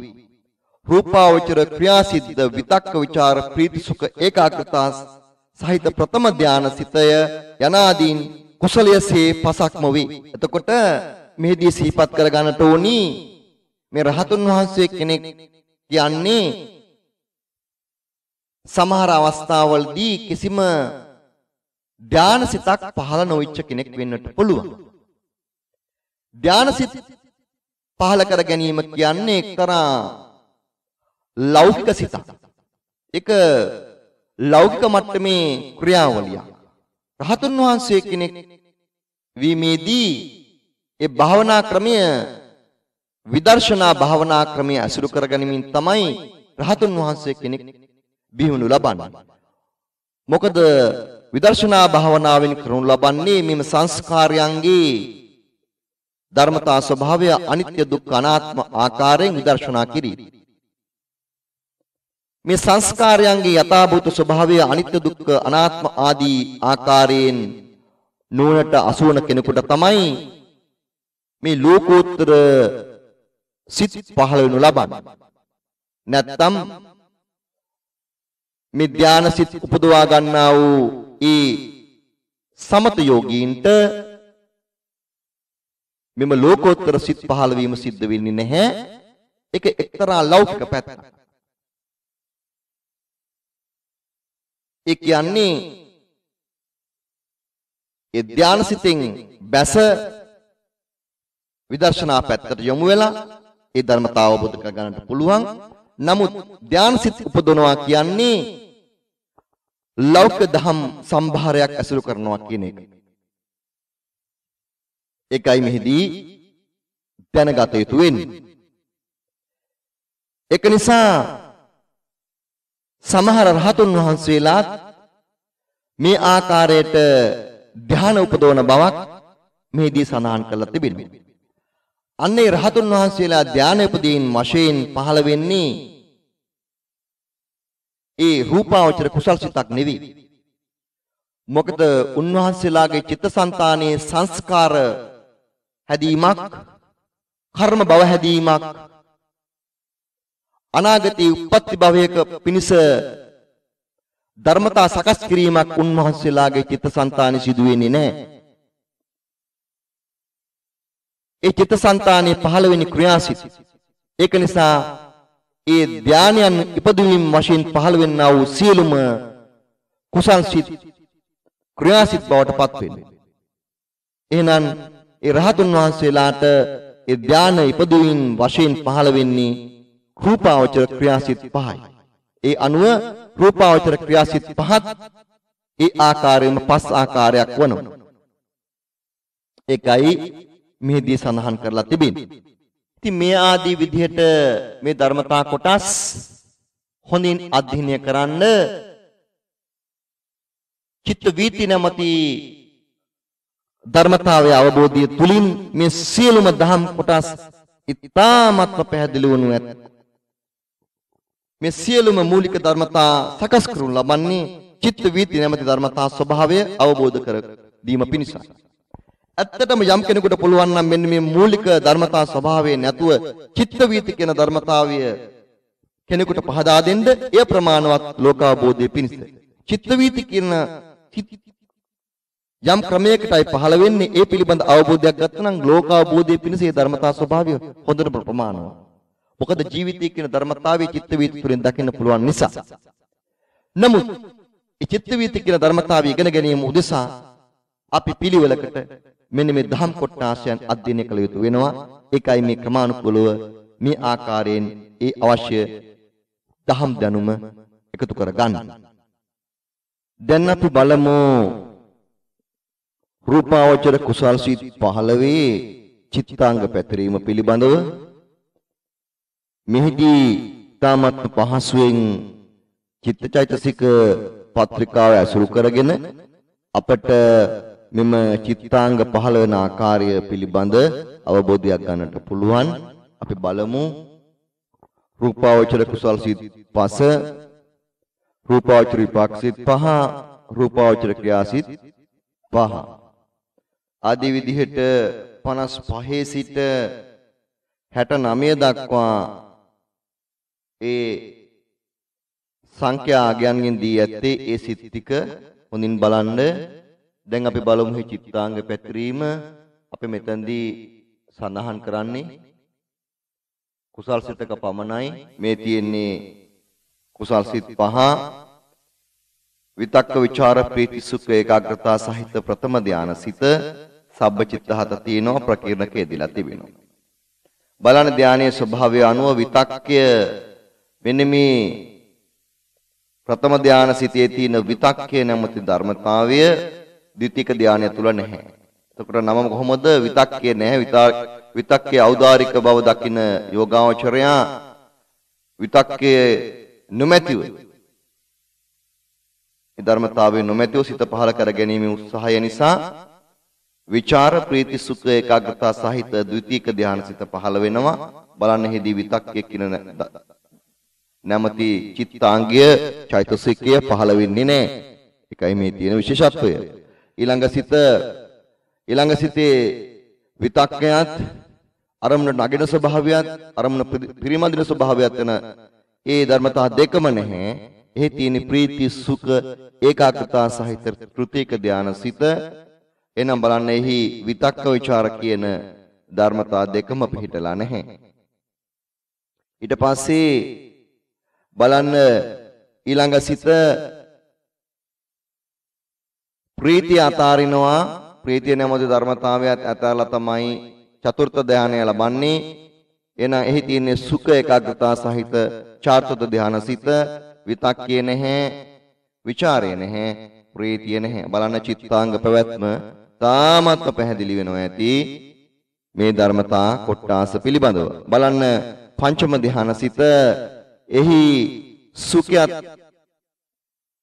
පහළ වීම සිද්ධ වෙන්නේ නැහැ ඒක නිසා සෝමනස්ය කියන ධර්මතාවය වෙනුවට පහළ වෙන උපේක්ෂාව. උපේක්ෂා ඒකාග්‍රතාව සහිත පංචම ධානය සිත. මෙතන උපේක්ෂාව කියලා අදහස් කරේ වේදනාම නැමැති චෛතසිකය අරමුණේ රසය විඳින ස්වභාවයයි. මෙහිදී බලන්න උපේක්ෂා සහිත ඒකාග්‍රතාව සහිත පංචම ධානය සිත. මෙන්න මේ ආකාර චිත්තාංග පැතුරලා තිබෙනවා. ඉදිරියේදී බලන්න සුදුසු පරිදි එහි චිත්තාංග දෙලා තිබෙනවා. මේ ආකාරයට සෝබන සාධාරණ 19ත් සමහර අවස්ථාවලදී කරුණා මුදිතා යන ධර්මතා වලින් එකක් පහළ වීමේ අවස්ථාව තිබෙනවා. ඒ ආකාරයට මෙහි චිත්තාංග පැතුරුම තිබෙනවා හොඳයි ඊට පස්සේ අපි බලමු සම්මා සම්බුදුරජාණන් වහන්සේගේ ඒ උත්තරීතර ධර්මතා ස්වභාවය අපි කතා කළා රූපාවචර සිත් 15 සහහේ චිත්තාංග පැතුරුම. ඊට පස්සේ අපි සාකච්ඡා කරන්නට යන්නේ ඔයත් පහදා දෙන්නට යන්නේ අරූපාවචර සිත් 12 පිළිබඳවයි. මෙහිදී අරූපාවචර සිත් 12 පිළිබඳ ගැඹුරු දේශනයක් කරන්නට බලාපොරොත්තු වෙන්නේ නැහැ. හඳුනා දීමක් පමණයි කරන්නේ. මොකද ඇත්ත වශයෙන්ම මේ තරම් ගැඹුරු ධර්මතා ස්වභාවයක් අපිට අවශ්‍ය නැහැ. මූලික වශයෙන්ම අපිට අවශ්‍ය ධර්ම කොටස අපි ඒ ඒ තැන්වලදී විස්තර කරනවා. මෙහිදී කාමාවචර සිත් 54 පිළිබඳ ඒ පහළවන්නා වූ මහා ඥානය තුලින් මේ ධර්මතාව අවබෝධ කර ගැනීමට ඔය පින්වත් ඇත්තන්ට හැකියාව ලැබෙනවා. ඒක නිසා අපි මෙහිදී දිගින් දිගටම එකම කරුණක් උදෙසා කාලය වැය කරන්නට උත්සාහ ගන්නෙ නැහැ. අපි දැන් විස්තර කරන්නට යන්නේ අරූපාවචර සිත් 12. එතකොට මෙන්න මේ අරූපාවචර සිත් 12 පහළ වෙන්නේ අපි දන්නවා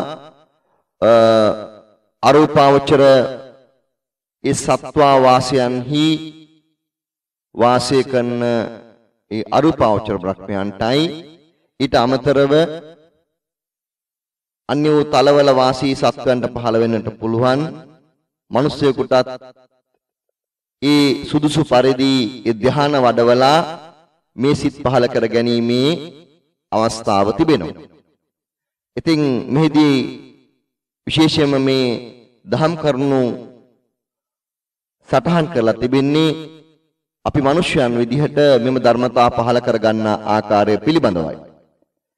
බලමු අපි රූපාවචර සිත් 12 රූපයන්ගෙන් ඈත් කොට වඩා ශාන්ත බවට ප්‍රනීත බවට පත් කරන ලද පංචම ධාන සිත අරූපාවචර චිත්තයයි. එහෙනම් මොකද්ද මෙහිදී කළා තිබෙන්නේ? පංචම ධාන සිතමයි හැබැයි රූප සමග තියෙන සම්බන්ධතාවය ඉතාමත්ම ඈත් කරලා. එකයි මේ විශේෂත්වය. රූපයන්ගෙන් ඈත් කරලා සිත ශාන්ත බවට ප්‍රනීත බවට පත් කරලායි තිබෙන්නේ. එහෙනම් එහි චිත්තාංග පැතුරුම ස්වභාවය බලනකොට පංචම ධ්‍යාන චිත්තය හා සමානමයි. එකයි මෙහිදී සිහිපත් කරනු ලබන්නේ. එයද රූපාවචර චිත්තයසේම කුසල විපාක ක්‍රියා වශයෙන් තුනට බෙදෙන්නේය. මෙහිදී මතක තියාගන්න ඕනි මේ සිත් පංචම ධ්‍යාන සිතමයි හැබැයි මෙහි අරමුණ සහ තාමත්ම රූපයන්ගෙන් ඈත් කොටයි පවත්වන්නේ. ඒකයි මෙහි ස්වභාවය.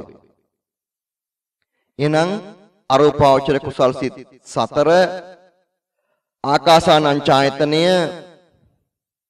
විඥානං ඡායතනය ආකින්ඥ ආයතනය නේව සංඥා නා සංඥායතන කියන කුසල් සිත් තමයි මෙහිදී සම්මා සම්බුදුරජාණන් වහන්සේ විසින් මේවා ප්‍රඥප්ති ආකාරයෙන් නම් කරලා තිබෙන්නේ. තව ටිකක් අපේ පිළිබඳ ඉගෙන ගනිමු.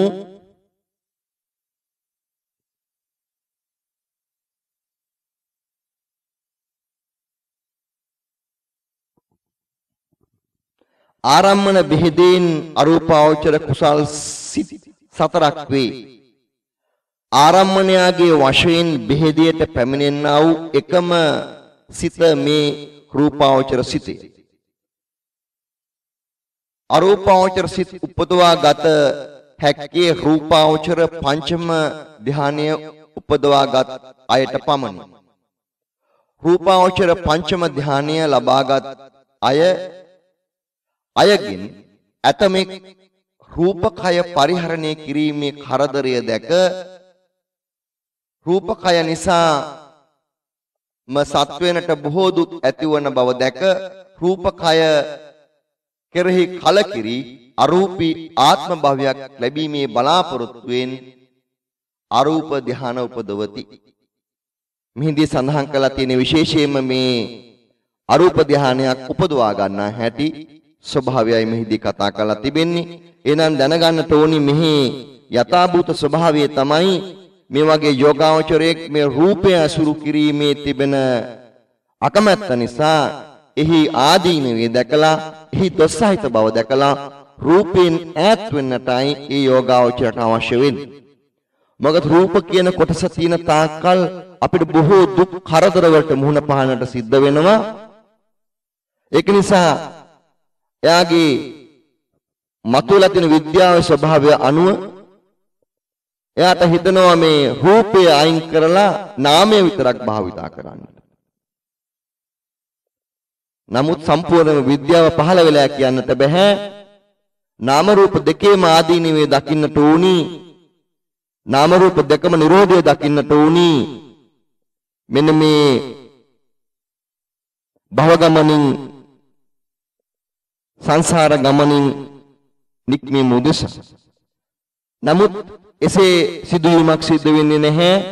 ඔහුට මේ විපාකයේ විදිහට අනාගතයේදී කිසිදු රූපයක් නැතුව සිත විතරක් පහළ වීමේ ශක්තියක් එමගේ යෝගාචරයට විපාක විදිහට ලැබෙන්නේ.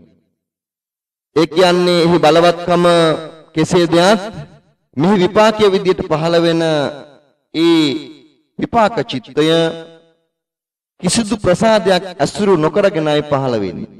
අවකාශයේ කිසිදු රූපයක් නිෂ්ක්‍රිය නොකොට ඒ චිත්තචෛතසික පින්ඩියෝ පහළ වීමයි සිද්ධ වෙන්නේ. එහෙනම් අරූපාවචර විපාක ලබන සත්වයා ඒ අවසාන තල හතරේ ඉන්න සත්වවාසී අරූපී බ්‍රහ්මයන් කොයිම කොයි ආකාරයකවත් රූප නැමැති ධර්මතාවයේ භාවිතයක් නැහැ. ඔවුන්ගේ සිත පහළ වෙන්නේද අවස්තුකවයි ප්‍රසාද රූපයක් නැතුවයි.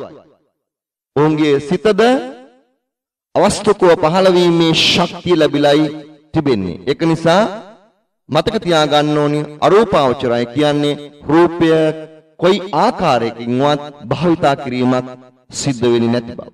හොඳයි අපි බලමු හි විපාක ස්වභාවය. හරි. මෙහිදී මම අවශ්‍ය කොටස් ටික පමණයි පින්වත් ඇත්තන්ට පහදලා දෙන්නේ.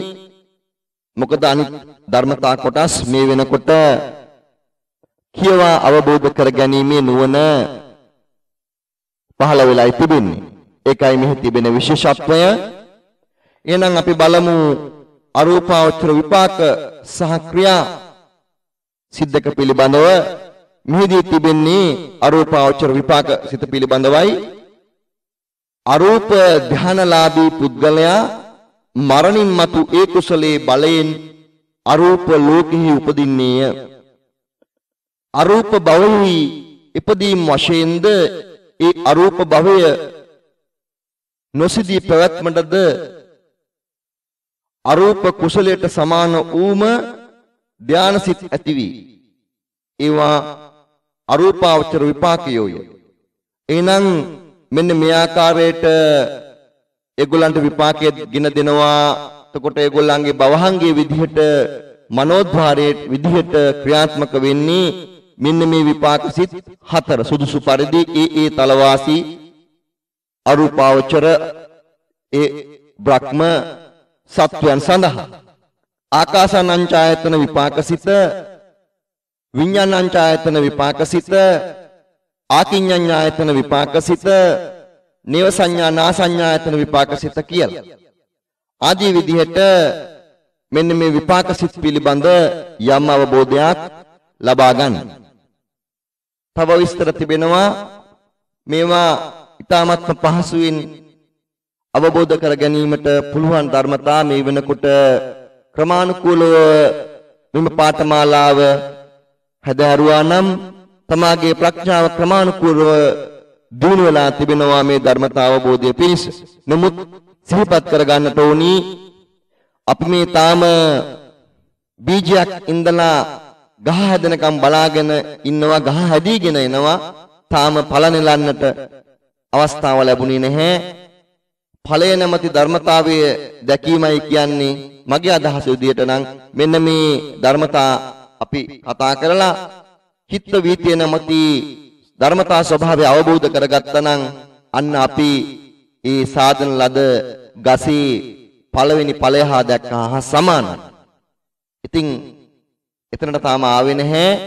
මේ ධර්මතා අපි ක්‍රමානුකූලව ඔය අත්තන් සමග බෙදා හදාගන්නේ ඒ අවශ්‍ය චිත්ත වීති කියන ධර්මතා දැනුම ලබා දීම උදෙසා.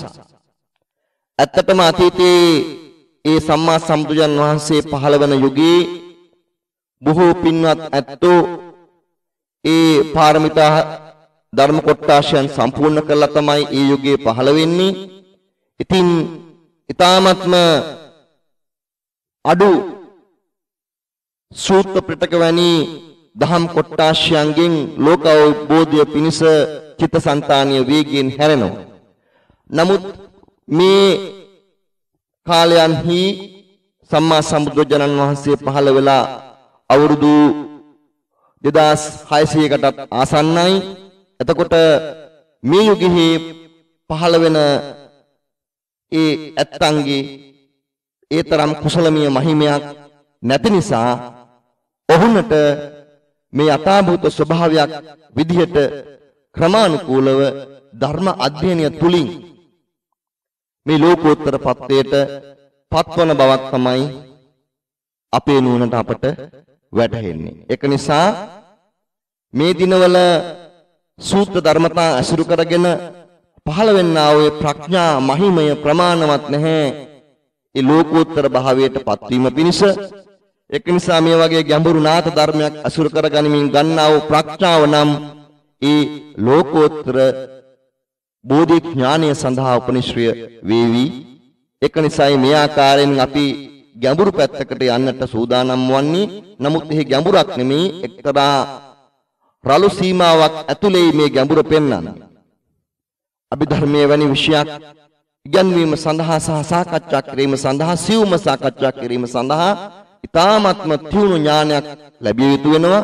ඒ තියුණු ඥානය ලබා දීමේ මූලික පියවරයි අපි මේ ප්‍රථම අධීරයේදී සිදු කරනු ලබන්නේ. ඒක නිසා සිහිපත් කර ගන්නට ඕනි අපි මේ මුල් අවදියේ මේ අභිධර්මය සාකච්ඡා කරනු ලබන්නේ සියුම් රාමුවක් තුල නෙමෙයි යම් රළු රාමුවක් තුල සියුම් රාමුවක් තුල කතා කරන්නට තරම් අහන කෙනාගේ බුද්ධිය ප්‍රඥාව වැඩි නැති නිසා සියුම් භාවයට කතා කිරීම තුලින් ගැටලු සහගත තත්වයන් පහළ වෙන්නට පුළුවන් ඇති වෙන්නට පුළුවන්. ඒවා මගවහරවා ගැනීම උදෙසායි යම් රළු රාමුවකයි මේක ඉදිරිපත් කරන්නේ. ඊට පස්සේ Tamanට පොතපත පරිහරණය කළා. සියුම් රාමුවට සියුම් ධර්මතා අසුරු කරන්නට ක්‍රමානුකූලව ප්‍රඥාව යොදවන්නට පුළුවන්. අනාගාමී අරියත් පුද්ගලයන්ට පමණක් අයිති නිරෝධ සමාපatti නම් වූ සමවතක් ඇත්තේය. එය සිතින් තොරව විසීමකි. එයට සමවැදිය හැක්කේ රූපාවචර ධාන සියල්ලම ලබා ඇති අනාගාමීන්ට හා රහතුන්ටය. නිරෝධ සමාපත්තියට සමවැදිය හැකිවීමට රහත්හුද අරූප ධාන උපදවති. රහතුන් විසින් උපදවන විපාක දාන ශක්තියක් නැත්තා වූ අරූප ධාන සිත් රූපාවචර ක්‍රියාසිතය ආකාසානංචායතන ක්‍රියාසිත යන ආදී වශයෙන් අරූපාවචර ක්‍රියාසිත ද සතරක් ඇත්තේය. ඉතින් මේ ආකාරයෙන් කුසල් සිත් මෙන් විපාක සිත් විපාක සිත් මෙන් ක්‍රියාසිත ද හතරක් පිළිවෙලට සම්මා සම්බුදුරජාණන් වහන්සේ දේශනා කරනවා. මෙහිදී සිහිපත් කරගන්නට ඕනි විශේෂම අවස්ථාවක් තියෙනවා. නිරෝධ සමාපත්තිය කියලා එක්තරා ධර්මතාවයක් සාමාන්‍යයෙන් සම්මා සම්බුදුජන් වහන්සේගේ දේශනාව අනුව සිත පහළ නොවන අවස්ථා තුනක් තිබෙනවා. ඒ අවස්ථා තුනේ එකක් නම් 31 තලයේ එක් බ්‍රහ්ම තලයක් තිනවා. ඒ බ්‍රහ්ම තලයට කියනවා අපි අසඤ්ඤ සන්තේ කියලා. ඒ අසඤ්ඤ සන්තේ ඒ සත්වයාට කවදාවත් සිතක් පහළ වීමක් සිද්ධ වෙන්නේ නැහැ. ඒ ප්‍රතිසන්දීන් පස්සේ චුතියෙන් පස්සේ ප්‍රතිසන්දිය අරබිහා වුන්ට ලැබෙන්නේ රූපකයක් පමණයි ඒ රූපකය අසුරු කරගෙන නාම ධර්මතා පහළ වීමක් වෙන්නේ නැහැ ඒක නිසා අන්නේ වාගේ සත්වවාසී ඒ බ්‍රහ්මයන්ට කවදාවත් සිත් පහළ වීමක් සිද්ධ වෙන්නේ නැහැ. එහි ආයුෂ කල්ප 500ක් ඒ කල්ප 500 අනතුරාවට ඒ කය අසුරු කරගෙන සිත් පහළ වීමක් වෙන්නේ නැහැ. ඒ කල්ප 500ටම එතකොට සිත පහළ වීම නතර වෙලායි තියෙන්නේ. සුදුසු පරිදි ඒ නැවතත් එතනින් චුති වුණාට පස්සේ චුතිසිතකුත් පහළ වෙන්නේ නැහැ. කෙලිම ප්‍රතිසන්දියයි පහළ වෙන්නේ ඒ අවස්ථාවේදී අන නැවතත් ප්‍රතිසන්දිය පහළ වීමෙන් පස්සේ තමයි මේ සත්වයාට සිත් પરම්පරාව ආරම්භ වෙන්නේ. නමුත් කල්ප 500ක් ගිහිලා වුණත් නැවත සිත පහළ වීම සිද්ධ වෙනවා. දෙවෙනි අවස්ථාව තමයි සිත පහළ නොකර ඉන්න මෙන්න මේ නිරෝධ සමාපත්තියට නිරෝධ සමාපත්තියට සමවැදීම කියන ධර්මතාවය. එහිදී කිසිදු වස්තු රූපයක් අසුරු කරගෙන සිතක් පහළ වීමේ ධර්මතාවයක් නැහැ. කය සාමාන්‍ය පරිදි තිබෙනවා ඒ භාවනා ඉරියව්ව තුල නමුත් කිසිම ප්‍රසාදයක් අසුරු කරගෙන සිතක් පහළ වීමක් සිද්ධ වෙන්නේ නැහැ. ඒ ප්‍රාර්ථනා කරන ඒ කාලය තුල උපරිම දින හතක් දක්වා ඒ නිරෝධ සමාපත්තියට සමවදින්නට පුළුවන්. එෙහිදී කිසිම සිතක් ඒ කය අසුර කරගෙන පහළ වෙන්නේ නැහැ. නමුත් ඒ කයේ ප්‍රසාදමය ශක්තිය ජීවිත රූපයේ බලයෙන් දිගටම පවත්වාගෙන යනවා. තාමත්ම සුළු ශක්තිමය ස්වභාවයක් විතරයි ඒ කය පවත්වන්නට ඕනි. ආහාරයක් අවශ්‍ය නැහැ. ඒ ධර්මතාවල බලයෙන්ම ඒ කය දින හතක් දක්වා කිසිදු උපද්‍රවයක් නැතුව පවත්වීමේ හැකියාව තියෙනවා. මම මේ රළු මට්ටමින් මේවා පැහැදිලි කළ දුන්නේ. එහෙනම් මෙහිදී ඒ නිරෝධ සමාපත්තියට සමවදින අවස්ථාවේදී සිත පහළ වීමක් වෙන්නේ නැහැ. අන්‍ය අවස්ථාව තමයි අරියත් චුතියින් පස්සේ සම්පූර්ණයෙන්ම මෙන්න මේ සිත පහළ වීම නතර වෙනවා. ඒකට අපි කියනවා ඒ සත්‍ය නිවන් දැක්කා කියලා. එතකොට අමතර කරන වශයෙන් තමයි අපි සාකච්ඡා කළේ මේ අනුව අපි අරූපාවචර කුසල් සිත් සතරත් අරූපාවචර විපාක සිත් සතරත් අරූපාවචර ක්‍රියා සිත් සතරක් පිළිබඳ අවබෝධයක් ලබා දුන්නා. පසුව අපි බලමු මෙන්න මේ සිත්හි චිත්තාංග පැවැත්ම එය ඊ타ත්ම පහසුවෙන් අවබෝධ කරගන්නට පුළුවන් පංචම ධානයේ ස්වභාවයමයි තිබෙන්නේ. අපි බලමුහි චිත්තාංග පැතරීම. මේ තියෙන්නේ අරූපාවචර කුසල් සිත් 4 මේ තියෙන්නේ අරූපාවචර විපාක සිත් 4 මේ තියෙන්නේ අරූපාවචර ක්‍රියා සිත් 4 බලන්න මෙහි චිත්තාංග පැවැත්ම. බලන්න මේ පංචම ධ්‍යානයේ චිත්තාංග පැවැත්ම. අන්නේ ආකාරයටමයි මේ සිතේ චිත්තාංග පැවැත්ම තිබෙන්නේ විතක්ක ਵਿਚාර ප්‍රීති සුඛ ධර්මතා පහළ වීමක් සිදු වෙලා නැහැ. උපේක්ෂා ඒකාග්‍රතා සහිත පංචම ධානී ආකාරයට චිත්තාංග පැතරීමක් මෙහිදී දක්නට ලැබෙනවා. මේවා ඊටාත්ම හොඳින් අධ්‍යයනය කරන්න මේ ආකාරයට සෝබන සාදාන 19 යෙදিলা තිනවා. ඊට පස්සේ අනිවාර්යයෙන්ම මේ ප්‍රඥා නැමැති ධර්මතා ස්වභාවය යෙදিলা තිබෙනවා. මෙන්න මේ ආකාරයට මේ අරූපාවචර සිද්වලහේ චිත්තාංග පැවැත්ම පිළිබඳ ඔය ඇත්තෝ අධ්‍යයනය කරන්න.